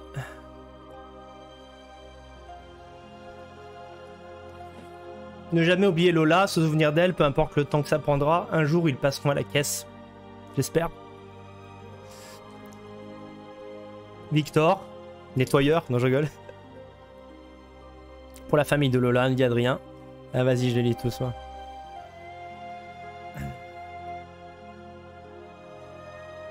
Un don sans message. Salut Daniel, je suis d'accord avec toi sur le fond concernant l'islamophobie. Cependant, je constate que les normies, ma famille notamment, sont beaucoup plus réceptifs à mon discours islamophobe qu'à mon discours racialiste. Quasi inaudible pour eux. Aussi pensais-je qu'il est mieux d'avoir un discours anti-islam, tout en précisant que ces gens-là ne seront jamais. Je suis d'accord. Pour des raisons électorales, euh, si l'important c'est qu'ils votent euh, à droite contre l'immigration. Mais euh, s'il vaut mieux leur servir à tes proches à un discours anti-islam, il n'y a pas de souci. Mais là, je disais euh, publiquement dans le militantisme, euh, militantisme nationaux, enfin je veux dire la doctrine, voilà la doctrine, et sur même les, les, politiques qui euh, vont pas refaire le match, mais les, politiques qui, qui doivent faire comprendre en français que le, le problème, c'est le vivre ensemble. C'est pas l'islam en tant que tel. Non pas que j'aime l'islam, mais je veux dire, tu peux pas euh, sortir d'une religion comme ça d'un claquement de doigts des gens qui la pratiquent depuis des siècles. C'est de la folie. C'est de la folie en fait. Moi, je veux pas que les musulmans, les, arabes soient plus musulmans. J'en ai pas le pouvoir de les empêcher d'être musulmans. C'est plus facile de les remigrer, euh, de, veux dire, euh, c'est plus facile de les remigrer sur une base légale en changeant les lois que de les désislamiser. C'est de la folie. Les souverainistes et les républicains laïcards de gauche sont des malades. Ils sont complètement débiles. On vivrait tellement mieux sans eux. C'est vrai. Putain, c'est juste ça, quoi. Vincent, merci à toi. J'ai déjà donné à la cagnotte en mon nom propre. Fais modestement la pub pour la cagnotte sur Twitter. Je double mon don pour la famille de Lola et montrer que nous nous mobilisons collectivement.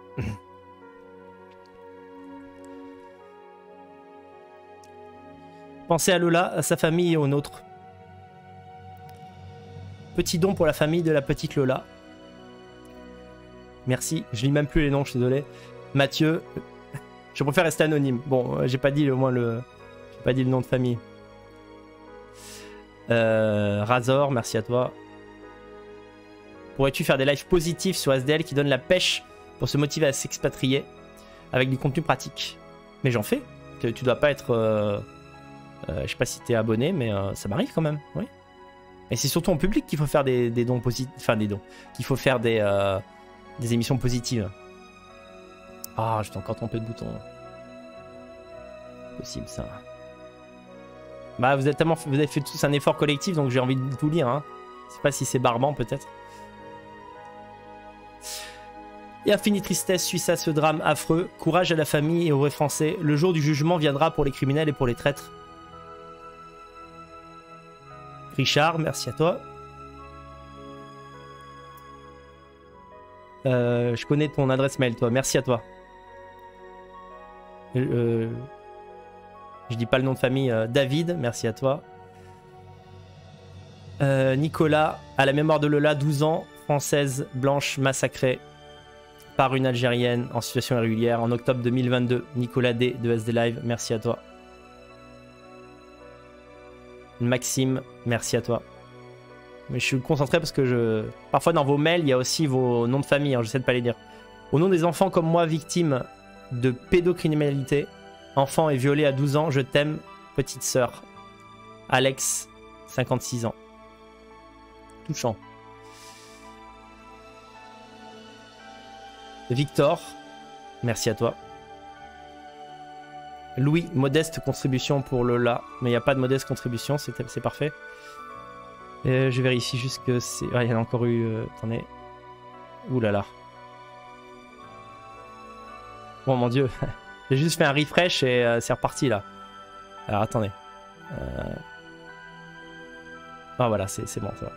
Bon alors, désormais, ceux qui font des, des dons, je vous en remercie, mais je ne pourrai pas les lire. Riposa in pace, Doumé. Merci. Merci à toi. Julius, bravo pour ton initiative, Daniel. Lola, on ne t'oubliera pas, ni oubli, ni pardon. C'est clair. C'est ça le prix. Qui ont permis ça et ceux qui ont fait ça. Pour la famille de Lola, et merci pour ton travail. Merci Antoine. Merci Mathieu également. Et beaucoup de Mathieu. Hein. La musique était belle, je n'ai jamais fait de don, je pense que ça a du sens de donner à ceux qui nous ressemblent, on s'est compris. En l'occurrence, tu m'as toujours pas fait de don puisque je vais envoyer ça euh, dès demain à Litchi. Courage à la famille, je n'ai pas de mots. Voilà. En plus, ça arrive au moment où la, musique se termine. Bah, je vais vous lire euh, le message que j'ai écrit. En fait, moi, le, message que j'ai écrit, euh, je l'ai pas écrit à. D'ailleurs, c'est pas fini, si? Pardon, c'est moi qui ai fait ça. Il reste encore un peu. En fait, j'ai écrit ce message euh, plutôt à ma fille. Parce que, je sais pas, j'ai fait un don pour la famille de Lola, mais euh, au moment où je, je voulais écrire un message pour Lola, je sais pas pourquoi j'avais en- j'avais envie d'écrire un message à ma fille. Et en fait, ça c'est vrai, ma fille m'a demandé euh, ce matin, parce qu'à l'école, vous savez, euh, là elle est plus à maternelle, elle est à, la vraie école, quoi. Et ils lui ont demandé qu'est-ce que je faisais comme métier? Et elle a pas trop su répondre. Il, y a, longtemps, elle m'avait posé cette question. je sais plus ce que j'avais répondu, mais je sais pas. J'avais répondu quelque chose de pas sérieux parce que ça me semblait compliqué de lui expliquer ce que je faisais. Et elle m'a reposé la question ce matin alors que je partais, j'avais des trucs à faire. Alors voilà le message que j'ai écrit euh, à ma fille en fait. Ah, ça repart, moi, c'est pas grave. Je vais essayer de rester cool. À Marie. Ce matin, tu m'as posé une question et je n'ai pas eu le temps d'y répondre. Je devais partir. Papa, tu fais quoi déjà comme métier? J'ai réfléchi et voilà ce que je t'aurais répondu si j'en avais eu le temps et si j'avais eu l'idée.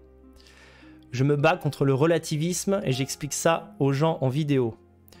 Tu m'aurais sûrement demandé ensuite, Papa, c'est quoi le relativisme? Et je t'aurais répondu ça. Le relativisme, c'est penser qu'il n'y a pas une grande différence entre le bien et le mal, voire même que le bien et le mal, ça n'existe pas. Eh bien moi je crois que le bien existe, et le problème, la petite Marie, c'est que je crois aussi que le mal, ça existe. Le fossé entre le bien et le mal est grand comme un océan sans fin. Tu vois, grand comme le soleil, peut-être même comme une galaxie. À ma manière, j'essaie de définir le mal et de le combattre. Je ne sais pas si ça fonctionne, mais j'essaie. J'essaie parce que faire le bien, ma petite, et dire la vérité est une bonne chose en elle-même et donne de la joie dans le cœur. Parce que l'espoir est plus beau que le désespoir, parce que je veux que tu avances en souriant sur le chemin de l'existence, et que tu arrives à l'âge adulte dans un monde plus beau, où le bien l'emporte sur le mal, parce que je veux le meilleur pour toi, parce que tu es la lumière de ma vie. Voilà ce que je voulais dire ce soir. Parce que quand on est un père de famille, on ne peut que... ne peut que se dire que si ça arrivait à, notre enfant, on deviendrait fou. Donc, euh, j'espère que vous aurez une petite pensée ce soir pour les parents de Lola. Et que vous arriverez à échapper. euh, vous aurez. Le ciel sera avec vous pour échapper à ce que. à ce- au genre de choses qui peuvent arriver en France en ce moment. À cause de décisions absurdes qui sont prises par euh, les gouvernements et compagnie. Voilà. Euh, je vous souhaite une bonne soirée. Et euh, je vous propose de faire une minute de silence. Et suite à ça, on finira. Merci à tous.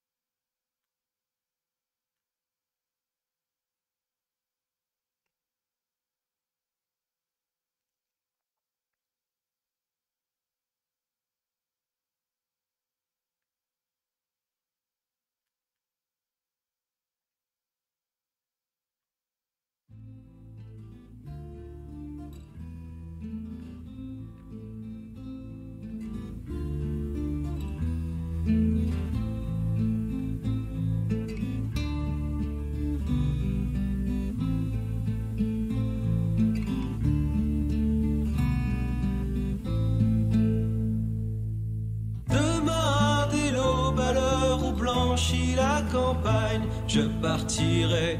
Vois-tu, je sais que tu m'attends. J'irai par la forêt, j'irai par la montagne. Je ne puis demeurer loin de toi plus longtemps. Je ne puis demeurer loin de toi plus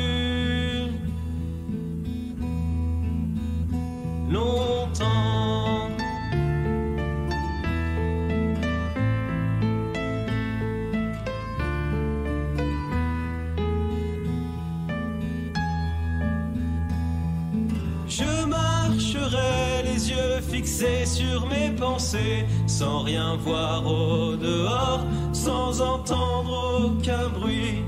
Seul, inconnu, le dos courbé, les mains croisées, triste et le jour pour moi sera comme la nuit. Le jour pour moi sera comme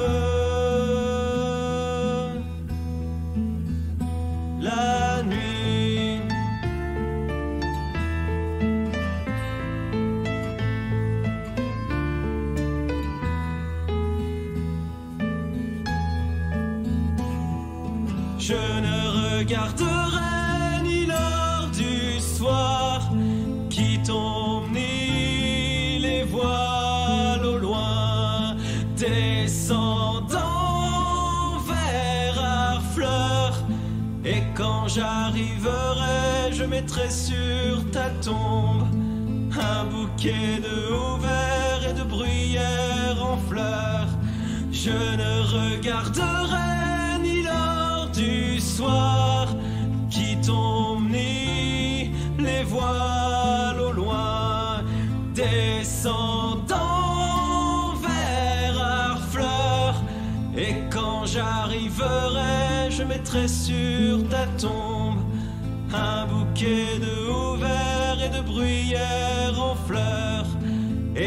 j'arriverai, je mettrai sur ta tombe un bouquet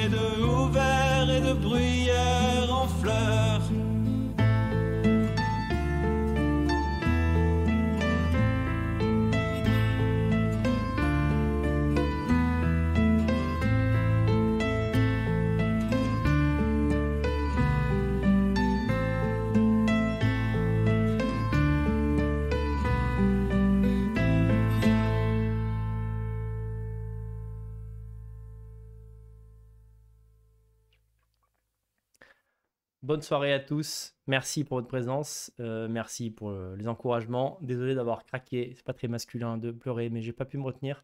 Et euh, bah, merci pour les dons pour la famille de, Lola. Alors comment ça va se passer? Je vais vous dire demain en milieu d'après-midi. voilà, on va dire que jusqu'à midi, c'est pas que vous pouvez faire de dons après, mais on va dire je- la cagnotte liée à ce live, je l'arrête vers à midi, voilà. Et, je vous dirai combien on a récolté. Et lorsque l'argent me pa- parviendra, parviendra euh, réellement, ben, je l'enverrai euh, à Litchi et je, vous, évidemment, je vous montrerai le message euh, de l'envoi. Voilà. Merci à tous. C'était un live émouvant et, et puis à bientôt. Et gardons espoir malgré tout.